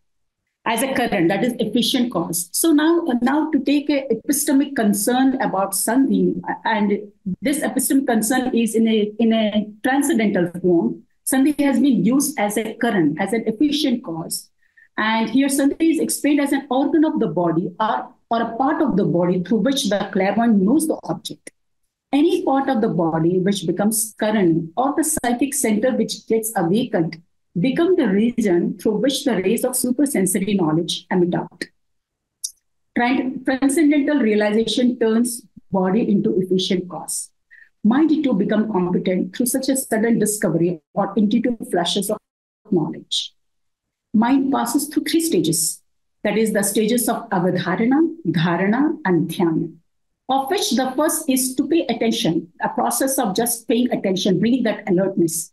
The second step is of dharana, in which there is a continued focus state. And the third one is where, where one transcends the mental aspect and enters into a state of consciousness, where mind ceases and the meditative stages begin there. Mastering these three stages aims to break away from mental illusion and negligence. Nandi Sutra narrates the entire mind training aspect. It discusses four units of such training. First unit consists of Alpagrahi and Bahugrahi. The second of Ekvidgrahi, Bahuvidgrahi. The third with Kshipragrahi and Chiragrahi. And fourth one consists of the Anishritgrahi and Nishritgrahi. Of these four units, the former consists of a narrow version, while the later consists of a wider version. In ancient Jain literature, such transcendental powers and mental competences are entitled as labdhis or yoga vibhutis being extraordinary. In Jain primary sources, such powers are explained as limitless and astounding. Sandhi becomes an instrumental cause of transcendental awakening that experiences soul-body discrimination on, on one hand and at the same time manifests many other bodily and mental abilities. One such labdhi is known as Sambhinna Shrotopa labdhi. This is a kind of buddhi labdhi, a spiritual, supernatural intellectual power it is attained through maximum annihilation comes subsidence of auditory sense veiling, veiling, articulate knowledge veiling, and other karma associated with its transformation, which is responsible for the anatomical structure of the main organs such as head, chest, abdomen, back, and the pairs of arms, thighs, and subordinate organs, and fingers as well. And by the dint of which one give response to diverse types of sound. A human being equipped with Sambhinna Shrotopalabdhi is one who can take cognizance of all the five objects of sense organ through any one part of the body, can distinctly cognize the diverse sounds produced simultaneously by the army of Chakravartin, universal sovereign, which is spread over the region of 12 yojans, that is, which is spread in miles, can take cognizance of all the five objects of the sense organ through any one sense organ of the body or can take the cognizance of all the five objects of the sense organ through principal or the secondary organs of the body, and can distinctly make the sound and can decipher diverse types of sound as well. The contemplative journey in Jainism begins with body, mind, and chitta. Body has the potential to become karna. Mind gets trained, as shown in Nandi Sutra's uh, and becomes competent through various skills of concentration and finally, Chitta moves beyond mind and transforms the consciousness from Avarana, Vigna, Mithya Darshan, and Saraga Chitta. It transforms into Anavarana Chitta, Nirvigna Chitta, Samyak Darshan Chitta, and Vitaraga Chitta. The basic function of Chitta is not thinking. It functions to experience, wish, feel truth that is uncovered free of interruption, free of perversity and passion. And in this uh, in this element of experiences, Jainism strongly admits the annihilation of karmas associated with, with those realizations. If we take a look at the modern psychology and the intuitive experiences of the knowledge that they talk, immediate experiences in structuralist and gestaltists have different positions. Such experience is viewed in terms of insight and intuition as well. Insight has been explained as a means or an act of apprehending or sensing intuitively the inner nature of something. In standard parlance, it also means any self awareness, self knowledge, or self understanding. And it has been bifurcated into sections as intellectual insight and emotional insight. Further, psychologist talks about situational insight as well. So, along with intellectual and emotional insight, it talks of situational or environmentally stimulated insights. The important thing is, in all these elements, insight could be defined as a novel, clear, compelling apprehension, apprehension of the truth of something occurring without overt recourse to memories of past experiences. If we look at, if we look at understanding the function of intuition, it is nothing but it has two different connotations, which often which uh, often accompany this term intuition is a the process the, the one in which the process is unmediated and somehow mystical and b It is understood as a response to subtle clues and relationships apprehended implicitly and unconsciously. Somebody, Of this, somebody, yeah, I'm we're out of time.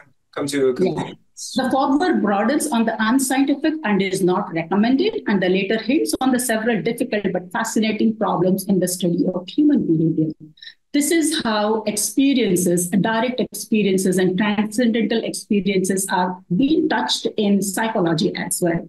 I would like to conclude thus with the realization of the Sandhi, as explained in Jain canonical literature, feeling and knowing elements magnify to coordinate with one's conduct. Sometimes this training, this happens with training, and other times it happens intuitive.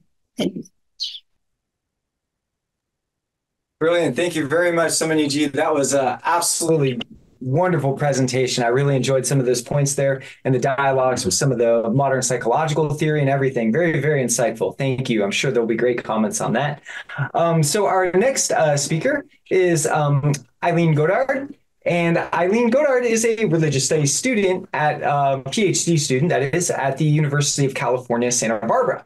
She completed her master's degree in religion at Rutgers University and her BA in philosophy at the University of North Carolina at Chapel Hill. Uh, Eileen is also the program director of the Winter Hinduism in India Study Abroad program at Rutgers University that takes place in India. Uh, everybody, please welcome Eileen Godard. Great. Thank you so much. So thank you very much for having me today. I'm really grateful for the opportunity to present this paper, which connects to my dissertation, to my broader dissertation research that centers around the 16th century Gaudiya Vaishnava Krishna Bhakti tradition.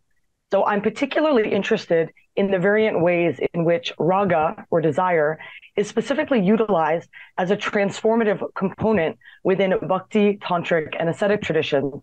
And this paper gives me such a wonderful opportunity to begin exploring this within the Jain context. So with that said, this paper explores the paradoxical rejection and embrace of different topologies of desire or raga in Jain traditions. So Jain traditions broadly categorize some forms of raga as cognitive obstructions that are incompatible with liberation, and other forms of raga, I argue, as contemplative or yogic auxiliaries to liberation.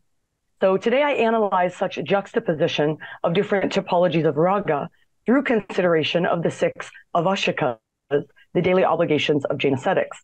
So avashika literature dates to the pre-sectarian period, and the six avashikas are therefore both present in and often quite similarly described in both Shvetambara and Digambara sources.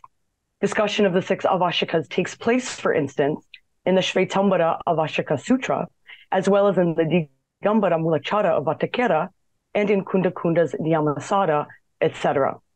So general reference to the Avashikas can also be found in Tattvartha Sutra, a text that is authoritative both to Shvetambara and to Digambara Jains. So the, before we go further, the six avashikas are one, samayika, the cultivation of mental equanimity through contemplation. Two, the Chaturvimshati Stava, a hymn of veneration to the 24 jinas. Three, Vandana, the rite of guru veneration. Four, Pratikramana, the rite of contemplative introspection and repentance. Five, Pratyakhyana, the rite of vowing to not act improperly in the future. And six, Kayotsarga, body renouncing meditation. So, although the emphasis of these six practices is often depicted as centering around the practice of pratikramana in particular, these six practices also illustrate the role that desire or raga ideally plays in ascetic daily life. So, as these six avashikas illustrate, an ascetic must contemplatively renounce certain types of desires that impede spiritual development while effectively cultivating others that enable spiritual progression. So the two avashikas that best highlight this juxtaposition of desires, and which I will therefore predominantly focus my attention on today, are the first and second, Samayika and Chaturvimshati Stava. So beginning first with Samayika, the first avashika or daily obligation.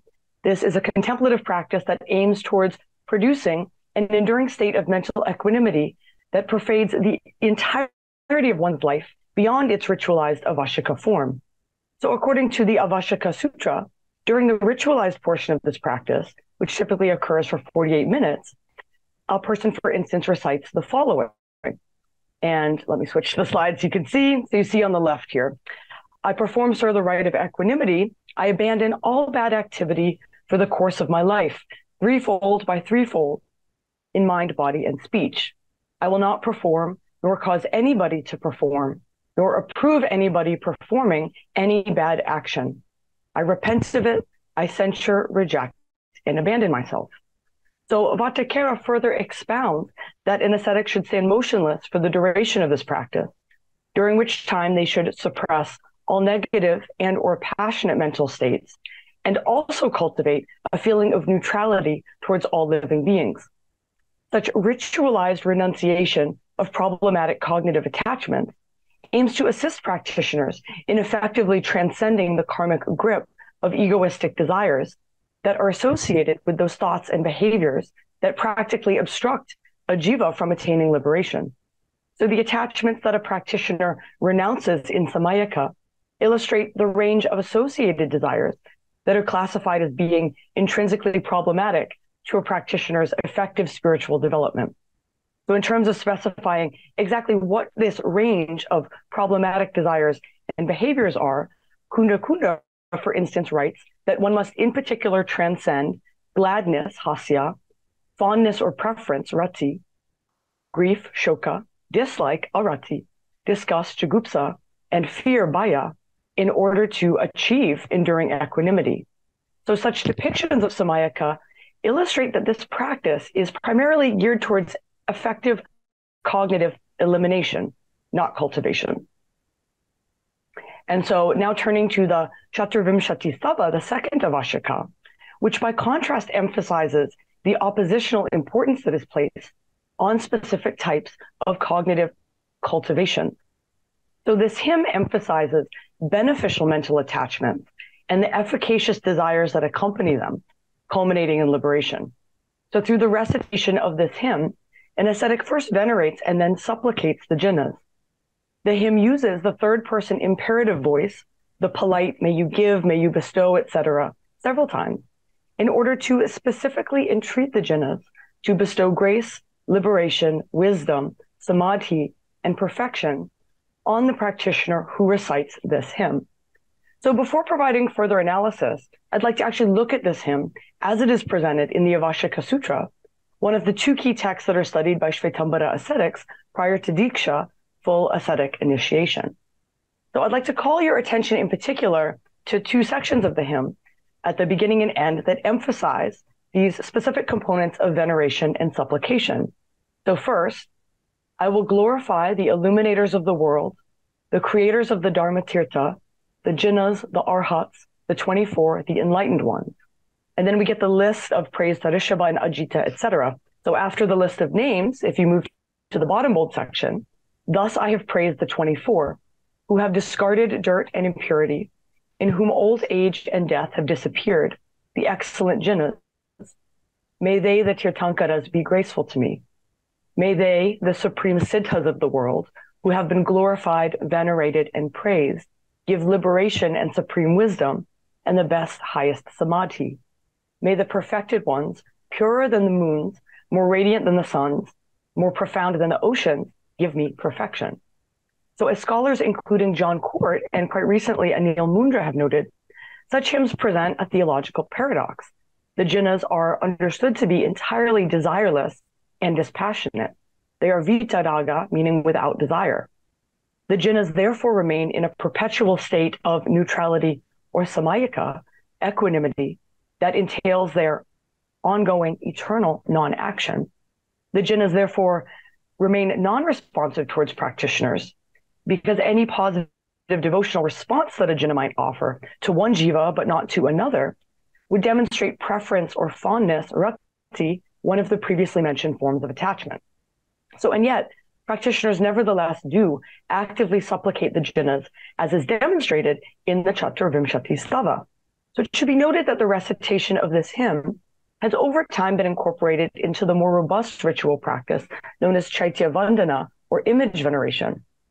So this expanded and highly embodied practice is performed by both ascetic and lay Shvetambara Murti Pujika Jains towards temple images or murtis of the jinas.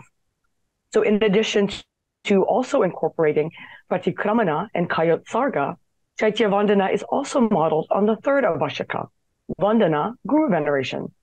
So relevantly, Chaitya Vandana also emphasizes practitioners venerating and supplicating the jinas with a sincere devotional attitude and entreating them, for instance, to quote, be forever beneficent to us. So a practitioner might also recite the obstacle remover hymn as a part of Chaitya Vandana. This hymn both glorifies Parshvanatha and requests that he grant a practitioner, quote, wisdom in birth after birth. So both Cort and Mundra have written compelling articles on Jain Bhakti that demonstrate how devotion in Jain tradition both complicates and also reformulates the traditional Indic category of bhakti, which is most generally conceptualized as a relationship between a devotee and a specific form of the divine that is most commonly characterized as being in some fashion reciprocal. So for instance, typically a devotee glorifies the divine and or expresses their sincere love to the divine. And then that deity is often believed to respond in some fashion. So this can take different flavors, but there's some reciprocation. So any potential devotional re- relationship between a practitioner and a jina, however, must necessarily be to some degree one-sided in light of the previously mentioned vitaraga status of the jinas and the fact that they do not, in the conventional bhakti sense, actively reciprocate a practitioner's devotion. So both Cort and Mundra's discussion of Jain Bhakti emphasizes that within the Jain context, devotion primarily serves a very important purificatory function in that a sincere devotional attitude is believed to actively purify a jiva of, their existent karma.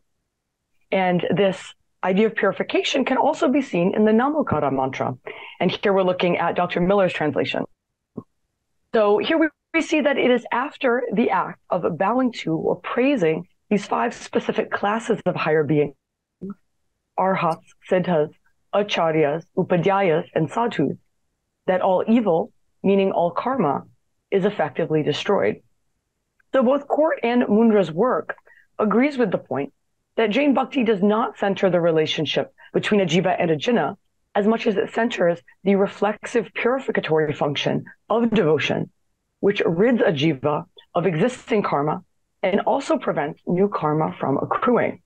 So my argument today intends to take such points just one step further, highlighting that specific typologies of raga or what actually underlie such cultivations and expressions of devotion, veneration, and supplication and which in fact constitute a necessary ingredient to and typology of contemplative praxis. So as previously discussed, a practitioner both cultivates and expresses their desires for one, grace, two, liberation, three, supreme wisdom, four, the highest samadhi, and five, perfection through the recitation of the hymn that we looked at, the Chaturvimshati Stava. Such desires importantly aim towards those beings and objects that are situated beyond the realm of mundane existence. Desires towards transcendental objects constitute those specific desires that bear this purificatory power and should therefore be actively and contemplatively cultivated. So such transcendent ragas are practically nurtured during one's daily recitation and repetition of such hymns as the Chaturvimshati Stava. The tandem cultivation and expression of such desires are what then form a practitioner's devotional disposition in juxtaposition to those eliminatory contemplative practices, such as samayika, that aim to cognitively remove the problematic typologies of raga and their associated mental and physical actions, the types that we see on the right. So, further evidence of the role of such transcendental typologies of raga can be found in the Mulachara of Vatakera in this particular excerpt that I've chosen today, which I'll read in entirety.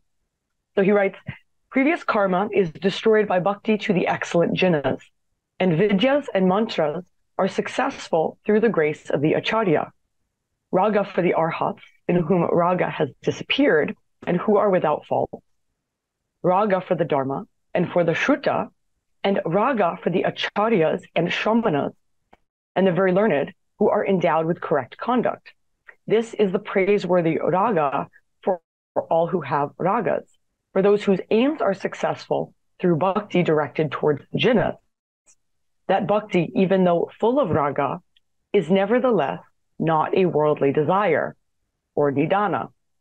So I've highlighted here the section that I'd like um, you to, I'd like us to focus on. And so such verses and passages, one, effectively acknowledge raga as being a foundational aspect of contemplative practice, and two, separate raga into the two categories of worldly nidana and transcendent, meaning those desires that aim beyond the world.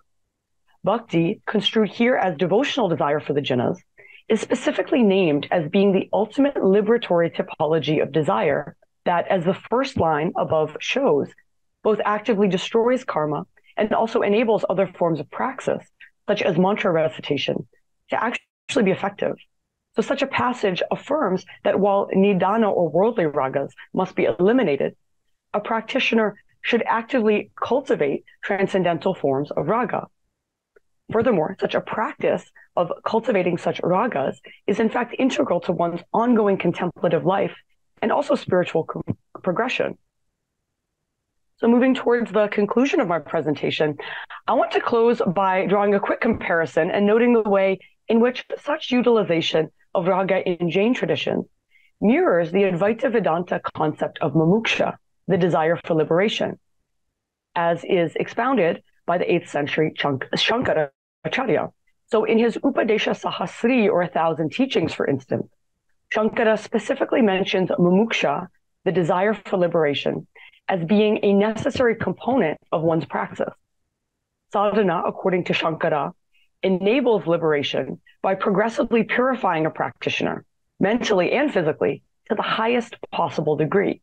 So, as illustration, Shankara writes that the enlightened mental state that immediately precedes liberation can only occur within a mind that has become, quote, pure like a mirror through the performance of four things. One, yamas, ethical extension, abstentions, two, niyamas, observances, three, yajna, sacrifices, and four, tapas, austerities.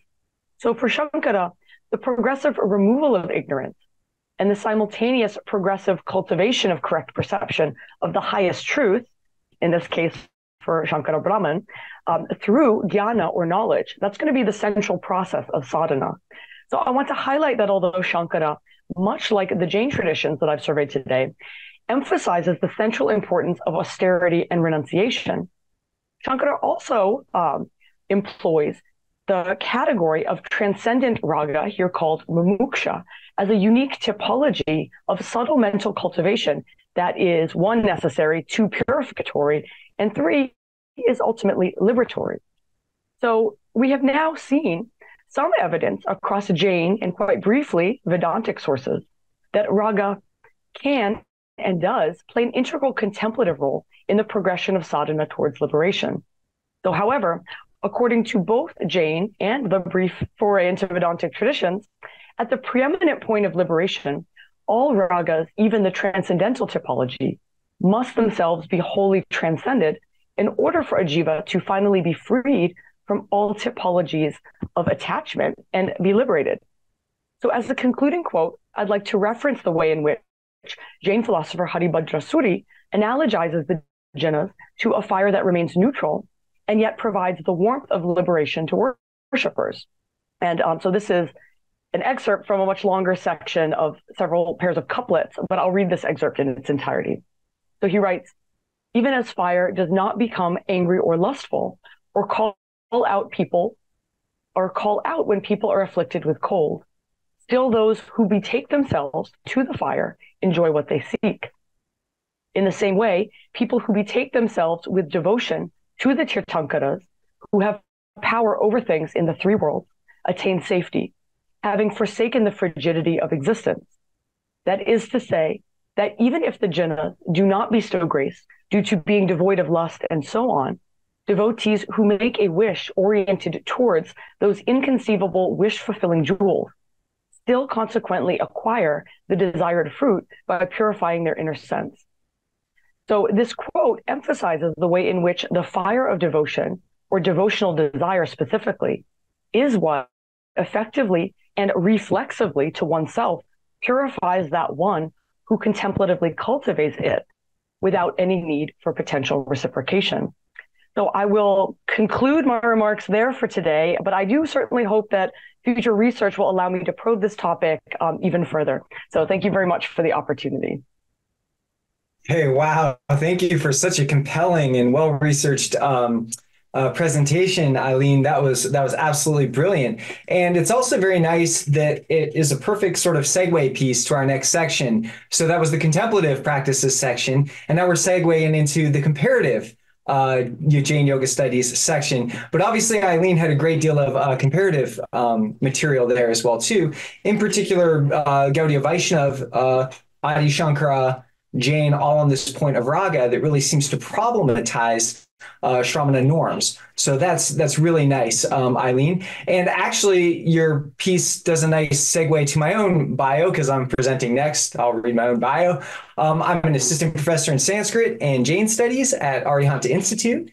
Uh, and I'm a visiting uh, assistant professor at Claremont School of Theology, where we collaborate between Arihanta uh, with uh, graduate programs in Jain studies. Um, I should also mention that I have a monograph coming out within the next month or two about uh, Gaudiya Vaishnava psychology of emotions, which deals with Ragatmika and Raganuga Bhakti that uh, Eileen was very much alluding to. Um, and I'm also uh, doing uh, writing a book right now on Srimad Rajchandra's Bhakti Marg as well too, where I see a lot of that same sort of language uh, happen in, in, in that work. Uh, but in addition to that, I'm working on another book with Parveen Jain that we're co-authoring on uh, Jain mantra and um, Jain mantra and Jain theory of language, uh, based on the teachings of Acharya Sushil Kumar. And then, of course, I have another book coming out uh, on engaged Jain studies. A lot of people here, Christopher Miller and I are co-authoring it. We have a lot of people here who are uh, on that. And then also, last thing I would say is this contemplative volume that we have right here. We dealt quite a bit with um, many of the authors discussed Jain Bhakti quite a bit in there as well too. So um, that's a nice resource that sort of dovetails with some of the things that um, Eileen was speaking about. Okay, so without any further delay, I'm also uh, not very good at timekeeping and presenting at the same time. So if in 20 minutes uh, I'm still talking, if somebody wants to give me a gentle nudge, I would appreciate that. Um, but if not, I will keep an eye on my clock. It's right above my desk. I can see it. Um, okay. Cogen. All right. Thank you very much. I believe that was uh, Dr. Long who just chimed in, right? Okay. Thank you. Everybody can see my screen. Okay, so um, we are now in the interfaith uh, Jain yoga portion of this conference, and um, I'm trying something quite ambitious. I'm comparing yoga systems between uh, Patanjali Yoga Sutra, Haribhadra, and Hemachandra. And actually, two texts would be too easy. I'm going to try to do that with four different texts. And then I'm going to frame it all for my next act um, in terms of interfaith dialogue um, which is a, a, point of interest to me because I'm very interested in this uh, point about Jain intellectual ahimsa um, and the potential for Jain uh, Jain philosophy in general to create uh, goodwill, interfaith goodwill. You know, we, I do eco theology and such as well. But this point about nonviolent communication and interfaith dialogue is something that I keep coming back to, which is really prevalent in the uh, Jain yoga text. So the way that I've been framing this is uh, you know there's four or five different steps to interfaith peace building. And you can think about the analogy as how you talk to people you disagree with right? You don't just tell them they're wrong there's no value to their perspective right? You i mean if you want to be polite you you say you try to find as much value as their in their perspective as you can right? That creates goodwill. Um, and when you're present when you're when, before you uh, respond to their argument you want to make sure you understand it. So before you tell somebody they're wrong maybe you should say hey if I understand you correctly, this is what you believe. And only after they say, yes, that's true, that is what I believe, only then would you respond. And in your response, you shouldn't compromise your own beliefs. You should be able to note points where you disagree. But once you value their uh, position and you show that you understand it, it shouldn't really create uh, conflict. And another thing that goes a long way is humility, right? You know, I feel like I disagree with you, but I'm going to admit that I don't know everything. I have a limited perspective on reality. So, for whatever my disagreement is worth, this is what I, I, I believe in contrast to yours. Okay. So, these are just various different uh, ways that we can talk in interfaith peace building. And I find multiple different Jain texts illustrate examples of this. uh, affording the maximum valuation to dialogical partners by sharing uh, heuristic frameworks. There's very similar structures between Jain yoga texts and Buddhist and Hindu yoga texts. There's sh- uh, shared uh, terminology. That's a way of saying that we value, you know, a lot of what this perspective has to offer. So much so that we will use a similar framework, right? Um, and then also the Jain yoga texts are quick to show where they disagree and they don't compromise their fundamental positions. They always come back to like the basic teachings of the Tattvartha Sutra, you know, Gunasthanas, you know, Jain non-negotiables. And then also this is a little bit more complicated. And I'm sorry, I'm writing a book on Jain yoga and pragmatism and interfaith dialogues. This is the topic of my book, uh, another book. Uh, sorry, it's been a busy year.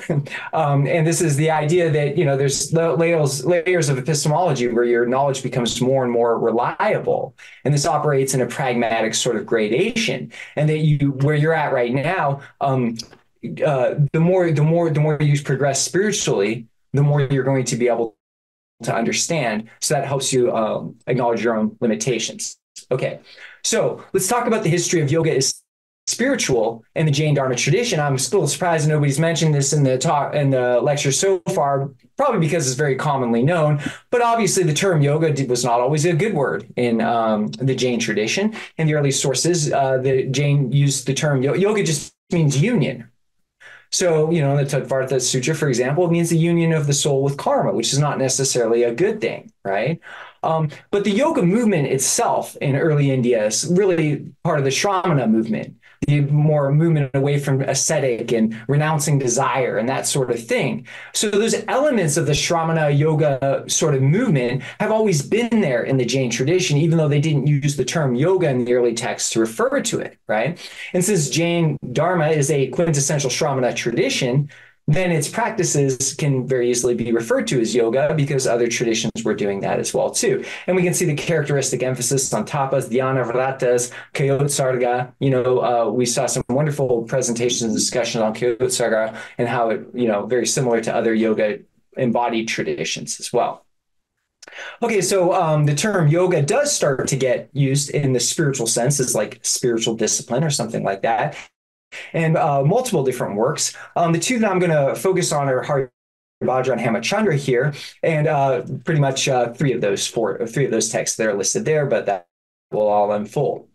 Okay, so the interfaith element of this is to um, talk about uh, yoga in dialogue with the uh, Patanjali Yoga Sutra. Now, this, if you mention, remember from my uh, first slide, this is part of valuing the uh, the shared structures between the uh, the Hindu Yoga Sutra and the uh, structures that come in Jain texts. That sort of shared structure uh, provides a basis to be able to value your dialogical partner who you with whom you disagree, i.e., Hindu yoga and Jain yoga.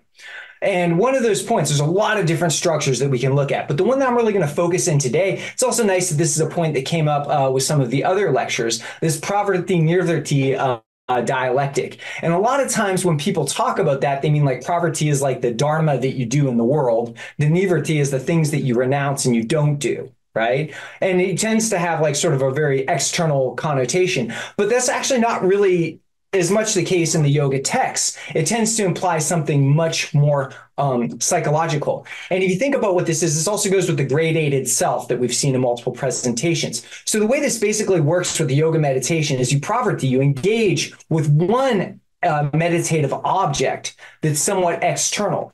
Right. And in the process, you concentrate the mind, and that allows you to nivritti, to with draw from that level of exteriority to a deeper level interiority where you then engage the mind retract engage the mind retract and eventually you realize your svarupa your uh, your chitti that is your your consciousness right? Your your conscious soul in essence okay? And so we see this in the um uh, the Yoga Sutra, this dialect and this process being described between pravrti engagement, nivritti withdraw into increasing levels of, of interiority. Uh, so the one pravrti element we see very explicitly in Yoga Sutra 135, and then the very fact that yoga is defined as nirodha, as like a cessation, that's a sort of pravrti or nivrti par excellence there. Okay. And then we have uh, multiple different uh, places here when we're defining how we uh, how we stop the churning of our mind. Uh, vritti I look at is a sort of centrif- centrifugal orientation of the consciousness that uh, resides within the soul. That's what vritti is, right? Because it, it, comes from ver, right? To uh, it's the um, to turn, right? So centrifugal force of pulling your consciousness externally right? And the way we uh, stop that, the way we nirodha that, is by a dialectical process of abhyasa and vairagya. Abhyasa is practice, vairagya is um, renunciation. But if you notice there, uh, it's uh, engagement and withdrawal, right? Abhyasa is engagement, vairagya is withdrawal, okay? So that's how that that dialectic between engagement and withdrawal is right there at the heart of how we achieve nirvana as per um, Yoga Sutra um, 112. Okay, and then we also see a similar dialectic here in Yoga uh, 39. So there's multiple different places where we see that in the Yoga Sutra.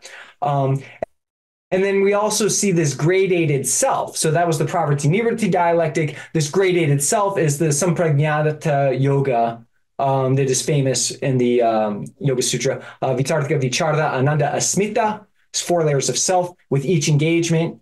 Vitarka, Sa Vitarka, Nirvitarka, withdrawal. Savichara, Nirvichara, withdrawal.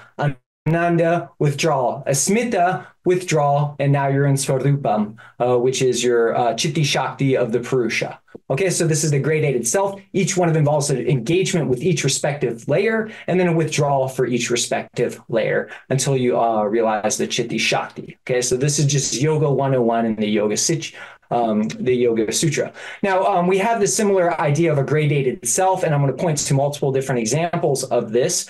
Um, and uh, the Yoga Sutra, for example, have the external Bahiratma, the internal Antaratma, and then the transcendent materiality, Paramatma, which is going to be um, your conscious essence, which also will exhibit this Nivrti Pravrti dialectic. Okay. Um, I don't want to go into this too much, but we see this sort of um, negative de- definition of yoga in the Tattvartha Sutra, where yoga is basically your karma, your union between your karma and your soul. But we still see this sort of seminal Nivrti uh, Pravrti dialectic happening in the Tattvartha Sutra. So conceptually, it's got a very similar process. Uh, to the Yoga Sutra in terms of this engagement, withdrawal, engagement, withdrawal. And actually, we see Nivriti is um, being, uh, or excuse me, Nirodha, the same term that's used in the Yoga Sutra 1 2. Uh, is being the process of stopping your karma. So this is not too dissimilar to Yoga Sutra 1 2, this idea of uh, as being a Nivriti element. And then we also have this um, similar thing, uh, Ekagra, Ekagra, or in a Yoga Sutra, it's Ekagrata uh, Parinama Parinama. These are the different sort of transformations that you go um, through. Ekagrata in Yoga Sutra is engaging with a meditative object and then withdrawing. So uh, engaging with the meditative object, that's conceptually pravrti, and then the withdrawing will be your nivrti. So again, we see this uh, this dialectic happening in the uh, Sutra as well too. So there's a lot of different conceptual um, ideas. There's, there's also the sort of gradation of the self that we see with the as well. And so the question here is uh, in the Tattvartha Sutra, karma is, is yoga, but that seems to shift into karma yoga in the later um, Jain yoga texts. All right, so let's look at uh, Yoga Bindu and see if we can find some of these uh, similarities. Uh, the shared heuristic structure, which becomes a way of maximum valuation between contrasting uh, dialectical schools who disagree. Okay. Yoga schools. All right. So we have an eightfold yoga, obviously, in um, Yoga Sutra, Yama Niyama Asana, Pranayama Pratyahara, Dharana Dhyana Samadhi. There's an eightfold system in the Yoga Bindu. It's kind of similar, you know, just in the fact that there's eight, but they're a little bit different. Um, but there's also in the Yoga Bindu uh, actual direct citations of some of these same terms that we see in Patanjali's Yoga Sutra. Sampragnata Samadhi, the Vitarka Vichara Ananda Smita, and then the Asampragnata Samadhi, which scholars understand differently. I think that I'm a little bit different than other people. I don't equate it with Nirbija uh, Samadhi. I think Sampragnata uh, represents the near vichara and the um, near aspects, but that's a different story. It's there in the Yoga Bindu. And then also Dharma Megha Samadhi that we see in Yoga Sutra is very clearly in Yoga Bindu as well. So again, shared lexicon, shared structures is a way of valuing your dialectical partner, right? Um, but then also the Yoga Bindu is very traditional. It's continuation of all these same aspects that we think of as Tattvartha Sutra 101, Gunasthanas, Three Jewels, all of that sort of stuff is very much there in the Yoga Bindu. Um, so therefore, the Yoga Bindu is valuing the other traditions by employing similar terms and heuristic uh, um, frameworks, and it also uh, underscores the di- disagreements as well too, and has this sort of epistemological gradation. All right. So this is uh, another point that another place that there's a similar uh, structure would be in the Bhavanas, but I'm going to let uh, Alba Rodriguez talk more about that today. She's doing some really, really excellent work on um, the Bhavanas, but just to sort of um, articulate them, the way they're listed in um, and the Yoga Sutra is uh, Maitri Karuna Mudita Upekshana Sukha Dukkha Punya Punya Vishayana Bhavanantas Chitta Saprasadanam, right? The Chittasya, excuse me, Chittasya Prasadanam happens from uh, Maitri, loving kindness, Maitri Karuna, compassion. Mudita is uh, um, joy, right? Joy for the well being of others. And then Upeksha is uh, equanimity, like Samayita or sam- Samatva. Okay. Now, if you notice each one of these involves some degree of engagement, prop, uh, but the fourth one is nivriti, the equ- equanimity, the withdrawal altogether. Maitri, love and kindness with others, that's engagement. Karuna, compassion with others. Uh, pramoda in the Jain system, right, is uh, happiness for others. Mudita for Patanjali. And then upeksha, or in the Jain tradition, it's madhyastha, but they're conceptually the same, is now going to be your nivriti proper. So you still have that sort of pravrti nivritti dialectic in the bhavanas uh, there as well. Okay.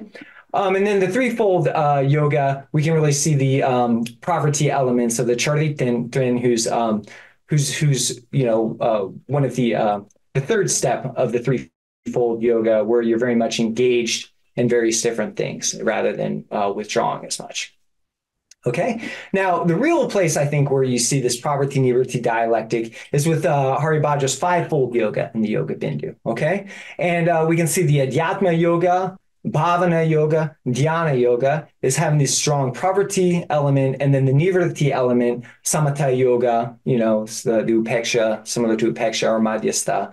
And Samkhya Vritti yoga, which is like Yogas Chitta Vritti Nirodha, so it's very similar there to uh, Patanjali's Yoga Sutra as well. And I have different uh, notes on all of these different um, elements in all five of these, but I'm not going to go through all of those. Um, but yeah, I've, I've indicated places within Adhyatma uh, where we see this uh, Nivritti dialectic and where we see the Bhavana and Dhyana Yoga as well too. And then how it increasingly starts to get more Nivritti as it goes through the other um, levels. Okay.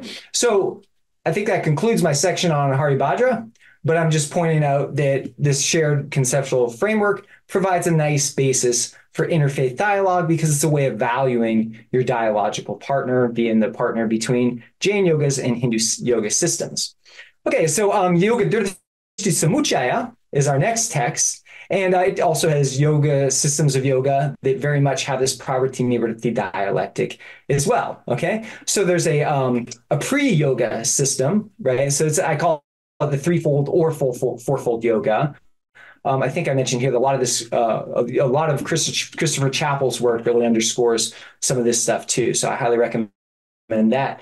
Um, but this uh, pre-yoga, this kula or the pravrita chakra yoga very much has the word pravrti almost. It's a little different than that. Um, but it really has a sort of engagement with the yamas, uh, engagement with virtuous idea, um, behaviors. So it's got that idea. And then the Icha, Shastra Yoga, and Samarthya Yoga stages um, will also have that same dialectic. Uh, and those correspond to the Gunasthanas. Okay.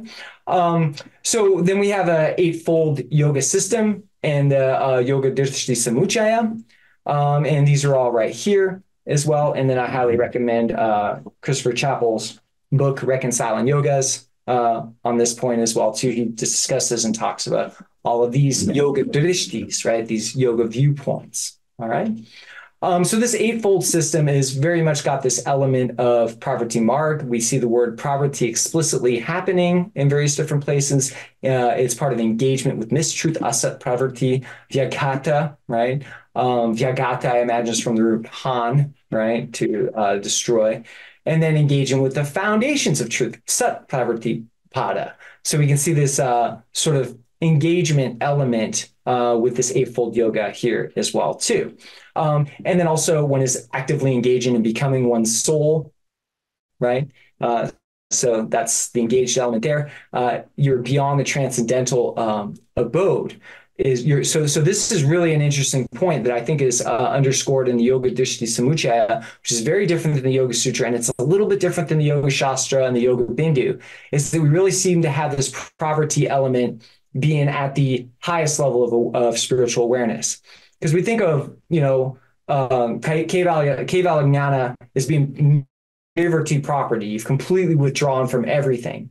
But the Yoga Bindu does have this sort of engagement, this pravrti element that is going on there. And, um, you know, we can speculate why this is, but, um, you know, with the Jain tradition, the soul is part of nama. The soul is, uh, is, is, it's not, it's not um, still and stagnant it's in a process, right? It's a process theology in that sense. Uh, uh, what um, Padmarajiah calls a disjunctive dialective rather than a conjunctive dialective. But it is a, still a process that's going on in, this, um, in the soul itself, so we can see that there would be pravrti there. Okay, there's a lot of interfaith uh, themes in the Yoga Drishti Samuchaya. It actually, the whole purpose of the text, here I've got uh, Chapple's work down here, um, the whole purpose of the text is to dialogue Hindu, Buddhist, and uh, Jains together in a way that finds this sort of shared structures. And Chapple lists a few places where, you know, uh, Haribhadra's tone is very nice. He's always referring to good actions in a way that's applicable to practitioners of any tradition. When he talks about Shastras, he's not necessarily specific to Jain Shastras, but seems to be open right, to multiple different schools. And then the text itself is really just drawing this parallel between Vedantins and Buddhists. Uh, and this, of course, is what I consider to be a, a, um, affording the maximum valuation to Buddhists and Hindus. Um, when you're talking about interfaith dialogue and peace building within the Hindu context, usually uh, Rig Veda 164.46 is cited. By my translation, sages have multiple designations for that reality, which is singular. Well, we have a very parallel statement in the Yoga Drishti Samuchaya, right? That part of the nirvana is known as Sadashiva, Paradam Brahman, um, Siddhatma, and Tathata. These are Buddhist and Hindu designations, right? Known by those designations, they are just one because they're properly designated by these terms. So you can really see this sort of interfaith uh, spirit here in the Yoga Drishti um, Samuchaya. And then there's the idea that all religious traditions have truth within them. They have valid perspectives on the truth is very much in there. There's a caution not to be too arrogant when you're disagreeing with somebody to reject them um, uh, prematurely because our own viewpoints are going to be problematic. That's the epistemological humility uh, that um, I was saying. And actually, uh, he points out that sages from all traditions are humble. You know, they're not hostile to other traditions. And so we should follow the examples of Buddhist, Hindu, Jain sages who are humble when they're dealing with disagreement. Um, and so that's where the goodwill uh, comes from as well. And then there's this problematic nature of logic, and you can't really, really know. So he really is saying that truth is one, different traditions see it in different ways, and we should value that. But however, he's not without his polemics. He denounces those who are not within Shramana norms, who are mis- too worldly and too attached to worldly uh, desire. Standard Shramana critique of Vedic ritual, and uh, you know other critiques of Tantra, Buddhist idea of impermanence, critiques Hindu monism, all of these, you know, he's very quick to find the problem. And that would go with um, um, not compromising one's non negotiables there. And three, but Haribhadra uh, Suri is a textbook case of somebody who really, really knows his uh, philosophical opponents very well, which he demonstrates in other texts as well. So, uh, Yoga Shastra of um, Hemachandra, I'm not going to go through this too quick because I believe I'm probably coming close to the end of time. Um, but we have a, a, sort of corollary to the Ashtanga system of Patanjali, um, where if we were going to liken Ashtanga 1, the yamas, we would see this discussion of that in um, the first part, uh, these, te- these sutras. Yamas are not explicitly mentioned. He tends to talk about other, um, like Avashyaka type um, uh, restrictions instead of the niyamas. And then he had some very early description of a lot of uh, actual physical yoga poses for Patanjali's asana. Now, uh, like we've seen previously uh, with uh, Pragya Jain's, uh, there's a critique of pranayama. Like it teaches you how to do it and then says, be careful to do it because you focus too much on your body, which sounded exactly like Pragya Jain's critique as well, too. And then hey, the, yeah, we're at time. Uh, yeah, see if we can wrap it up. Yeah. Okay, cool. Thanks. Um, so anyway, we see a lot of those same uh, sort of things. Similar things to the last couple of Ashtangas uh, seems to be playing on that, and so that's really uh, how that all goes. Um, so anyway, there's contrast with the Yoga Sutra. There's particular Jain elements to it, and uh, there's also a layer of selfhood that I've also noted there too. So uh, that should probably do it. Um, so anyway, the the the moral of the story is that this is a really good way to uh, look at Jain interfaith dialogue, where yoga itself is a form of interfaith engagement and one that then lends itself to interfaith goodwill and peace building, particularly with the way um, and um, Haribhadra are are presenting it. All right, thank you very much, and thank you, Steve Vose, for uh, stopping me in time before I talk for the rest of the conference. okay, thank you very much, everybody. Uh, now I'm putting on my moderator hat, and I will introduce our next speaker. All right. So uh, actually, I mentioned her in uh, my talk. Uh, this is Alba Rodriguez, and she's going to present on the bhavanas, which you know I did. I showed as a shared framework between yoga schools.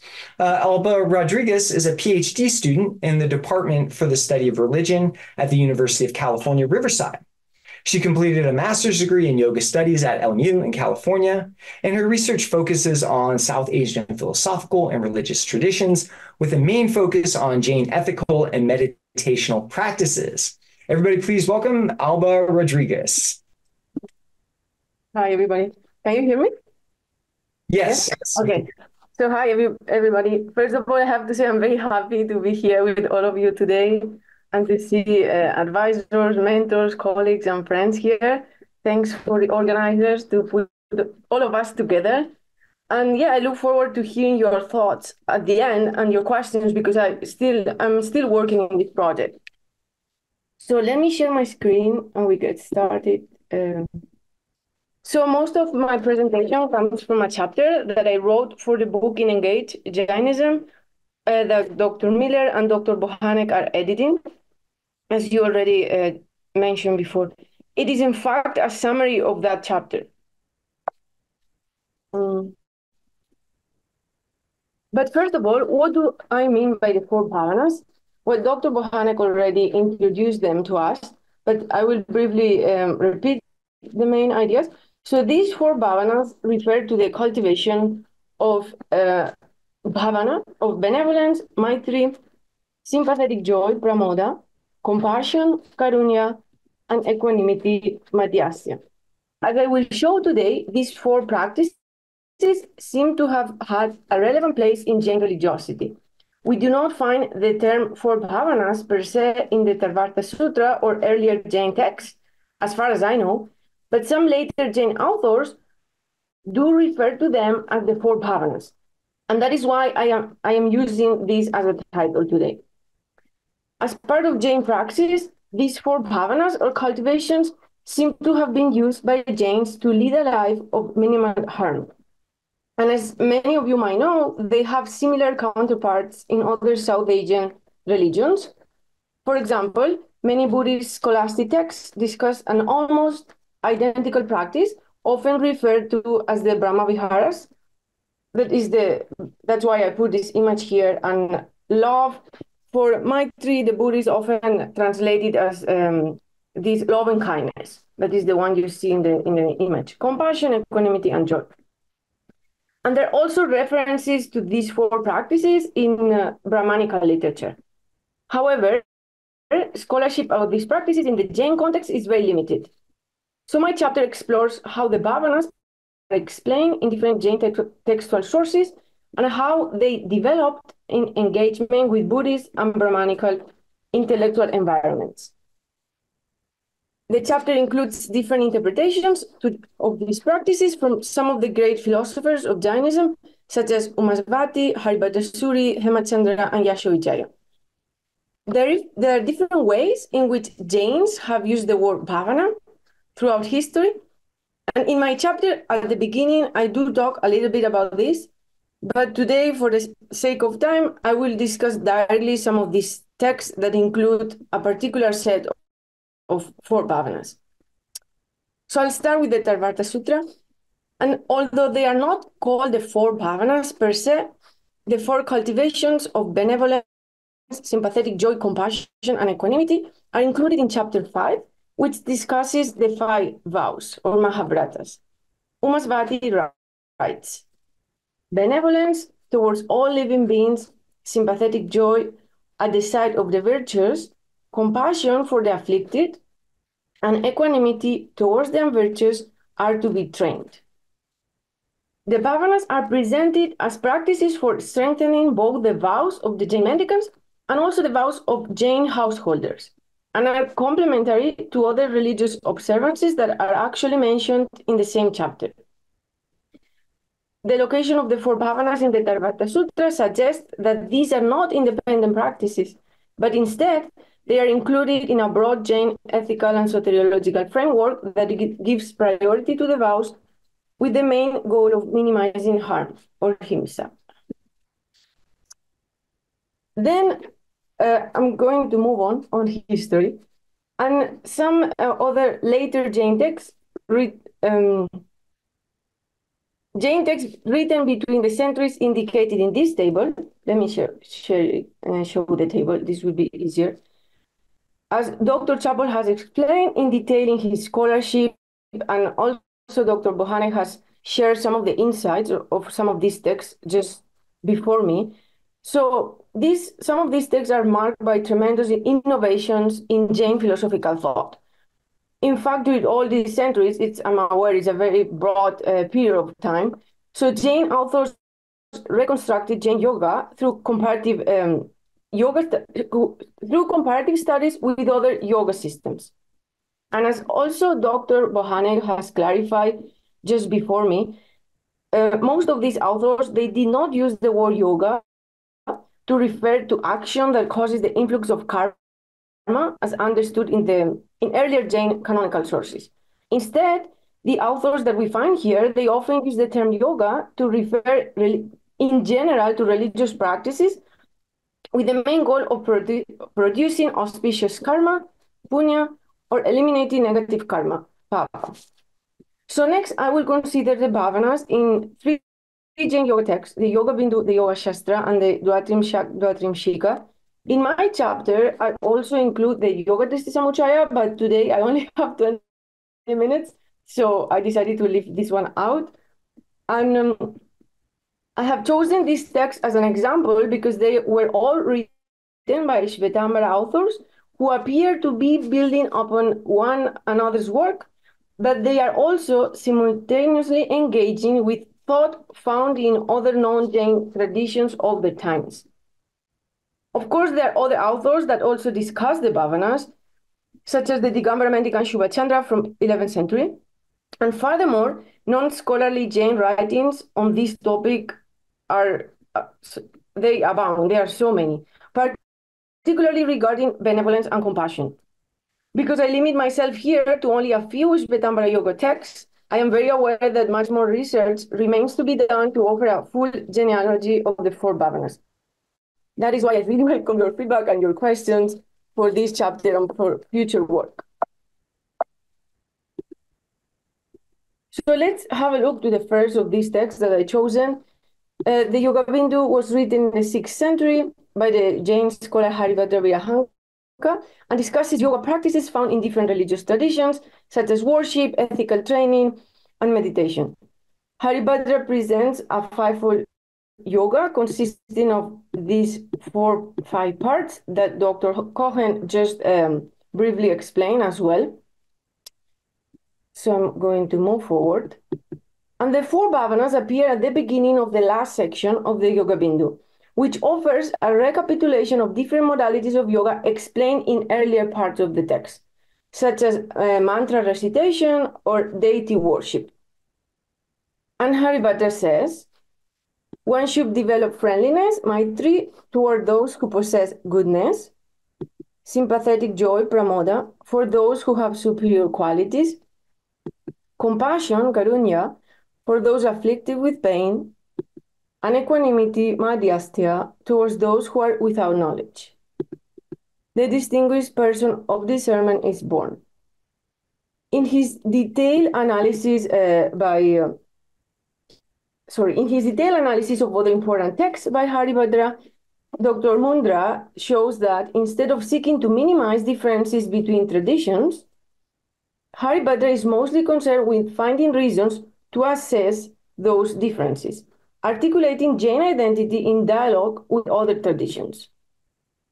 Here we see how Haribhadra embraces what we can now call the four pan-Indic bhavanas while standing firmly in his Jain view. And now that I'm mentioning Dr. Mundra, thank you so much to uh, Dr. Mundra and Dr. Chapple because I'm doing this work in collaboration and guidance with them. So moving on to the next text, I will uh, go to the second one, to the Yoga Shastra, that also, also Dr. Bohanec um, just talked about this text to us just now. So in this one, you many of you might be familiar with it. As you all know, the Yoga Shastra is a 12th century Sanskrit text written by Hemachandra, and it's often considered the most comprehensive text for lay Shvetambara Jains. It also includes different practices under the label of yoga.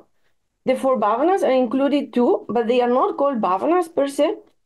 Hemachandra defines each of them briefly in this way. So he says, in order to reconnect the broken virtues meditation, one should practice friendliness, friendliness, sorry, maitri, appreci appreciation, pramoda, compassion, and tolerance. So as you, and then he says, these four are like elixirs of life for him. But as you might notice here, this translation is not mine. This is by Qvarnström. So he's using the words, it's slightly different. For Pramoda, Qvarnström is using appreciation, and for Madhyastya, I'm using equanimity. Qvarnström is using tolerance. I think this might be a little bit problematic. But anyway, I wanted to leave this translation because just to remind all of us that study Sanskrit of the complexities of the language. And then he, he goes on, Hemachandra, and starts, he gives a brief definition of, of Maitri. He says, may no one commit evil, may no one suffer, may the entire world be liberated. Such a sentiment is called friendliness. And then he continues with Pramoda. Appreciation is, or Pramoda, is predilection for the virtues of those whose defects have been removed and who sees removed and who sees reality as it is. Then he continues with compassion. The will to remove the conditions of those who are in a miserable condition, tormented, excessively terrified, and begging to their life is called compassion. Karunya. And last one, equanimity, he says, that which remains unconditionally ne neutral towards cruel acts, towards those who blaspheme against the Jinas and the teachers, and towards those who praise themselves, that is called madhyasya. When a man of great intellect meditates on the self by means of these four practices, even if the continuity of pure meditation is broken, it is reconnected. So as we can see in the Yoga Shastra, the, these four bhavanas are presented as a kind of a way to reconnect or or uh, to reconnect with higher uh, meditative states.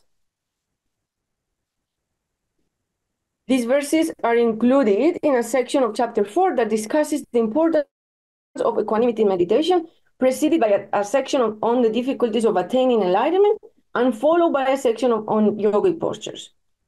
And again, as some of you might be familiar with the context of Yoga Shastra, but let, let me just remind briefly that Hemachandra wrote this text, as well as other texts, for the Shaiva king Kumarapala after his conversion to Jainism.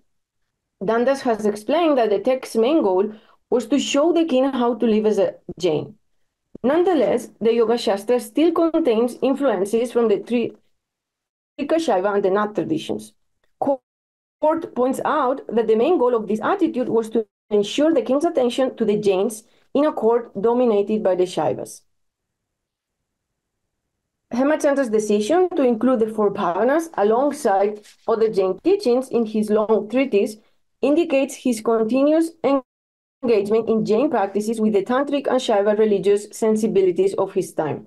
He does not elaborate much on them, as I've shown you, but the next author that I'm going to consider does offer more details. So we now turn to Yashovijaya, again, a few more centuries on time, often regarded as the last great Jain intellectual from the early modern period. Yashovijaya's thought was very influen influenced by the previous Jain philosophers, especially the Haribhadras and Hemachandra. And of course, he was in a new socio-historical religious terrain. He reinterpreted many of the Haribhadra's ideas, particularly on yoga.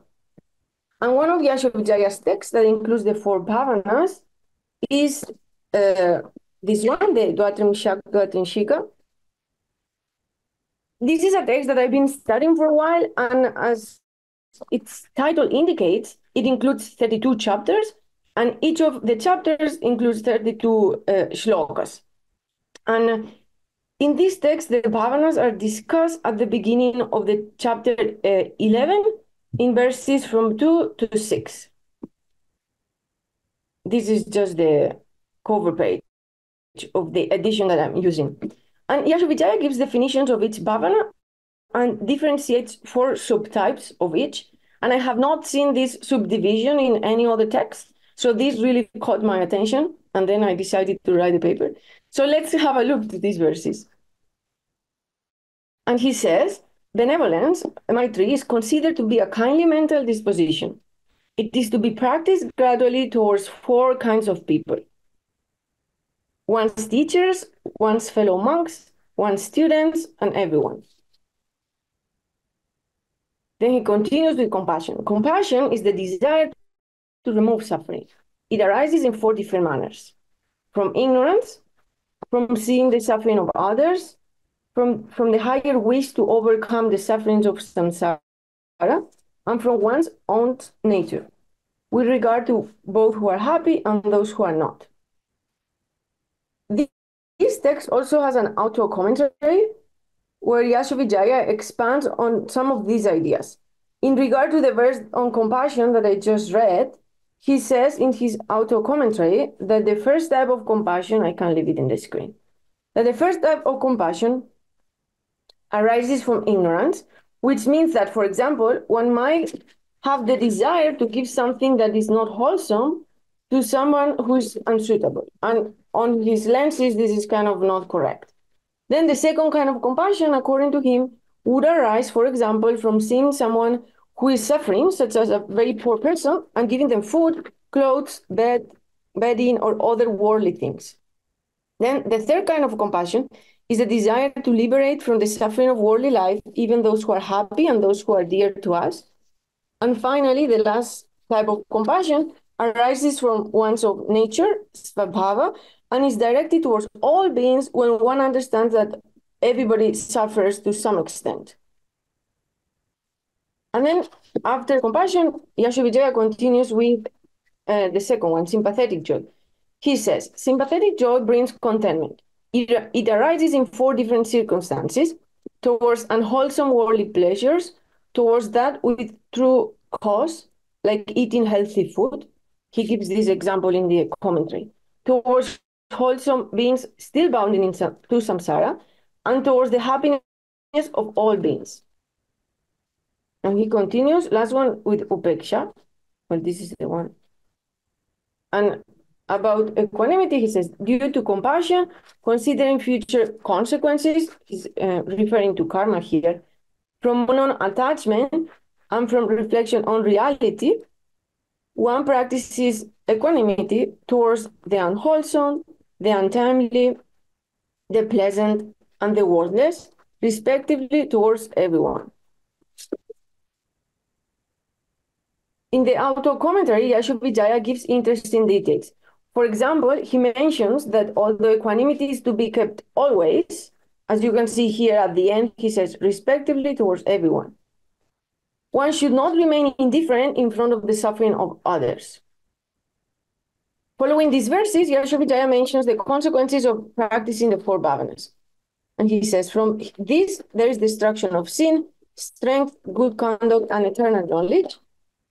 Similarly, this is indeed the nectar derived from direct experience. The rest of the chapter discusses the process and the results of meditation. Notice that Yashovijaya, in the verses that I show, en engages with Buddhist terminology. So he uses the words Maitri, but then instead of Pramoda that we saw in the Jain text, Yashovijaya uses Mudita, and Mudita is often used in Buddhist texts. Uh, Albaji, Alba, um, uh, you're about three minutes over, so if you could start coming to a. Oh, okay, okay, I'm I'm finished. Um, then uh, he uses Karuna, and he uh, Yashovijaya uses Upeksha instead of uh, Madhyastya, the same as the Buddhist. So in my book chapter, I also discuss briefly the four bhavanas in the Buddhist tradition, that uh, they are called Brahma Vihara, the four immeasurables, or these different terms you have here. And also in some Brahmanical lit literature, such as Patanjali Yoga Sutra, and also in some of the Upanishads. But I have to limit myself here because of the con constraints. So in conclusion, in the Jain text explored in this chapter, the four bhavanas serve the main purpose of eliminating karma. Compassion and equanimity have received the most attention in scholarship. Equanimity lies at the basis of all Jain meditative practices and religious life.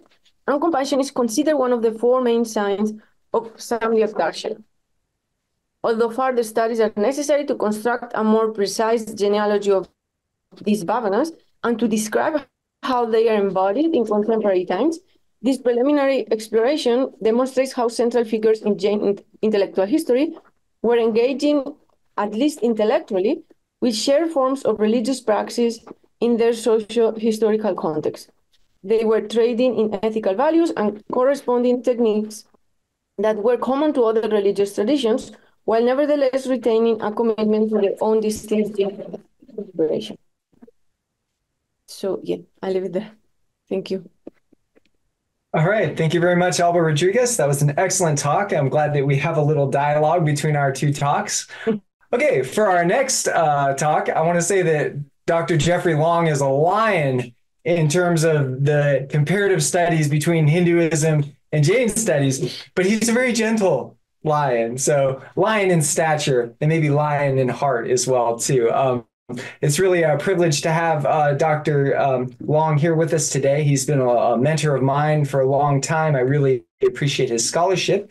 Uh, Dr. Long is a Carl W. Ziegler Professor of Religion, Philosophy, and Asian Studies at Eliz- Elizabethtown uh, College, where he has taught since receiving his doctoral degree from the University of Chicago Divinity School in the year 2000.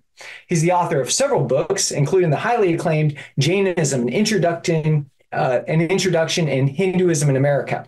Uh, that's another book. Um, sorry, it sounded like the same book. One book is Jainism an Introduction. The second book is Hinduism in America. Excuse me. He also edits the Lexington book series, uh, uh, Explorations in Indic Traditions, Ethical, Philosophical, and Theological. I have an upcoming book in that series as well. Uh, everybody, please welcome uh, the venerable Dr. Jeffrey Long. Thank you for the very kind, very sweet introduction, Coach, and I, I, I appreciate it. Whether I deserve it or not, I don't know, but I appreciate it. Uh, so uh, I uh, I really like how you've organized the papers because there really is a flow and a conversation. In fact, uh, I was really enjoying Alba's presentation just now, and I noticed that we even used the same photograph of a statue of Yashovijaya in our uh, presentation. You're going to see that picture again.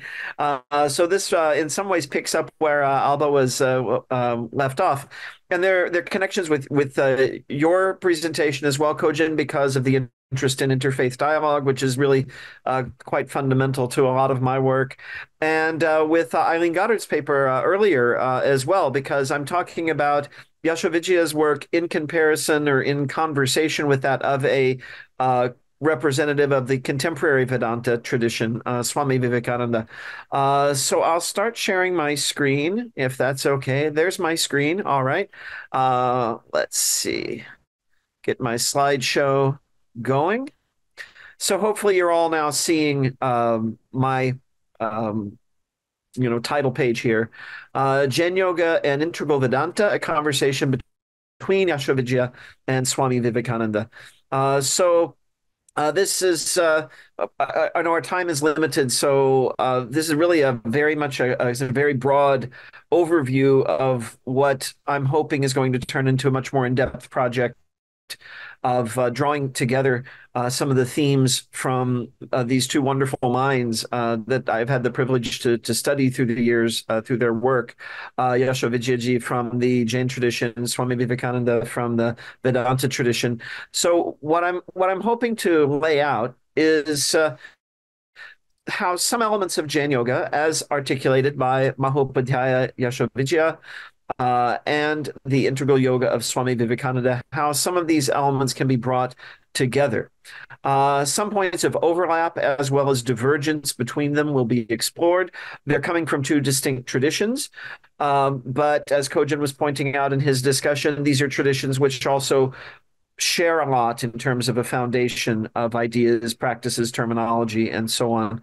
Uh, so we're going to look at those overlaps and those differences and uh, maybe try to think of ways in which these uh, way, forms of practice could inform one another. And I think that sort of comes organically out of the discussion. Uh, the two figures are really not all that terribly far removed in time, uh, relatively speaking. Uh, because Yashovijaya comes near the end of what we uh, often categorize as the pre-modern phase uh, in Indian philosophy, and Swami Vivekananda is right there in the heart of the emergence of the modern phase. So Looking first at Mahopadhyaya Yashovijaya, uh, he lived from 1624 to 1688, seems to be the current consensus. Uh, member of the Shvetambara Tapagacha, some very prominent uh, subdivision uh, among the ascetics of the Shvetambara tradition. Uh, after becoming a Jain Muni, uh, he uh, there are famous stories of him traveling to Benares, actually disguised as a Brahmin, uh, to study Navyanyaya uh, which he mastered. Uh, he was a brilliant logician. Uh, and an author of numerous Jain philosophical texts and commentaries, uh, including the Jnanasara, which is the text I've studied most closely, uh, which focuses on ethics and yogic practice. Then we're bringing Yashovijayaji into conversation with Swami Vivekananda, uh, who lived from 1863 to 1902, uh, a founding member of the Ramakrishna order, uh, known most widely as the Swami who brought the philosophy of Vedanta to the West, establishing the first Vedanta Society in New York in 1894. I've had the privilege of speaking there a number of times. Uh, it's not the same building, uh, but it's the same institution. It's been in three different buildings since 1894. Uh, it's currently one block from the famous Dakota building where John Lennon lived. So um, yeah, that's where you can locate the Vedanta Society of New York. Um, based on earlier Hindu sources, uh, such as the Bhagavad Gita and the teaching of his own guru, Sri Ramakrishna, Swami Vivekananda uh, basically theorized, he didn't invent it, but he theorized the concept of the four yogas. And what seems to be his innovation uh, is uh, the idea of four yogas as independent paths to moksha, to liberation. Uh, the concept of these yogas, of course, uh, is ancient, but typically what one finds in most Hindu literature is advocacy of one of these with the others seen as preparatory disciplines or purificatory disciplines leading up to the one true yoga. And Vivekananda differs from that. Uh, he says, uh, no, you can just take any of these paths and get there. Uh, so this is really uh, uh, his innovation um, that, that he brings to uh, Hindu philosophy. So turning back to the Jain tradition and to Mahopadhyaya Yashovijaya, um, he defines yoga in the following way. This is my translation. he says, as yoga refers to all practices that are desirable because they're associated with liberation, right? Because their association with liberation makes them desirable, makes them good, commendable practices. Then he divides the practices of yoga into two categories. Um, these two categories actually bear the same names as two of Swami Vivekananda's four yogas, and there are interesting overlaps and connections, but they're not identical. Uh, the uh, categories of yoga are uh, made up of. Uh, they they they're constituted by five practices. So this is kind of a schematic uh, of uh, the Jnanasara's depiction of yoga. So there is the first category is karma yoga, that is for uh, that is yoga that involves the body. So this involves two of the five main elements of yoga, sthana, that is posture.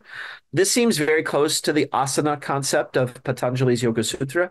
And then there is urna, that is the chanting or recitation of prayers or mantras and specifically the chanting of them aloud right you're using the mouth right you're using the body to do this then there is jnana yoga, which is rooted in knowledge. This is a more, one could say, inwardly focused set of practices, uh, and they they pick up where uh, the karma yoga section leaves off. So we ended with urna, the chanting or recitation of prayers and mantras, but then there's on the jnana yoga side, there's artha, there's understanding what these things mean, uh, not simply chanting them mindlessly, but with an awareness of their meaning and a focus on their meaning. Then there is what he calls alambana. This is the visualization of one's deity.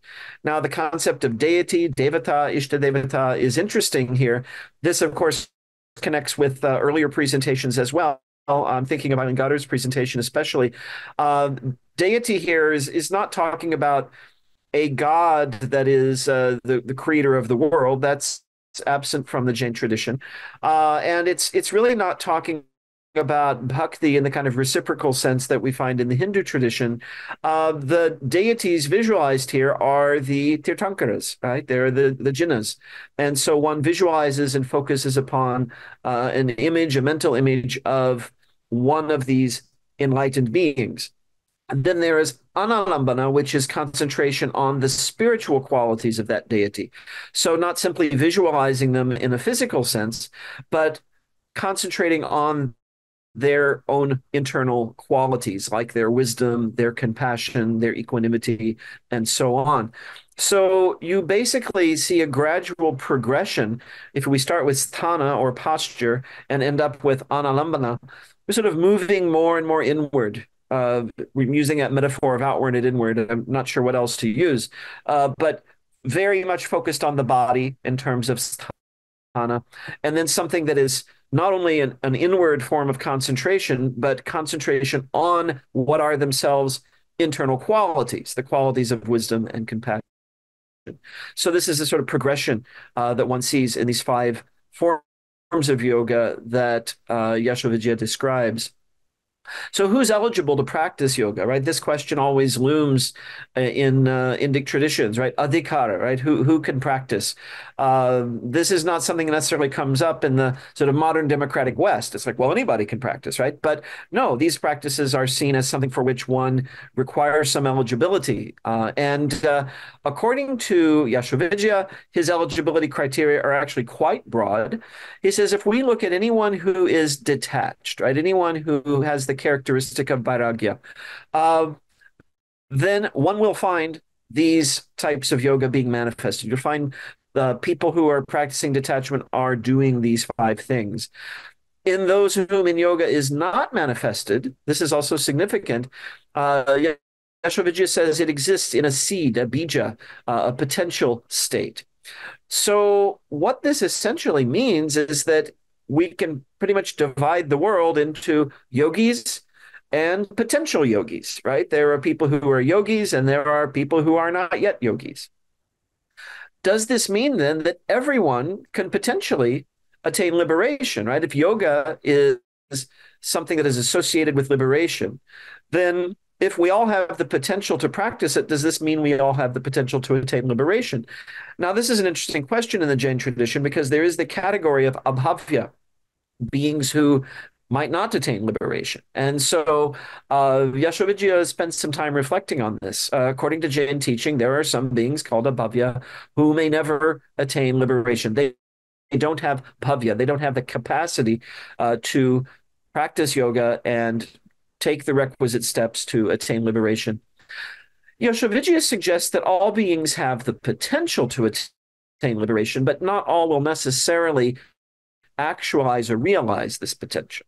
And so he's basically saying it's up to the beings, right? It's it's up to us. Do we actualize that potential or do we not?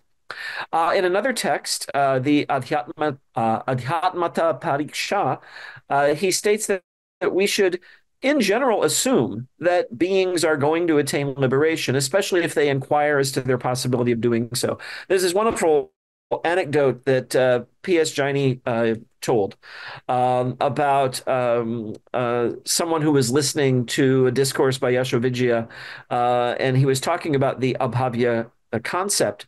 And this person, uh, you know, asked, "How do I know if I'm going to?" Make it or not, right? How do I know if I'm going to achieve liberation? Maybe I'm one of these abhavya people. And Yashovijaya very kindly says, if you are concerned enough about that to ask that question, then you're not abhavya. You're going to get liberation. And so uh, to to be abhavya, you have to really be completely disinterested from uh, disinterested in and averse to any kind of spiritual practice. My interpretation, at least of Yashovijaya, and, and I want to delve more deeply to confirm whether this is really the case, my sense that he's leaving the door open to the possibility that all beings might attain liberation. But there's always a possibility because we have some measure of freedom, uh, we, we make choices, that there could be beings who just never choose to actualize and activate their potential for liberation. So saying yes, according to Jain teaching, such beings, uh, such such a possibility is there. But he seems very much to be on on the on the side of of wanting to see liberation as something that the maximum number of beings might might reach. And this is an interesting point of connection between him and our next figure with whom I'm bringing him into conversation. According to Swami Vivekananda, Swami Vivekananda says the ultimate goal of all mankind. He uses very male language here. It's the 1890s, so I think we can give him a pass. I think if he was speaking today, he would he would talk about human beings. Uh, but the ultimate goal of all mankind, he says, the aim and end of all religions is but one: reunion with God. Or, and the emphasis here is mine uh, that I've added to this quote: what amounts to the same with the divinity which is every man's true nature. So uh, I think what Swami Vivekananda is saying here is something that um, many Jains would be quite comfortable with. And uh, again, from Eileen Goddard's presentation, uh, she was drawing a, a connection with uh, the Advaita Vedanta tradition as articulated by Shankara, that when people speak theistically of the personal God, that is a way of visualizing that is a sort of way to what is really the inherent divinity, the the self, the Paramatman uh, that is within. And so this was Swami Vivekananda's way of thinking, certainly. Um, so when he uses God language, he really is sort of using a, a language for something that is seen as, as internal. Uh, he says, while the aim is one, the method of attaining may vary with the different temperaments of, of people. Both the goal and the methods employed for it are, are for reaching it are called yoga. So this is his definition of yoga. Uh, so the goal of uh, attaining this ultimate realization, this ultimate reunion with our true self, uh, and the means for attaining it. So, a word derived from the same Sanskrit root as the English yoke, meaning to join, to join us to our reality, God, right? So, this is his definition of yoga. He says there are four basic types of yoga. There is karma yoga, which for Swami Vivekananda has a very particular meaning. It involves selfless service to suffering beings. And this, the, the, the ultimate aim of this is to help us give up our egotism, give up our sense of ego through service. Then there's bhakti yoga, the path of devotion, loving devotion and surrender to a personal form of divinity, to one's ishta devata. This is akin to one's deity in the jnana yoga practice, which is outlined by Yashovijaya. Then there is Jnana Yoga, uh, which, according to Swami Vivekananda, is very much in the Advaita mold, involves differentiating the unreal from the real, the path of neti neti, I am not this, I am not that, where one realizes one is not the body, the mind, or the ego. And then finally, Raja Yoga, uh, which uh, really is, what I was originally planning for my presentation, but I realized there's just not time, is a sort of a deep dive into how the Jnanasara and the Raja Yoga involve many elements which correlate with one another. Um, but Raja Yoga involves calming the waves of the mind, much as taught in the Yoga Sutra of Patanjali. Who can practice yoga? According to Swami Vivekananda, we are in fact all doing so. Uh, we are all, all on the path, whether we know it or not.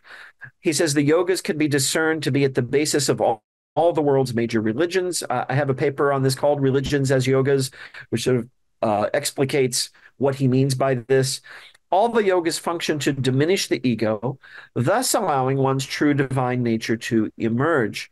And Swami Vivekananda variously refers to this as self realization or God realization or just realization. Who can attain liberation? Everyone. All beings will eventually attain realization and therefore liberation. As a result of the fact that everyone's on the path, he says one's attitude toward various religions, schools of thought, and spiritual paths should be one of openness and acceptance. And uh, yeah, I, I, when uh, Alba was talking about uh, the, the, translation of one term as tolerance, uh, I, I, saw a connection there because uh, Swami Vivekananda does not like the term tolerance. He actually says it is a form of violence because when we tolerate, we're not actually very happy about what our neighbor is doing uh, or believing, uh, but we're letting it happen, meaning we're not killing them, I suppose. I mean, this is what Swami Vivekananda basically says. Uh, I'm fond of putting it this way to my students. I said, if you if you went back to your dorm today and and your roommate said, "I tolerate you," uh, would that make you feel good? And uh, probably not, right? Um, a contemporary scholar uh, in the Ramakrishna tradition uh, of Swami Vivekananda's teaching calls this stance of his toward the various religions uh, his Vedantic cosmopolitanism. Right? You have the idea that there many paths should flourish, and you know let them be, let them coexist. So, how do we bring these two figures into conversation? They have some clear differences, but also some clear affinities. Both Yashovijayaji and Swami Vivekananda see divinity as something dwelling within us which can be externalized for the purpose of yogic practice as one's cho- chosen deity. So the real divinity is the jiva, according to Jain teaching. It's the Atman, uh, according to Swami Vivekananda's form of Vedanta. Uh, but in both cases, you can you can visualize that highest reality. In the case of the of, and the Jain tradition, this would be as a Tirthankara, as a Jina. Uh, for Swami Vivekananda, it would be whatever uh, whatever great teacher or figure uh, or deity inspires you. Uh, both see liberation as stemming from the full realization and manifestation of our inner divinity. That is essentially what liberation is. While they structure the yogic path differently, there are correspondences that can be discerned between the elements of their respective systems a distinction between the physical or external practice, posture, recitation, and so on, and internal practice, visualization, contemplation of the meaning of recitations, and so on. When you uh, delve into the four yogas, you'll find that similar sets of practices explicated of as what you see in the Jnanasara. Swami Vivekananda affirms universal liberation, Sarvamuktivada, uh, while Yashovijayaji, in keeping with the Jain tradition affirms the possibility that some beings may not experience liberation, but he doesn't dwell at length upon this, and he affirms the universal possibility of liberation. I think this is a significant choice on his part, right? Uh, he does not, in his writings, we don't find the Jain equivalent of a hellfire and damnation sermon that, uh, you know, uh, get your life together or you're not going to get liberation ever. Uh, no, he's not saying that. He's saying, well, liberation, let's assume we're going to get liberation. If we're interested in liberation, that seed is there. And uh, just don't worry about the other people, uh, particularly. Um, both affirm the importance of openness and dialogue across worldviews. Um, this is one of the virtues which, uh, in fact, is listed in the Gyanasara, uh, Sarva Nayashraya, having a foundation in all perspectives. Uh, this is something that Yashovijaya uh, emphasizes, that one should look at all forms of knowledge with a stance of equanimity. That is, uh, give all of them a chance and use logic and apply uh, rational, uh, you know, skills to determining what is acceptable, what is not acceptable, but not to dismiss anything out of hand before investigating it. This is similar to Swami Vivekananda's cosmopolitanism as well. Uh, he he does not talk about uh, accepting every tradition in its every respect. Right. Uh, this is this is a common um, misinterpretation that arises sometimes because he sound he does sound like that in some of his uh, um, lectures. Uh, but the idea that uh, it, it, it's fundamentally a good thing that there are these many perspectives, many views, and that we can learn from all of them. And both of them demonstrated this in their lives through their study of the various traditions uh, that they encountered and the incorporation of their knowledge of many traditions into their philosophical works. You can see this with Yashovijaya. Of course, he did his deep dive into Navyanyaya, uh, wrote texts on Navyanyaya, and employed the Navyanyaya methods in his explication of Jain thought. Uh, he also uh, cites texts from outside the Jain tradition, like the Bhagavad Gita. Uh, he uses terminology like Parabrahman and Paramatman when he's talking about the Jiva. So he's he's was quite open to non-Jain traditions and and to affirming things that he found in them that he agreed with. Swami Vivekananda similarly quotes Christianity, quotes Buddhism, he draws from a wide array of sources. Um, why are these two figures interesting and why do we want to bring them together? I think they're great role models in today's polarized world. Uh, these are the kinds of minds I think we need more of. Uh, you know, broad-minded, um, critical, and yet at the same time uh, open to exploring everything, and uh, not uh, prejudicially setting any tradition aside um, prior to the investigation. So uh, that's the end of my uh, presentation. I think I might have gone a little over time, but uh, thank you for your patience. All right. Thank you very much, Dr. Longji. That was brilliant presentation as always. And here's to having good role models uh, within uh, different diverse religious traditions. I think that was a really nice note to end on. Uh, if only more people um, demonstrated those types of virtues. Okay, so we are now uh, transitioning into our very last panel, which is a panel of one. Uh, and uh, this panel will be um, dealing with issues of methodological concerns uh, after we've talked a lot about contemplative practices um, and uh, comparative yoga. Uh, so we're going to hear about some methodological concerns um, from Tillo uh, Detige. Um, I'm going to apologize now uh, for everybody's name who I've botched throughout the conference. I'm so sorry. I know you all very well through emails and online, but I don't really hear everybody's name a lot. So I've known Tillo for several years now, and I don't think I've ever heard his last name pronounced. So please forgive me. Uh, so Tilo uh, uh Detige is next. He's currently works at the Center for Religious Studies uh, in Germany a university I'm not going to try to say, where he is finalizing his doctoral dis- dissertation and he teaches Sanskrit and Hindi. Important. Uh, he obtained a master's in fine arts from the Royal Academy of Fine Arts in Ghent and uh, a master's in Indian languages and cultures, also from Ghent. And he's worked as a PhD researcher and lecturer at Ghent University from 2012 until 2018. Um, okay, and everybody, please welcome Tillo Detige. Uh, then, first of all, thanks so much. It's been a wonderful day. A, bit, uh, a little bit out of time and space, but it's been a, very richly filled day. Um, so, thank you very much for bringing us all together. Fr from the very beginning, um, I understood that that what I had to offer was a, was just two cents of, of, of reflections and meanwhile, perhaps I could say two times two cents. Uh, what I what I described in in the abstract uh, in my proposal had to do with certain ideas about the development of the field of Jain studies since its inception in the West, um, and the role, uh, the appreciation that's been admitted to um, to Jain ritual and devotion. So that's mostly what I described there. Meanwhile, I added to that some reflections on on what it means to study Jainism, to study contemporary Jainism, or what the characteristics of contemporary Jainism is, how this is set apart from pre-modern Jainism, and so both both sets of reflections uh, are things that I um, think are important to keep in mind when we describe both contemporary and, and pre-modern Jainism.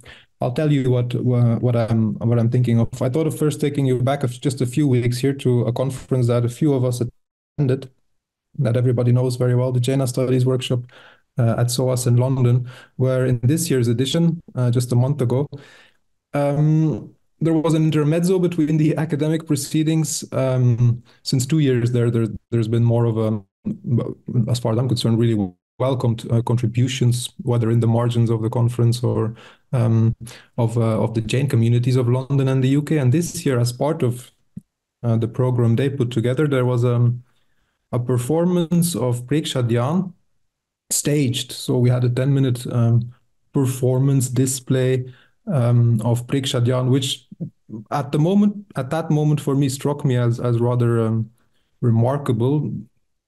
introspective practices and stages or two things which in, in my very specific culturally conditioned minds stand apart. Meanwhile, I have to say I was reading a chapter by Joseph Altman in which he talks about the perform the uh, the the performativity of, of of yoga, in which he talks about um, Indian yoga shivers courses where apparently there also was like an audience to the people who were um, um, um, practicing yoga. So in that sense, everything has a prehistory already. Why I find it somehow useful introduction to what I want to say is um, the field of Jaina studies or Jaina yoga studies, if we want to call it that, or the field of yoga studies more broadly, definitely is a burgeoning field in the past decades already. And the field of um, contemporary Jaina yoga is similarly burgeoning. And I think we could think that, well, we, we have more attention to yoga. The, the main reason why we have more attention to Jaina yoga probably is because the field of Jaina studies has been widening. So uh, um, um, dramatically sounds uh, different than what I intend to say, but has been uh, exponentially increasing in the, in the past years only. Um, so we can we can we have the man force or the the, the um, uh, the force to to to delve upon different aspects of Jainism. But I think the the scholarly attention to Jainism and let's say the, the and to yoga and the Jain's attention to yoga stem from similar sources, namely from from yoga.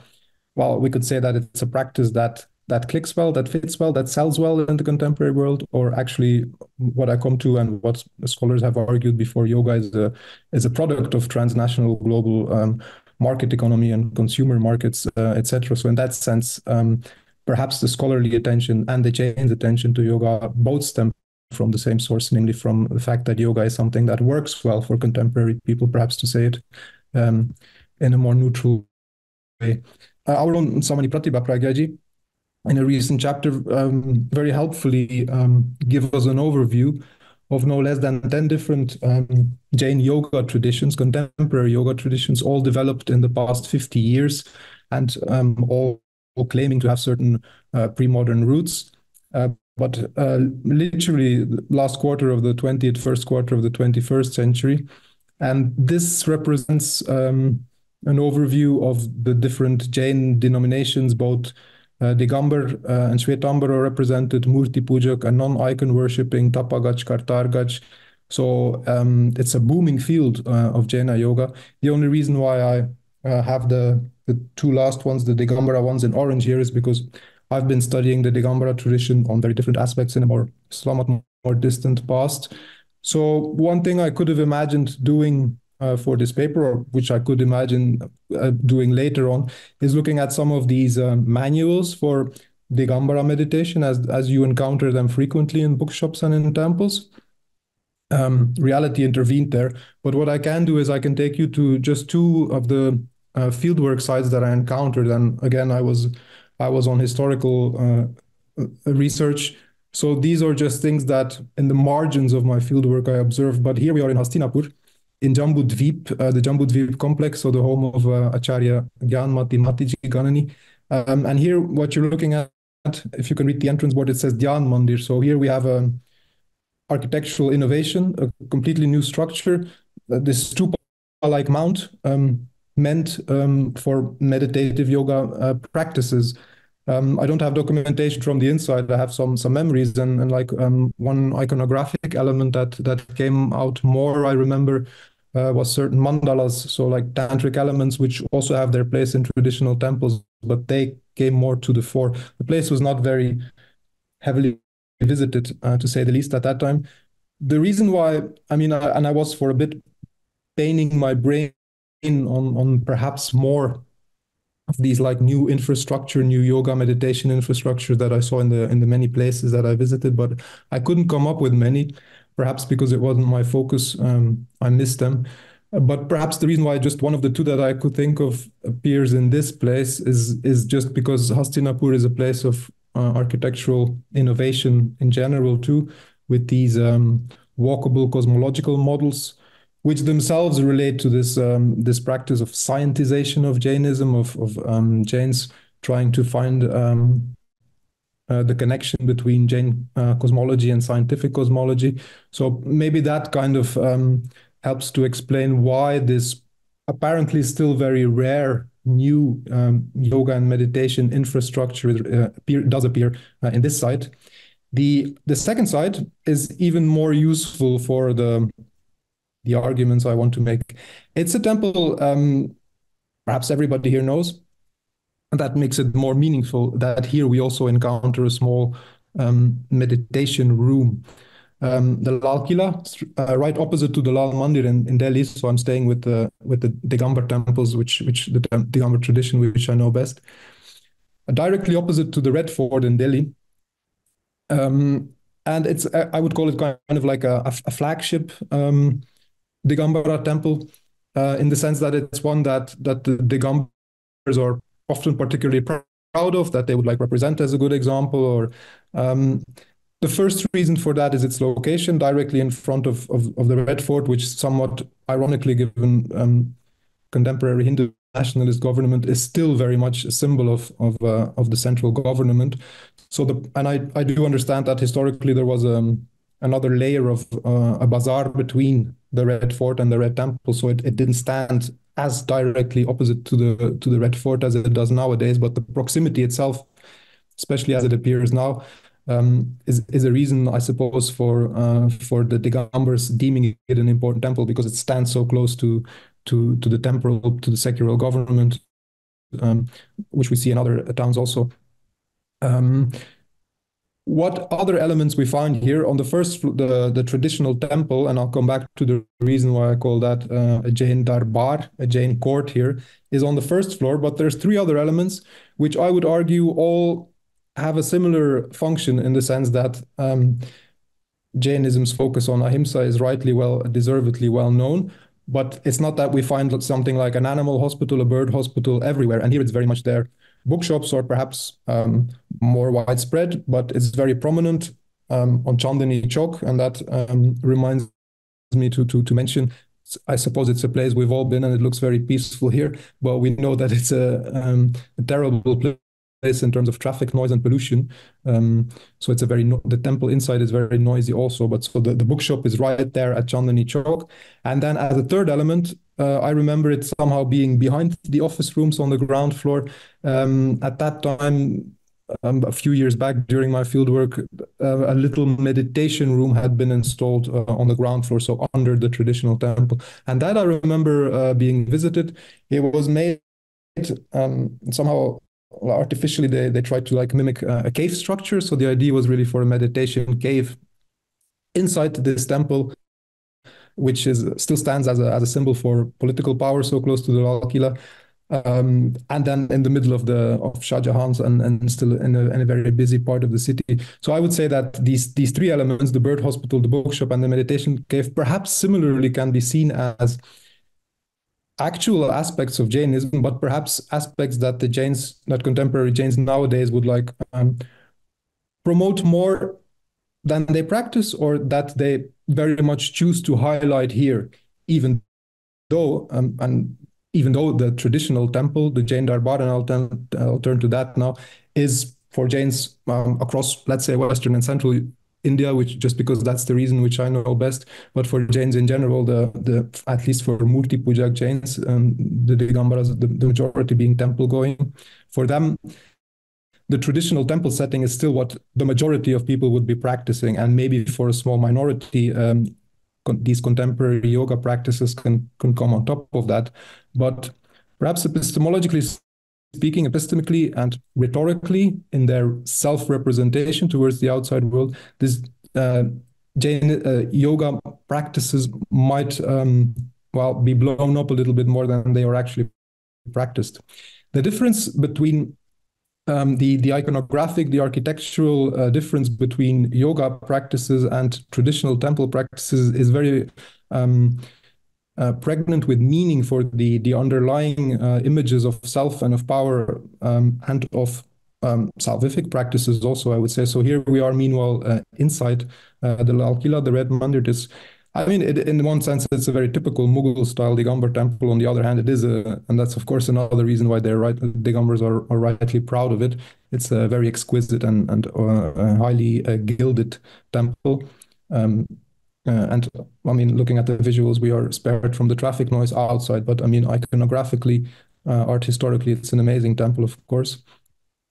Um, here we are, meanwhile, uh, in a temple in Gwalior.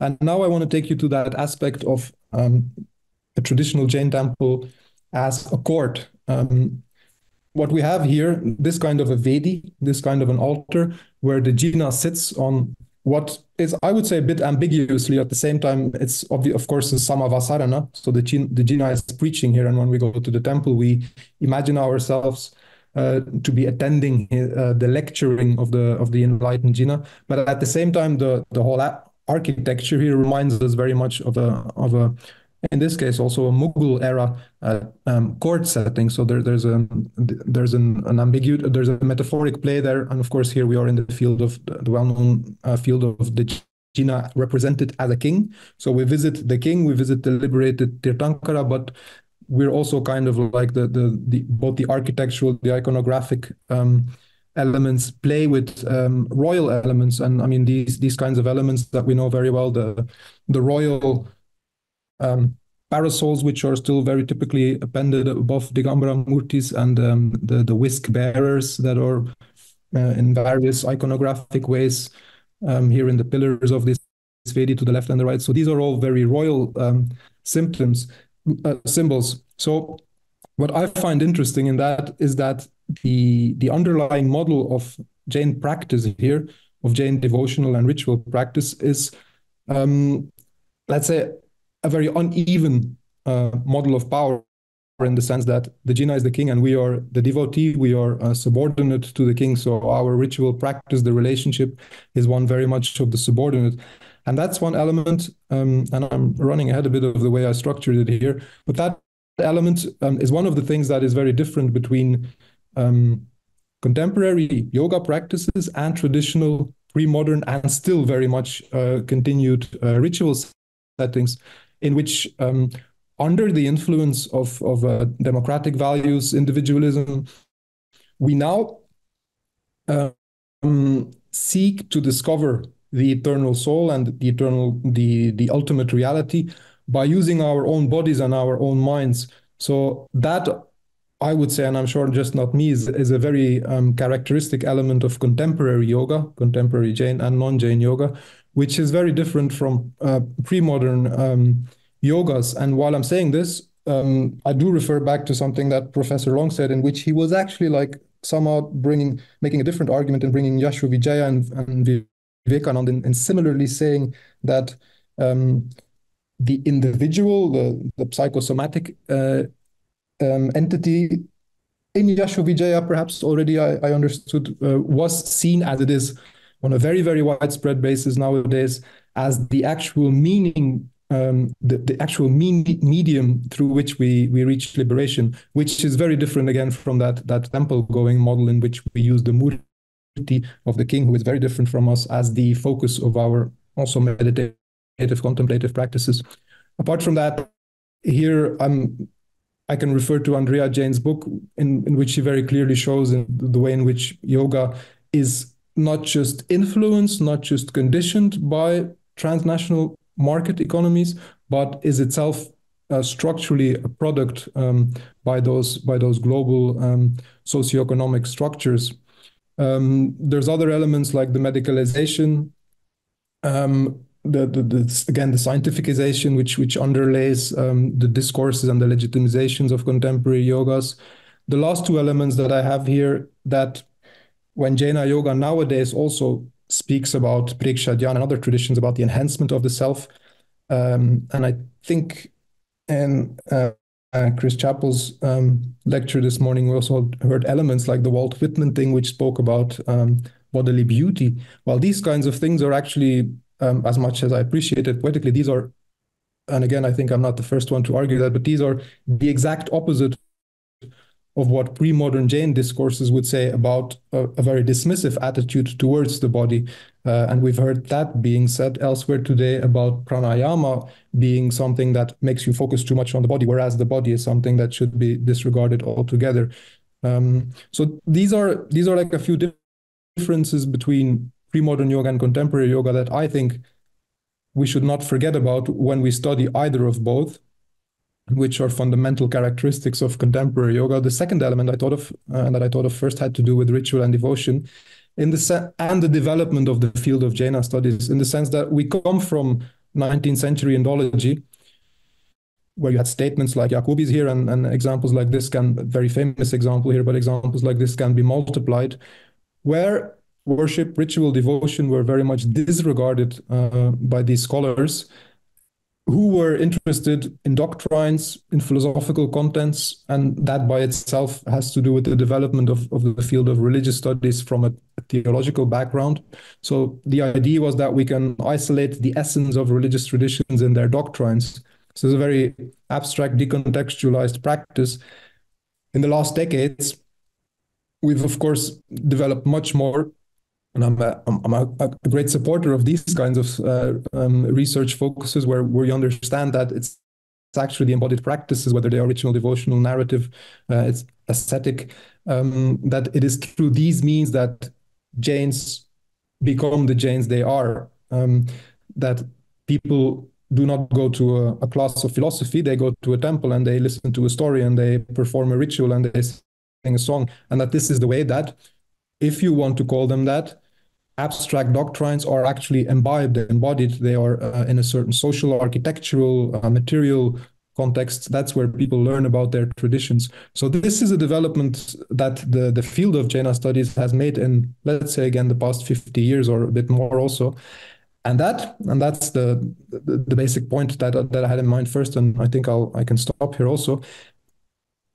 When we now should we now develop an overly stress on Jaina yoga, we might once again lose the, the lose track or uh, uh, lose track of the importance of ritual and devotion and other embodied practices by focusing only on yoga, and that relates to the second element. Yoga is something that calling it that again that sells very well that fits very well the, the contemporary episteme. So in, in that sense we might be tempted uh, to focus on that.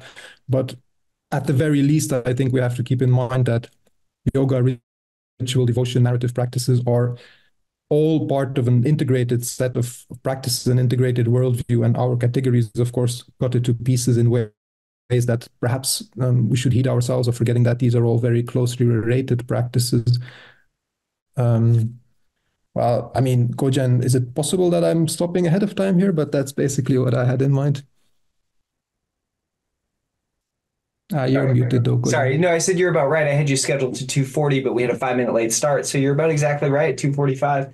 Uh, if you want to conclude, sure. if you have anything else, you're free to share that too. Wow. Yeah, that's true. I had an, uh, an encore. I, I, just wasn't sure about how it relates to, I mean, how it relates to everything else I said. It's just, it's a very different thing. So I can add it.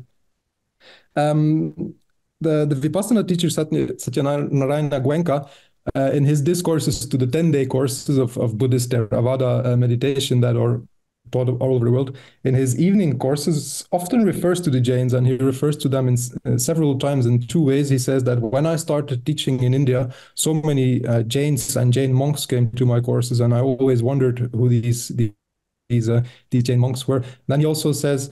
Um, when we started organizing temp, uh, courses in India, then we used to organize them first at rented locations like mosques and schools and Jain temples. So then I wondered who the um, what those Jain temples were. And until a few years back already, I think I encountered, and I don't know the further context, but I encountered this photo of of, of him probably concluding here a course. Goenka is right in the middle there with students at Ladnun in 1974, a year before uh, Acharya Mahapragya launched his Preksha Dhyan. So we're looking at, at very close uh, historical connections here between Jain and non-Jain yoga.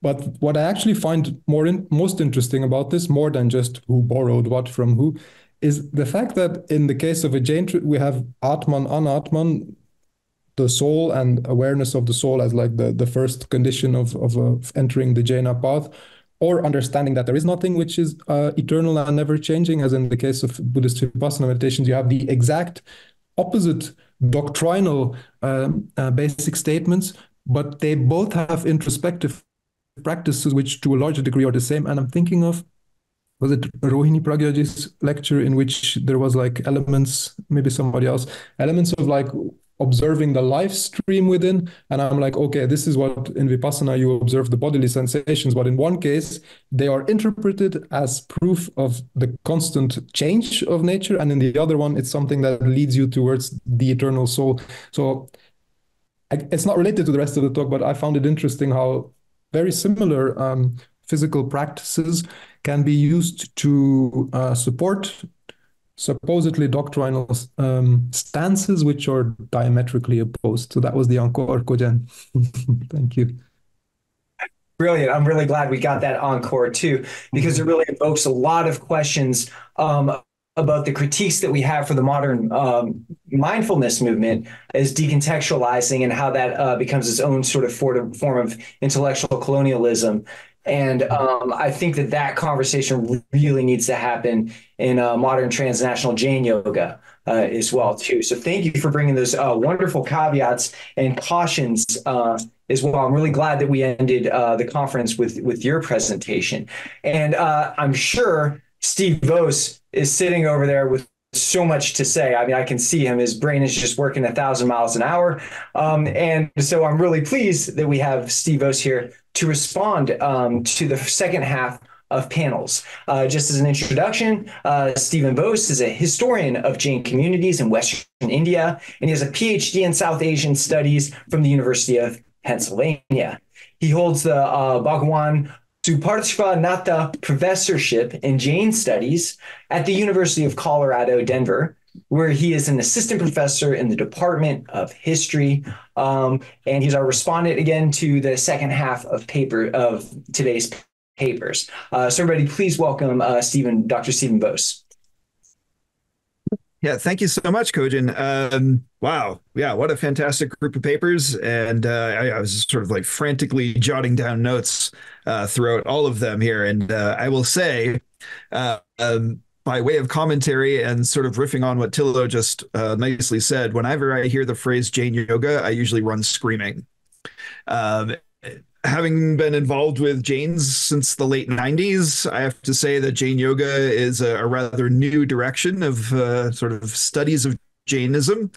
And so I really appreciated the chance to sit down and, and listen to the papers and, and think about the ways that, um, yeah, this term is being used and deployed, some of the themes that are coming up, some of the really great ways that we're kind of getting back into philological and philosophical scholarship in ways that I actually do find are, are actually informed pretty well by the last uh, sort of 20 or 30 years of scholarship that has been largely anthropological. Um, and I really have to say that Tillo did a fantastic job um, of sort of summing up a lot of the ways that I have have felt and and thought about like what we think about Jain yoga and whether or not we're sort of putting too much emphasis on it these days. But um, yeah, so for me, some of the big themes that came up um, in almost all of the papers were kind of a series of dialectics or dualisms. Um, of course, going back to sort of that the, the very first paper from uh, Pragyad, um, right? Artificial intelligence versus perhaps real intelligence.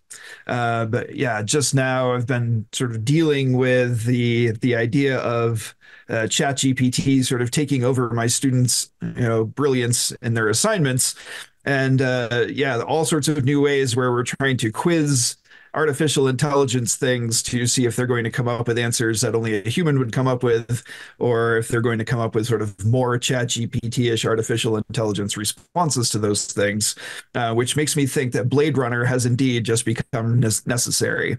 So thank you for that, uh, Philip K. Dick. Um, right, but more dualisms, more um, things come up, right? So the idea of sort of body and soul, right? We have often, I think, railed in the last 20 or 30 years in the field of religious studies about the great disservice that uh, modern, especially Victorian era scholars did to sort of fetishize the distinction between sort of the external and the internal, the body and the mind, um, right? Sort of the things that really are markers of modern philosophy.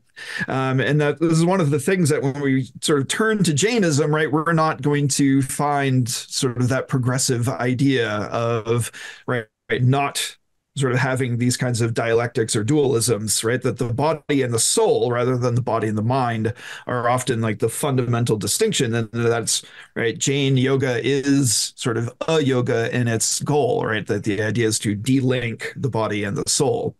Um, and then that way, right, we see some more of these kinds of distinctions coming up here and that the, the idea of uh, that came up in Eileen Goddard's paper of sort of raga to the vitaraga. Um, I really appreciated that and sort of thinking through how bhakti is so much a part of sort of the fundamentals, if you will, of the Jaina Vachikas, the the sort of the process of what you actually do as a Jain right? Which I think in this the sort of broader view of this course, we would sort of tend to categorize as Jain yoga, but is actually not a term that in the very moments that we expect to find it, right, we don't find the term yoga.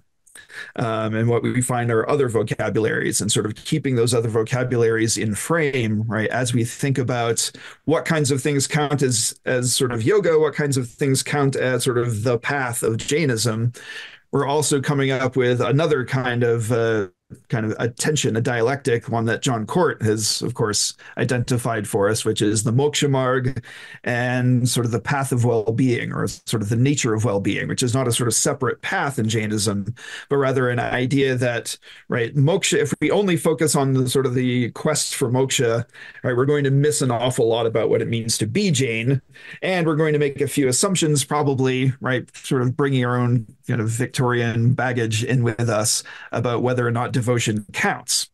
Um, so much so that the very framing of the question of is there even a, a, devotional form of Jainism was sort of something that we had to entertain as I think we transitioned into, I'd say, this new era of Jain studies, beginning with Padmanabh Jaini. Um, and that's so much of what John's work was trying to do is to sort of yeah get us out of those other kind of modernist frames of thinking um, perhaps do something i don't know postmodern alternately modern or whatever, but things that got us to focus on what those relationships, what those tensions actually mean to each other in a Jain context. And it was in that that I really appreciated Cogen's paper um, that was looking at the pravritti nivritti uh, distinctions as styles of yoga, um, if you will um, and yeah, thinking through those sort of like engagements or sort of active forms, and then the others that are perhaps more sort of uh, yeah, trying to sort of distance the self from the things that it otherwise is linked with.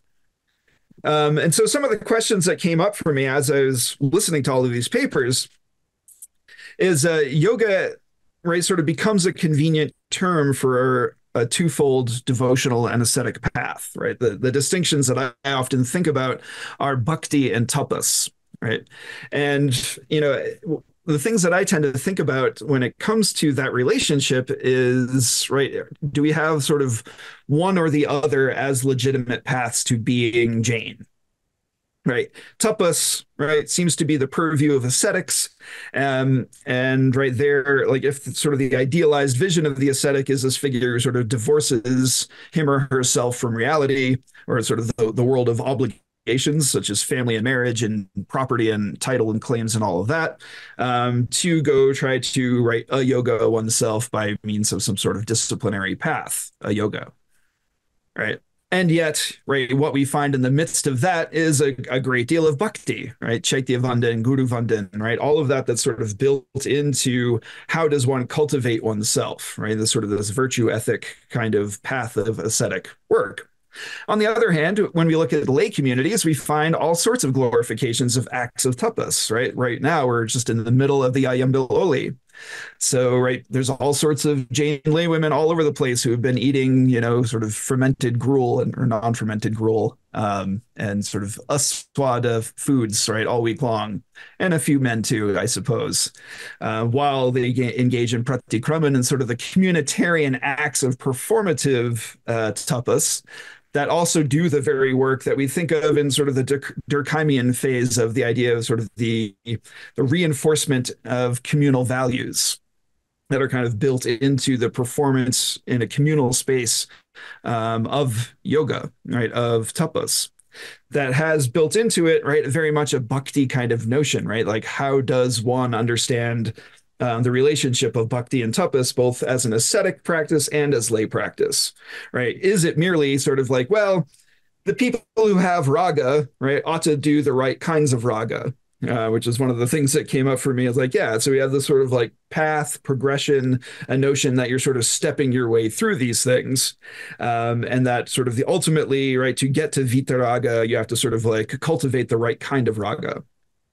Okay, well enough, um, and that's sort of a historical question that we can sort of dig into like is the body of Jain literature on this question of raga something that we can sort of think of as sort of stepped or as right sort of alternate paths? Or is this actually something that's like not a distinction really? I don't know um, as a historian, I really do want us to kind of dig into the moments in which all of these texts are produced, right? Who are they having conversations with? What is going on sort of in their respective moments? And I appreciated the paper that um, looked into Hemachandra Alba's paper that was thinking about the context in which Hemachandra is speaking to Kumarpal, right? As a Shaiva king who has perhaps recently converted to Jainism or sort of finding himself more and more under the performative sway of doing things that ought to look Jain, like at the very least. Um, and sort of thinking about a textual world in which that literary production about the relationship between Kumarpal and Hemachandra becomes so central to the ways of thinking about sovereignty, of thinking about the proper role of uh, monastics in sort of political spaces of the court um, especially when most of that stuff was actually written well after that relationship was sort of in the books of history, right? So most of the relationship of Kumarpal and Hemachandra was actually written during the period of time of the Sultanate, um, sort of annexation and sort of rule in Western India, which you know we can talk about at another time. So thinking about historically, like getting into figures like Yashovijay and Vivekananda, um, in Jeff Long's paper, Yashovijay really sort of right, he sort of lives well within the entire period of Aurangzeb's reign in the sort of the last of the great four Mughals, um, in a period in which Jain community was sort of alternately both bankrolling, as if you've uh, seen Su- uh, Sudev Sheth's recent book, Bankrolling Empire, highly recommend it. Right, Jains are on one hand bankrolling um, the Mughal Empire, right, and to the tune of sort of massive investments in jewelry and and all of these sort of fantastic transfers of wealth going into the Mughal court via other parts of the world, and Jains were the brokers of that right? And at the same time, a sort of a new intellectual movement that's going on in which you have Arabic and Persian translations of Yoga Vashishta um, and sort of other investments in um, sort of the yoga tradition going on from a courtly project in which Jains were absolutely participating in those things, right? And sort of Audrey Truschke's work in the Mughal period and Jains in the Mughal courts, right? Sort of give us uh, that realm of sort of the intellectual perspective of, you know, sort of how do Sanskrit and Persianate worlds speak to one another.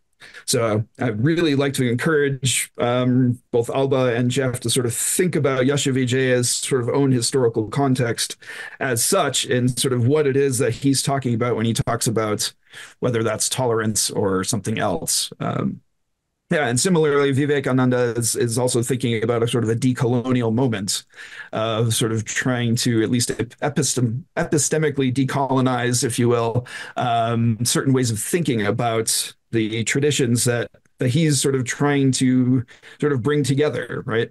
And as we think about something like the Yoga Sutra of Patanjali, there's often a lot of conversation about what kind of things is he doing to bring a number of different forms of yoga together and synthesize them, try to work out sort of what is yoga. I think with Vivekananda, we're seeing a new, another kind of moment, one that is both informed by sort of European philological ideas about how to approach text, how to think through um, sort of the historicity of the notion of multiple yogas, right? And one in which he, right, Vivekananda has got sort of a nationalist project in mind, right? He's trying to create a, a kind of Indian citizen or an Indian sensibility um, that is trying to do something right, somewhat differently.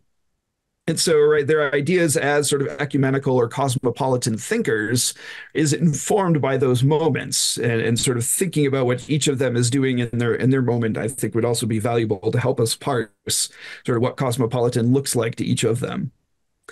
Um, yeah, and yeah, and to sort of get back to Tillo's paper, I think one of the great questions that I had for him was sort of the the idea of a disregard for ritual being recapitulated through the idea of Jaina yoga, or that Jainism is a yoga. Um, and I really appreciated that perspective. Of course, yeah, uh, being sort of well trained by anthropologists myself. Um, I find a lot of the conversations that I've had with donors over the years is right the things that your grandmother taught you how to do to be Jain are actually really valuable. And the more that we fetishize text, and the more we sort of think about sort of these deeply individualistic things without recognizing them as sort of part of the neoliberal capitalist global world order, um, that India itself is also trying to deploy in specific ways um, in its own sort of new nationalist moment, right? All of these things, I think, ask us to really be careful about how we sort of use terms and phrases like Jain yoga, or think of Jainism as a yoga, perhaps to the detriment of recognizing the, what is still actually like the the real religious life of, I would say, ninety nine percent of Jains.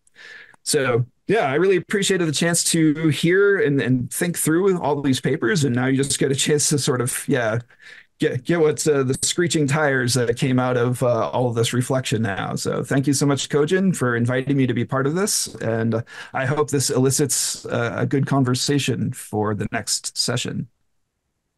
Oh, I'm sure. I'm sure it will. Yeah, these are uh, very good important points. Uh, really keeping in mind the historical moment in which these texts are uh, written before we draw broad inferences about interfaith dialogue, contemplative practices, and that. And then also the caution of not falling back into the Indologist sort of fetishization of texts, contemplative practices that reinforce Protestant assumptions and Protestant needs about the inner light or your own direct connection to God, uh, sort of suspicious of religious authorities and temples and rituals. Um, I think it's uh, uh, you know there's a lot of conversation with Protestant Buddhism. Um, you know, approach to that, and I think a similar analogy can be made there. And then also how our current moment of global capitalism is now being shaped by our discourse uh, around yoga and Jain yoga. It's very, very, very important. Again, I liken that to the uh, uh, critiques against the, against the mindfulness movement? And at what point are we decontextualizing so much that we're actually committing intellectual colonialism ourselves by redefining a tradition that doesn't match its own self identity? And then with the hegemony and the power and privilege of being in the academy, uh, our redefinition of a tradition will then displace and erase that tradition. And I think uh, keeping your uh, eye on the historical moment and a broader context of yoga is very important. And all those caveats before we use the term Jain yoga really need to be made and need to be uh, at the foreground. I would also mention that in our contemplative studies uh, book volume that I did with Dr. Rita Sherma, and Purushottam, Bill Moria, what we did is we were really trying to expand the notion of contemplative studies. There's a certain assumption, Protestant assumption with that as well too that values sort of individualist you know western individualism and approach to spirituality and suspicion against religion. And so we subtitled it uh, ritual and prayer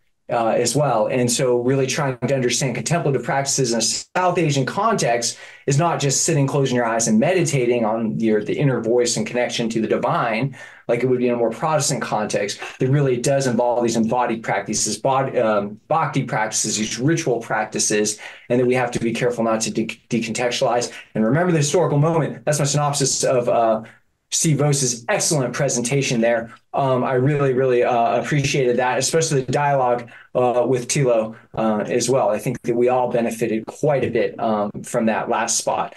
Okay, so um, it is uh, three o'clock to three thirty, and it's time to um, open things up for discussions. Um, I do have a, a, list of questions that have been asked by our audience members, uh, who I hope are still here. If you ask the question, um, and I think i would like to kind of prioritize some of those uh, because we haven't heard much from the uh, audience.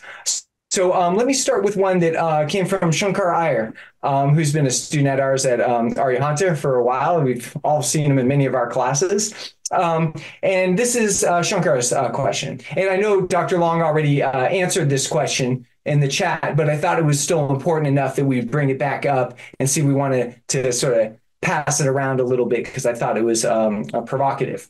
So, in the last couple of talks, we have heard how Jains have used shared terminology to afford maximum value. I think he's quoting me there to other traditions and to understand interlocutors by their own self definition. I think that sort of resonates with what uh, Steve Vose was just saying, too. Assuming that there were rather few Buddhists left in India by Yashovijay's time, the historical moment, what do you think uh, were his motivations for using Buddhist terminologies in his work? Uh, and then he says to elaborate a bit more on my question, I've heard that Jain libraries were responsible for preserving a lot of Buddhist literature in India uh, after uh, professed Buddhism had waned. Perhaps Yashovijay's usage of Buddhist terminology is a reflection of that continued story, or more generally, of a respect for an interlocutor, even in that interlocutor's absence. And I guess I would also um, uh, mention uh, Tillo's uh, conversation with how the Buddhists were showing up uh, at the Buddha, I mean, how the Jains were showing up at the Buddhist mindfulness. I know operating in Jain communities, uh, I've often been told that Jain uh, kids, when they go to school, when people ask what religion they are, they say Jain. The answer is, what's that? And they say it's like Buddhism. And I've always been like, well, actually, it's kind of not at all like Buddhism, as Tillo mentioned. There's Atman and Anatman. I mean, so um, anyway, uh, does anybody want to uh, mention anything about, I guess, uh, as Steve Vose might call it, the historical moment of Yashovijay's time uh, and how he is dealing with the uh, Buddhist interlocutors? Um, and I see uh, Jeff Long's hand just went up as well there. Oh, this will be really quick because Anil Mundra also um, uh, wrote this in the chat, and I, I think it's worth uh, underscoring, which is um, a lot of the uh, texts, a lot of Jain texts, and especially uh, uh, many of his texts are commentaries, in some cases, commentaries on commentaries on commentaries on root texts that were written when Buddhism was still very much there. And so by necessity, they end up elaborating on, uh, you know, arguments with Buddhists. Um, but I think there's a deeper part of your question about that particular historical moment. And so I've already written and said stuff. So I'm going to leave that for others. You could reiterate too if you wanted to. Um, okay. Does anybody else want to talk about uh, Yashovijay's um, historical moment and how that relates to Buddhists? Yeah, I can build on that a bit if you want. Yes, so, yes. Anil, thank you so much for the. Can you read Anil explanation because yeah, as also as um, Long just summarized, like these conversations were coming from yeah previous conversations, and actually, as I've been studying Yashovijaya, sometimes he's literally he copying from the previous Jain authors. So it's like dialogues and conversations that have been going on. But then, uh, if we think about the environment of Yashovijaya, as Dr. Vose was explaining, uh, it was a very, for example, he lived for many years in Varanasi and it was a very cosmopolitan environment. And he was kind of living with other thinking, other thinkers, other monks at that time. As, as Dr. Vose also explained, at that moment there were translations projects, uh, tra yeah, translations projects into Arabic, into Persian. Some of the uh, Brahmanical li literature was also being translated, not only the, the Jain literature. So of course, the moment he was living is very important. This is something I'm going to look further in my dissertation. I've, I've already studied, but not as much as I would like. And then I wanted to add something more about about about these questions that uh, have been posted here.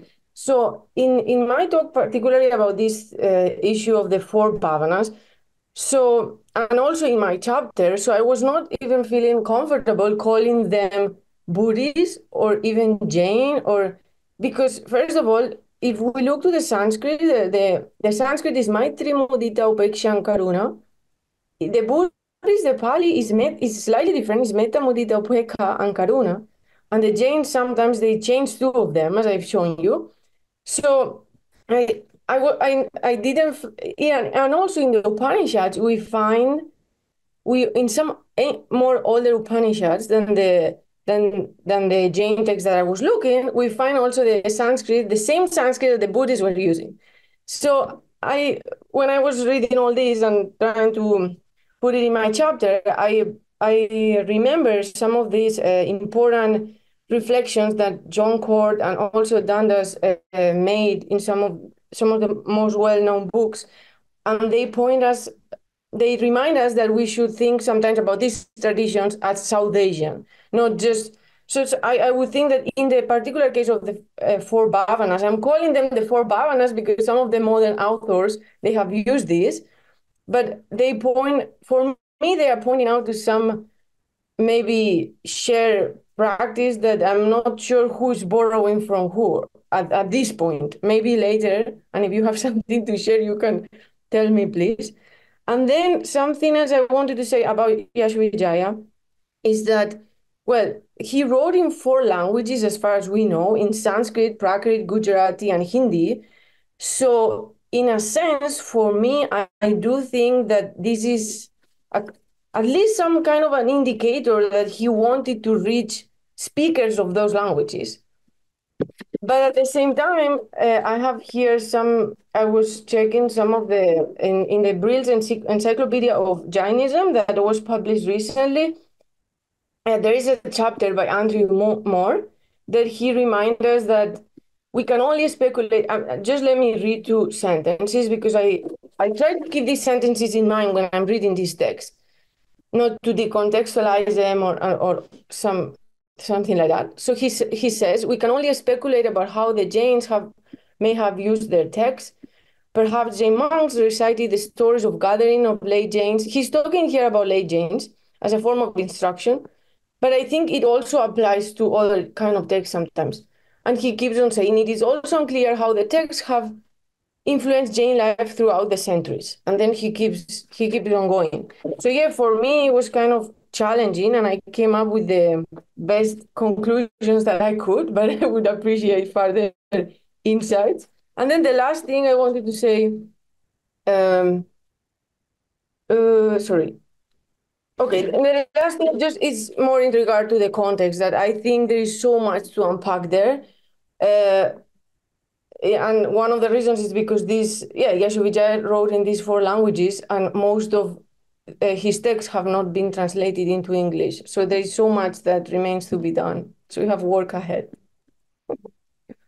You hear that? Everybody get to work. All right. Thank you very much, Alba. That was a really, really comprehensive and important um, response. Thank you. Um, okay. So I have another question, unless somebody else wants to uh, speak more on that. Okay. I have another question from uh, Rajmani uh, Chaitanya Prakash.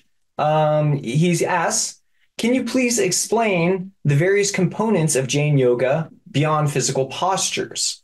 I think he's sort of alluding to some of this decontextualization of modern Jain yoga. Um, will Jain yoga include mantra chanting, music, some spiritual kirtans, and song recitations? Uh, so uh, I'm sure pretty much anybody on this panel would be eager to answer that question. Does anybody want to uh, discuss that? I think this really is alluding to the decontextualization that Tillo and uh, Steve were speaking about. So, um, Rajmani, uh, Prakash, if you didn't catch the answer from our last two speakers, uh, it's very problematic to reduce Jain yoga to physical postures.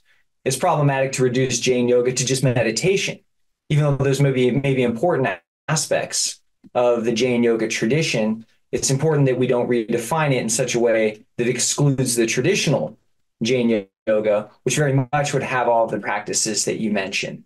Uh, in our book, uh, The Contemplative Studies, we have a lot of uh, social science there that describes the pujas to gurus, uh, their singing, uh, all of that uh, occurs. Pragya Jain herself, I happen to know, is an excellent singer uh, as a Jain. Um, so the kirtans and the singing and the music. Uh, we also heard the uh, the story of Kapila dancing uh, is a is a form of you know becoming a Kevala dancing. Right. We heard from uh, Venu Mehta, uh, which very much you know problematizes a mutually exclusive binary. I think that's kind of one of the themes that uh, Steve Vose was talking about a little bit here. It's not either bhakti or jnana it's not either embodied or soul. You know, that sort of either or dialectic.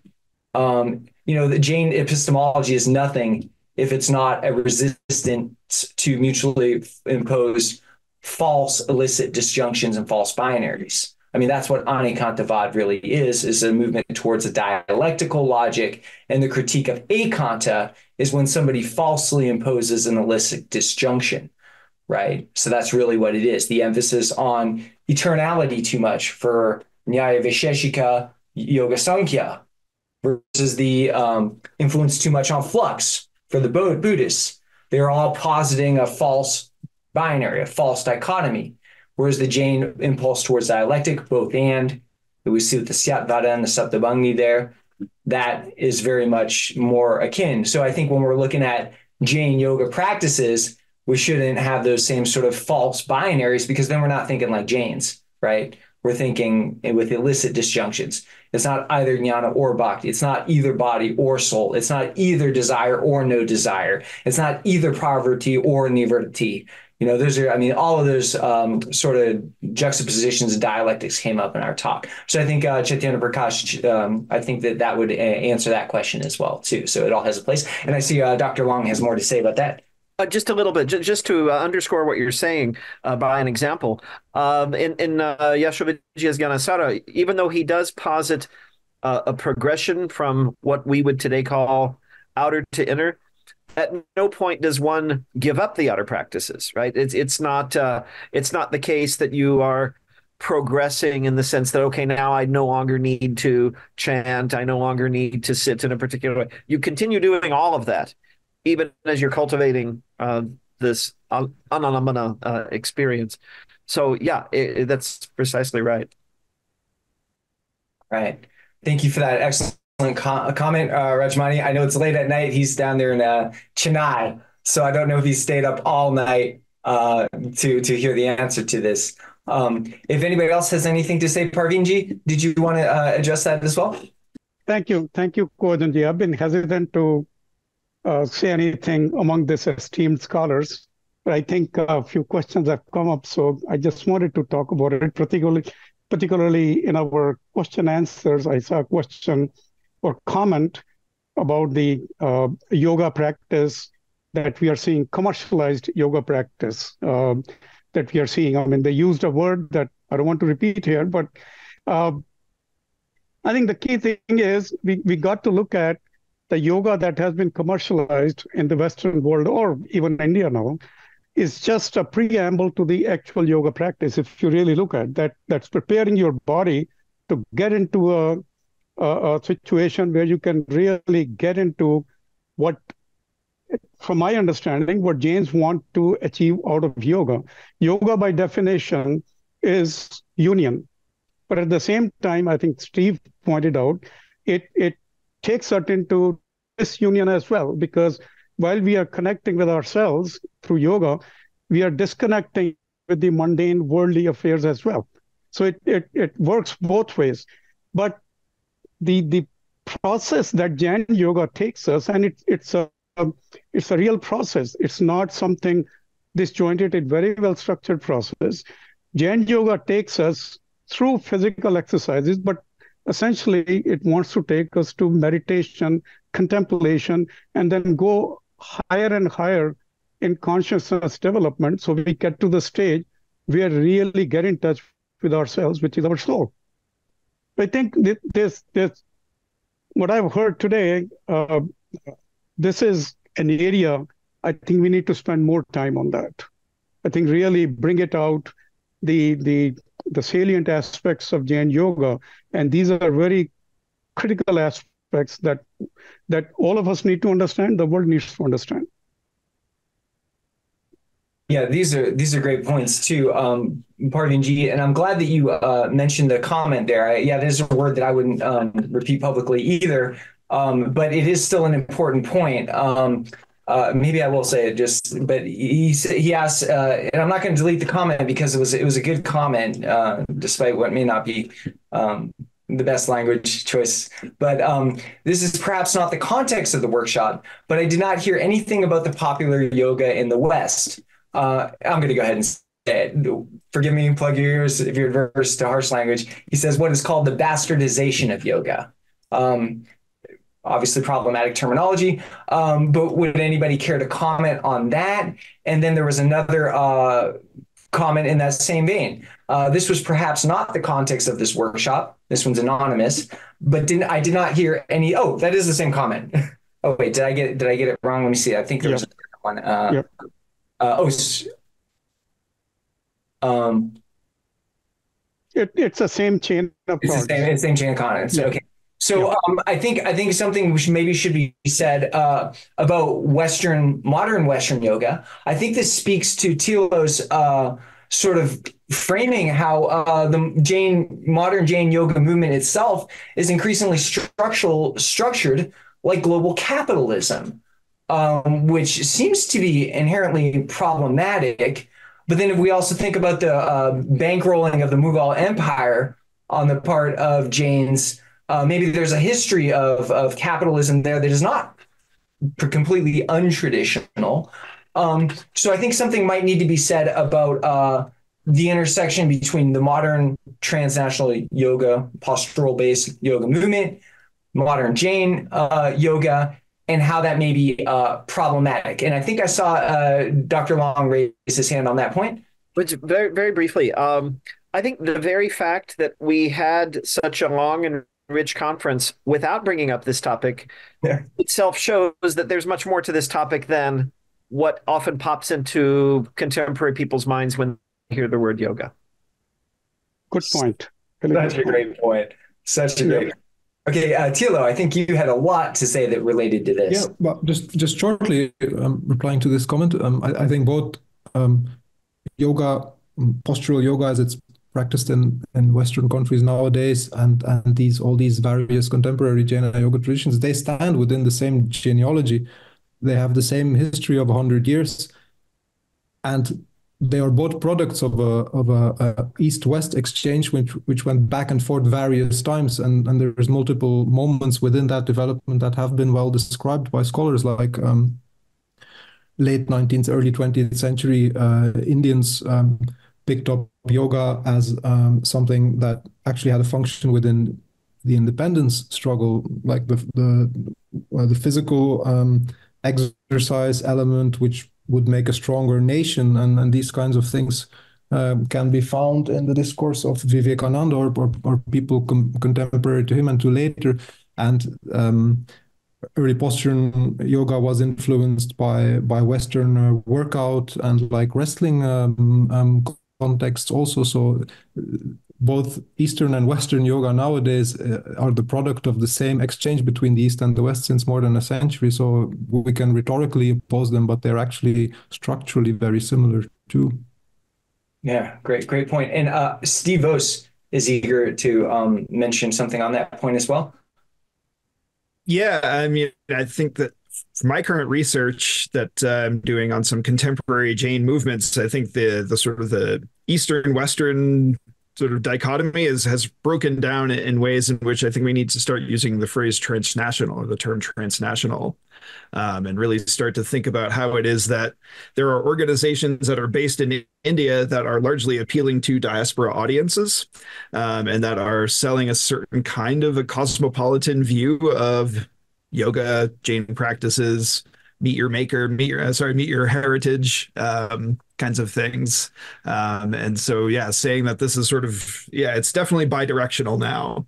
Um, so yeah, and and I would just say if you want to talk about the bastardization of yoga, like yeah, there's a, a good number of uh, sort of folks in India that are doing things like how to do yoga in the back of your car in between meetings while your drive while your driver is sort of taking you across town. Like who knows? So yeah, I mean, I, I wouldn't sort of like put it on like anyone's sort of lay it at anyone's feet just yet, um, but to say that yeah, there are ways that the the understanding of how to make uh, Jainism appealing to a modern audience has often led to sort of how do you use Jain principles to cope with your middle class job in modern day capitalism, um, and so uh, that's not necessarily wrong or bad. I mean, this is sort of the world that we live in, but it is also like yeah, like how do we sort of instrumentalize Jain yoga practices or any kind of yoga practices so that we can do something else with them other than sort of focus on the moksha idea?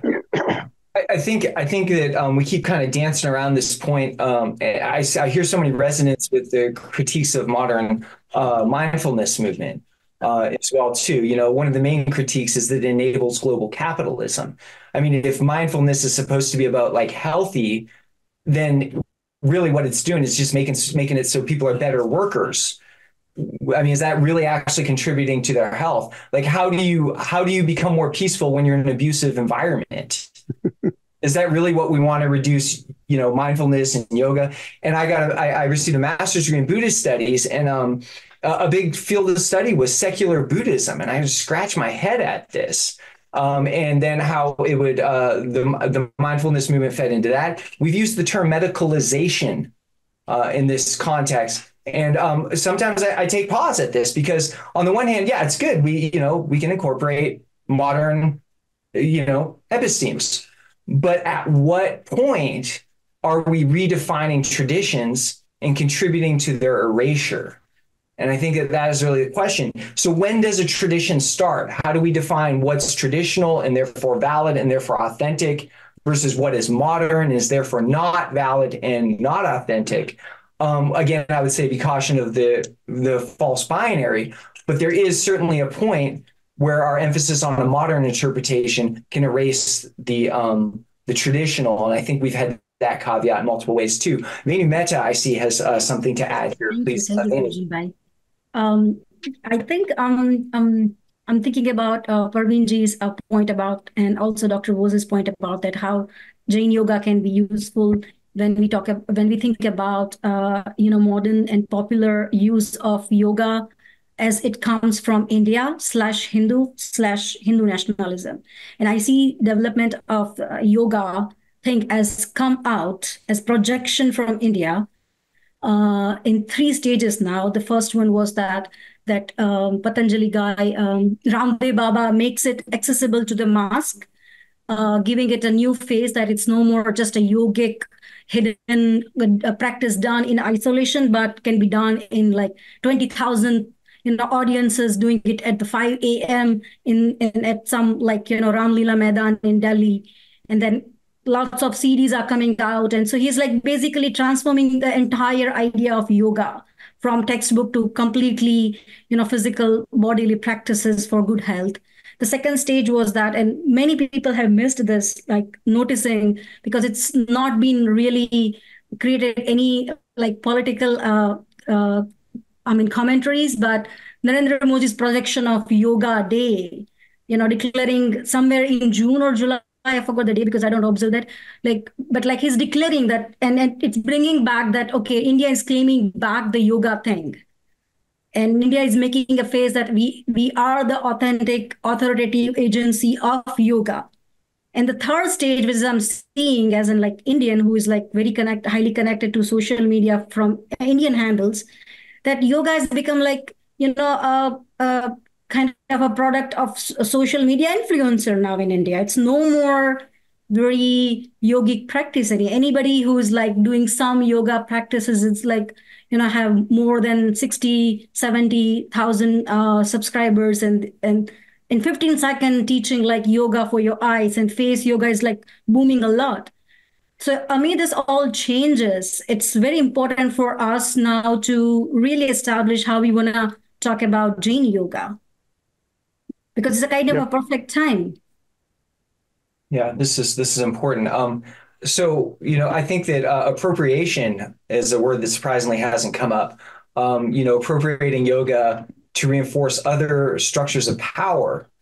You know, uh, perhaps Modi's Yoga Day is not necessarily a way of sort of standing up to colonialism, but I mean, maybe it is that. I mean, maybe it is uh, stepping, standing up against the appropriation of yoga by the West and sort of a reasserting of Indians' sort of cultural heritage, Indian ownership, Indian cultural sovereignty over yoga, and that may be very important. Absolutely, yeah. But on the other hand, is he just appropriating it for some Hindutva sort of nationalism? Is he making it for his own? So who's benefiting uh, from these dialogues. You know, what does the discourse mean in the cultural moment? I think is uh, yeah, and we also have to see that like when he's he declared yoga day on one particular year in one particular but before that he started like okay all the schools on this particular day will come together and he would lead one yoga session and what he's talking to the world by doing that that he's uniting India, presenting it to the world using yoga as an apparatus.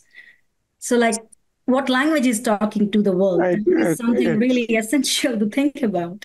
When it's all of the above that you have talked and Cogen has talked, it's it's political move.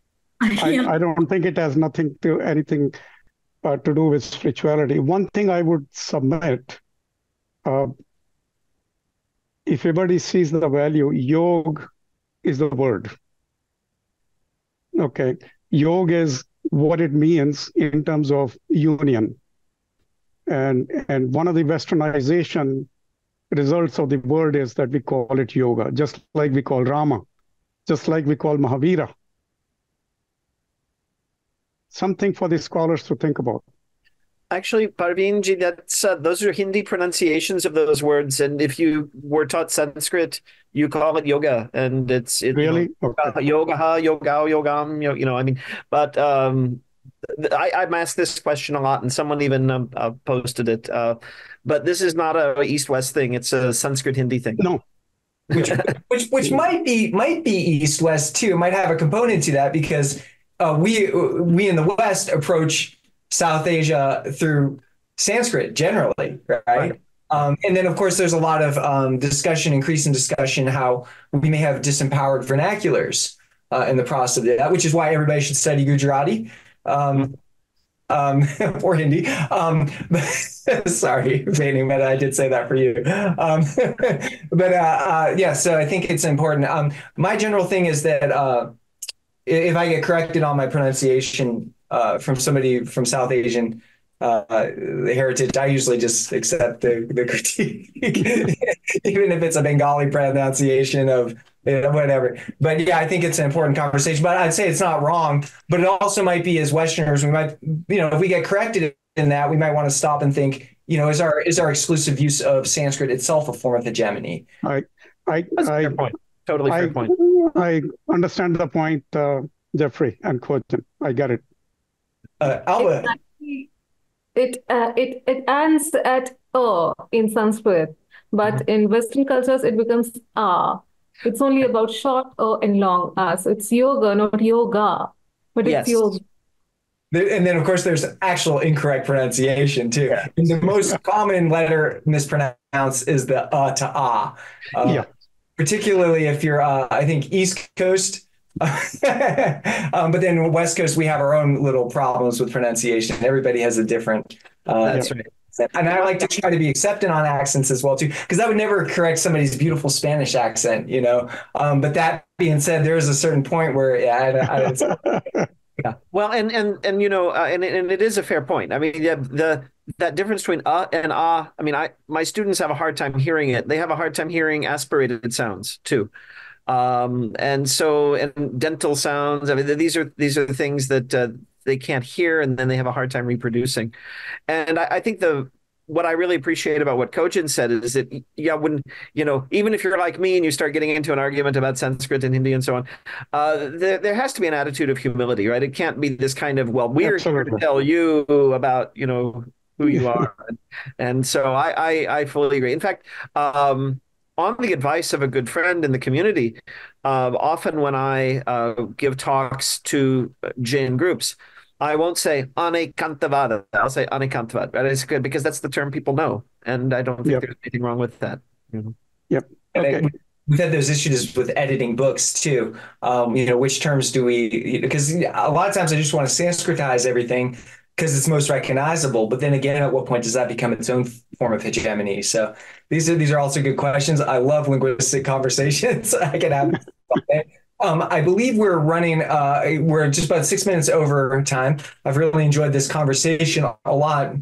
Um, and I think that uh, there was another question about how yoga is so associated with asanas and breathing techniques, and whether um, breathing in asana has a place in Jain yoga. I think that's been answered by a lot, of our uh, a section on embodied yoga. You know, we've had multiple different presentations that showed Kayotsarg. Uh, pranayama as being both advocated by the Yoga Shastra, but also a caution against it.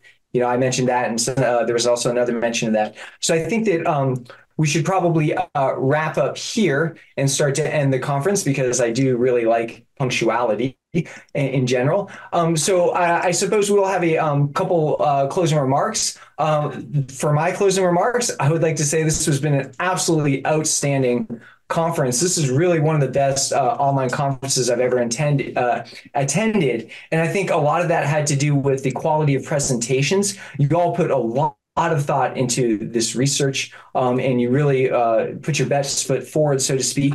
Uh, there was also something about the flow of everything that happened, both in the first half and the second half. It really seemed like each presentation was in direct conversation with the previous presentation and was in conversation with all the others. So I'm really sort of struck by how much we're all asking the same sort of questions. Uh, and, you know, I think that that's important. Um, and, and I'm really, really, really thankful for that. So anyway, I'd like to thank all of our uh, panelists in particular for creating such an excellent, excellent uh, conversation today. Thank you. Uh, a few of you stayed up all night. I see, oh, Pragya is still here. so I don't know what time it is where she's at. Tilo's up late too. So several of you are up late. Uh, I respect you for violating your bedtime. As people know, I do not do that. Um, um, so thank you very much. And um, also thank you to the Arihanta team. You know, we have a whole marketing team. We have our sort of executive team uh, that's worked hard on this and has encouraged this. And I really want to thank uh, Parveen uh, here, who's uh, in attendance. Also, Dr. Christopher Miller, who, like some of you, is should be. He's in bed right now, uh, which I can't say I blame him. Uh, thank you to Christopher Miller. Also, uh, uh um, uh, Taina Rodriguez has worked so hard on promoting this. Uh, Pramod Patel is not visibly present here. He's probably in the audience, but he's done so much to encourage all of our work at Arihanta. So I want to thank uh, all of our uh, executive team at Arihanta, and of course the attendees. We had fantastic attendance. Uh, you know, fluctuated in between anywhere between 40 and 80 attendees at any given time, which is I think is exceptional for an online conference. So really, my closing remarks are just thank you all very much for uh, all of this, um, and I really really enjoyed this. Uh, eight hours later, I'm still enthusiastic and ready to talk. More. And I'm sure all of you feel the same way. Uh, and then I would like to turn it over to uh, Parveen Ji uh, for some of his closing thoughts and comments. Jai Jinendra, uh, first of all, Cogen ji, great job. Yes. Moderating this conference and leading all the efforts that you talked about to bring us to this point. What a journey today. What a journey of learning today. It's just, it was just amazing uh, honestly, I didn't leave my chair or desk even for a moment because every talk was great. And eight hours Cogen ji is like a tapasya today. So because we learned a lot. So it's it's part of that. Uh, what we saw today is just a glimpse of what our scholars are doing, which, which I would call it a trailer to the movie. If this glimpse is so great, think about the actual work that they're doing it's just it's just amazing to all the scholars who participated today. Thank you very much. Uh, you are all sort of divulging into the old age age old subjects through the various texts that that our acharyas have written over centuries and centuries and you are extracting the nuggets out of that to share with us okay but the beauty of what what this group of scholars is doing, you're presenting in a way that I can, a, a common layman can relate to it. I want to learn how to apply these studies to my daily life, and you guys are helping us. And that is a tremendous value that you're bringing. Cogen ji, you talked about through our teachings, are we modifying or westernizing the teachings? No, we are discovering, re- we are rediscovering all the teachings and presenting it in a way that everyone can, around the world can understand. Jain have done a great job in keeping this philosophy to themselves. And I say that very, it's my common statement. I tell, tell it to everybody. This is high time we bring it to the world. World needs to know it. And there is a value in doing that. Uh, so I think this is just this is just great. And from Arihant Institute, I don't want to plug in too much, but the whole purpose of our platform is to bring you guys together. Use our platform to share your research, your your scholarship. We are going to take it around the world for you. Work with us. And that's our whole objective. We want to make sure the world learns what Mahavir taught 2,600 years ago. You guys are doing it. But until now, it has been kept into a sort of localized sphere that we want to break and, and bring it out. The, the good example is in two years, students from 20 countries have approached us and taken our courses, which is not a small feat. It's all because of you guys. If you look at our master's degree students, almost 90% are non-Indians. That tells world needs to know this, this, this philosophy. World needs to know how do they apply it to our day-to-day life. That's what we are doing at Arihant Institute. Help us to get to that stage where world can use. It's not for us. We are not pitching ourselves. We are pitching our philosophy that the world really needs to know. So at the end, I really want to thank everybody. And in the morning, I said it, but I want to say it again. Kudos to you, all of the scholars and educators who have put your career to educate the world that the knowledge that the world needs it. I really, really appreciate that. We really, in Jain Dharma, teachers is placed at a very high level. And we mean it when we say that. Keep doing it. Our job is to stay behind and support you whichever way you want it and reach out to us. We will figure out a way to fulfill what your requirements are so that you can excel in what you're doing. These are my parting words. Great job today, Cogen ji, and great job, everybody. Truly, truly appreciate that. And we're going to meet again. We have another conference coming up in a few months. We want to see all of you. And again, not to do any marketing, but spread the word because Arihanta Institute needs to read, reach the world. We really need, particularly among your peers in academic community, theology departments, religious departments, bring out the messages to them. We want to take it out to the world. All right. Thank you very much and Jai Jinendra. Thank you, uh, Dr. Parveen Jain. In case you didn't catch it, he's the founder, CEO, and chairman of Arihanta Institute. He's also been engaged in philanthropy for decades, immense, immensely good work for the good of our collective humanity he's been doing. And recently has really uh, turned his attention to philanthropy for the academy and a place where it's sorely needed. Uh, as well too. So thank you for all of your work, uh, Parveen uh, ji. Thank you, thank you. Okay, so uh, with that, um, thank you all very much, and I hope to see you again uh, very soon. Jai Jinendra.